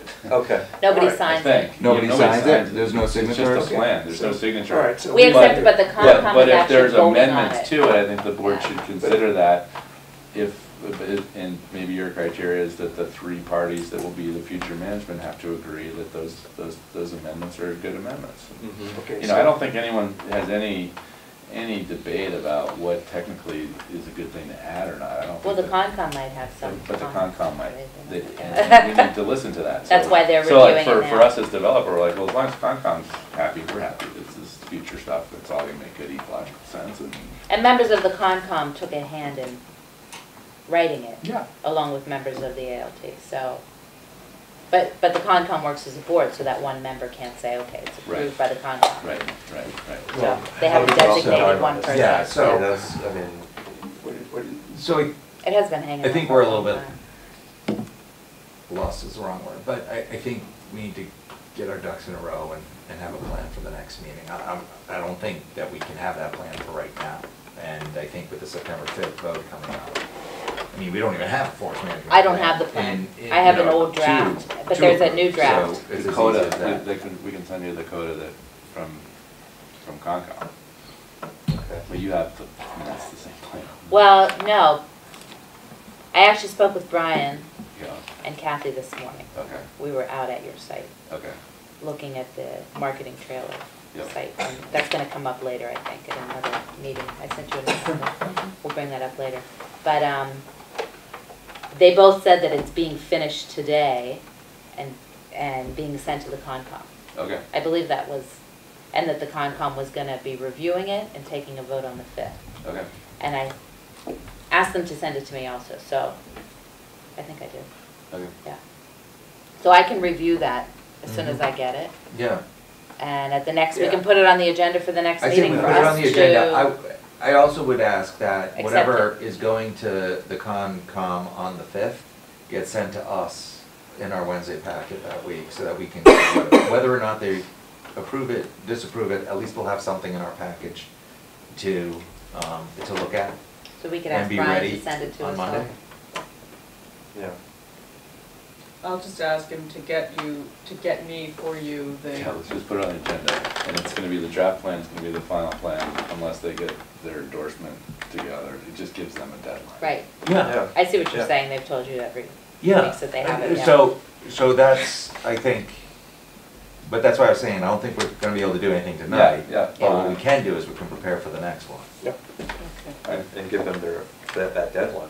Yeah, that we're That's gonna, something. yeah, we're- we're gonna submit it, and you guys are gonna review it, but, you know, for the Yeah. most part, you're probably gonna accept it unless they have their code or whatever modifications you're gonna have in, and we'll, So whatever it is that they're gonna take a look at and and with amendments and everything else, that's what we'd like to see uh, that, that week, the Certainly. the Wednesday before their mi- meeting on the fifth. right, Good enough. right, okay. We want things to keep moving along. No, we We really do. I mean, Yeah. I know there's a lot of I- things that I- we're yeah. looking at that We're are all on in the closure time, mode here. But we Closure wanna mode. keep things moving Yeah, along. we're, we're with you. It's No just- question I about it. know, I know, okay. Um, okay, and then, you know, just again, on the condominium documents, Mhm. very valid points that were raised about the voting. Yeah. There's different perspectives that we should, you know, we'll have to bridge and balance, and Yeah. we will, we will do that, but, um, just to keep that in mind, it's not just if we're looking there's, there's a balance, um, Yeah. so, so, Yeah. we'll go through that. Um, okay, well, um, are there any questions from a schedule perspective? Um, Yeah, um, how are things moving on sales Um, else? It's been challenging, the, we're going through a process with the temporary certificate of occupancy process with the, uh, for safety and, you know, access onto the site for the public with the building inspector and the building department. And, um, have been told that not to show or arrange for buyers to come in and look at their units, and that's very difficult because Mhm. people just aren't committing to P&Ss unless they walk into the units and really see them, so. We are working on that, we understand the building department's concerns about safety. Um, I think a lot of that will be allayed with the first TC of O because there's a whole access and fencing off of delineation between the construction side and sort of the open side. Um, things are coming together, the power lines are going down, or, you know, the, the, we're hoping to remove the power lines in the next week or so. The, um, cell tower is supposed to be done and off-site by the end of the month. Wow. Um, there's been a lot of cleanup of the road, the sidewalks are now in, the signage down at the bottom of the road are coming along. I saw Um. Some I of saw that. That the, some nice. of, we've delineated the fencing around the shelter site, so it's migrated to be just on their side of of, um, Symmes Road. And some of the construction fencing that's along that edge, we're taking down and beginning the replanting, um, with the buffer zone enhancement planting plan. And kind of executing that and really cleaning that up, and then we're delineating, um, the upper portion, portion of the construction site to the left of where Hospital Road, uh, Symmes Road now and Symmes Circle coming together, the left-hand side will be delineated from th- that point to where the turnaround is at the top of the site, and that'll become a construction zone. And then, um, the landscaping will be coming around the front of the buildings and, and clean up those, those front townhomes. So, you know, it's all, it's all, it's all coming together, it's fits and starts, it's construction, but we're Are the two there. parks graded and, getting ready to receive? Yeah, receive as soon as the landscape power lines are down, we're gonna be trying to remove the site construction office at the Upper Vista, at the Lower Vista Park. Oh, it's still there, okay. And so that's the final sort of grading that happens. And then once the poles are down, um, we will use that site as staging for construction initially. The Lower Vista Park? The Lower Vista Park will be the last landscaping as we back out of the site, because we Gotcha. have nowhere else to put anything. So we're sort of pinched with open space on the other side of it.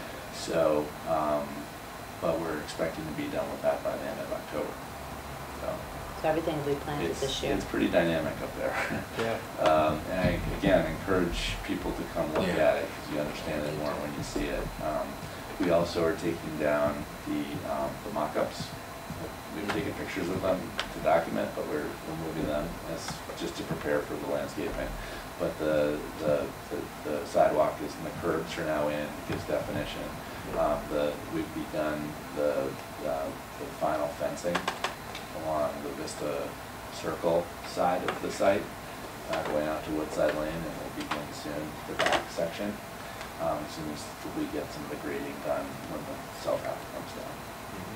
So it's all starting to transform much more every day into a more of a finished um, look and experience on the exterior. Um, You know, the, the townhomes that are for sale, um, once those garage doors go up, I think it's really gonna change. I think that's supposed to be happening, if it hasn't happened already this week, it's supposed to be this week.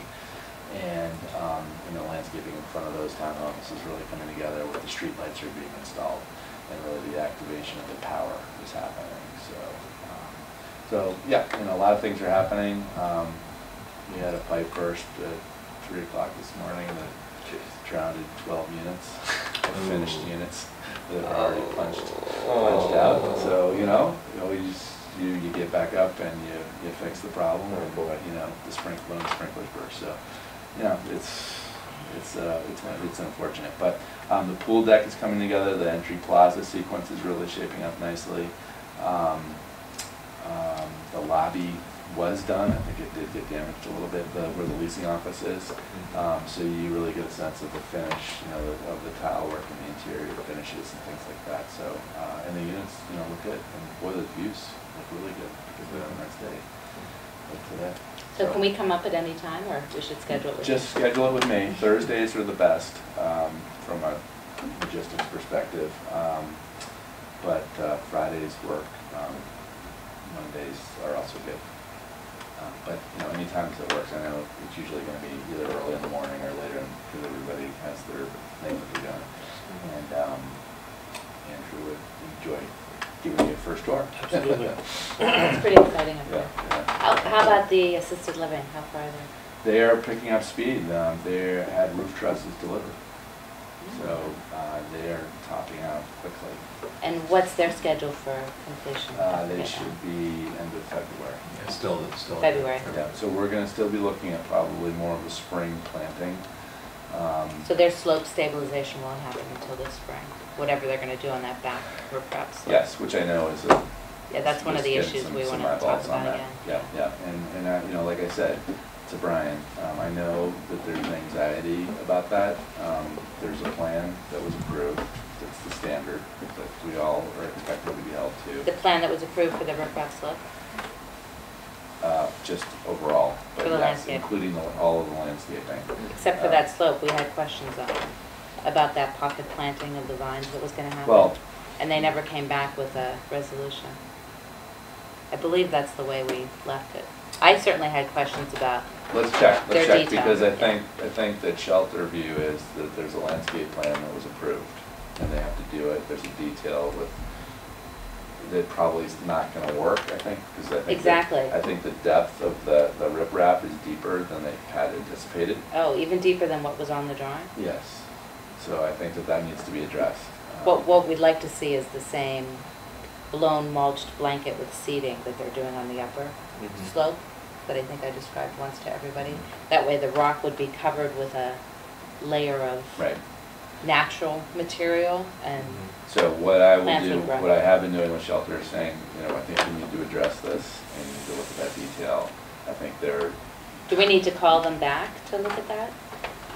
Um, we can, we you can know, do let's, that. let's, let's see what happens in the next month, but I think they've, they've been very focused in a tight coordination. It's a very difficult site for them to build on, and the coordination with getting our utilities up Hospital Road was keeping the upper site accessible with them needing to have tril- tril- deliveries, and they've also had a couple instances where the trucks have had to go up and turn around, and they can't turn around and go over the curb and smash stuff. Oh, It's boy. been dynamic, it's been Yeah. dynamic, and we've coordinated, we get through it, and we'll get it done. But, um, And it's not till spring that that's happening, and it's but- next spring, but the sooner that it gets delineated, the better. And I know that Concom has, is looking at that and tracking that, and 'cause it, it will be changing from what it looks like now. Yeah, and I'm So also let's concerned keep about it that, as an yeah. issue, but I think at eleven o'clock, I think we're pretty much, I think once they see the other I think we're slope pretty much. in too, it might make a difference. Yeah, I agree. Out of gas. I'm out of gas. So I think uh, we'll take a. We still have two more things on. Motion our- to. Uh, sorry, we do have two more things, and I think we will postpone both of them Or one more until the next meeting. Thank you. Motion to adjourn? Go ahead, Andrew, you can second it. There you go. All in favor? Uh, Oh, that was your motion. Okay.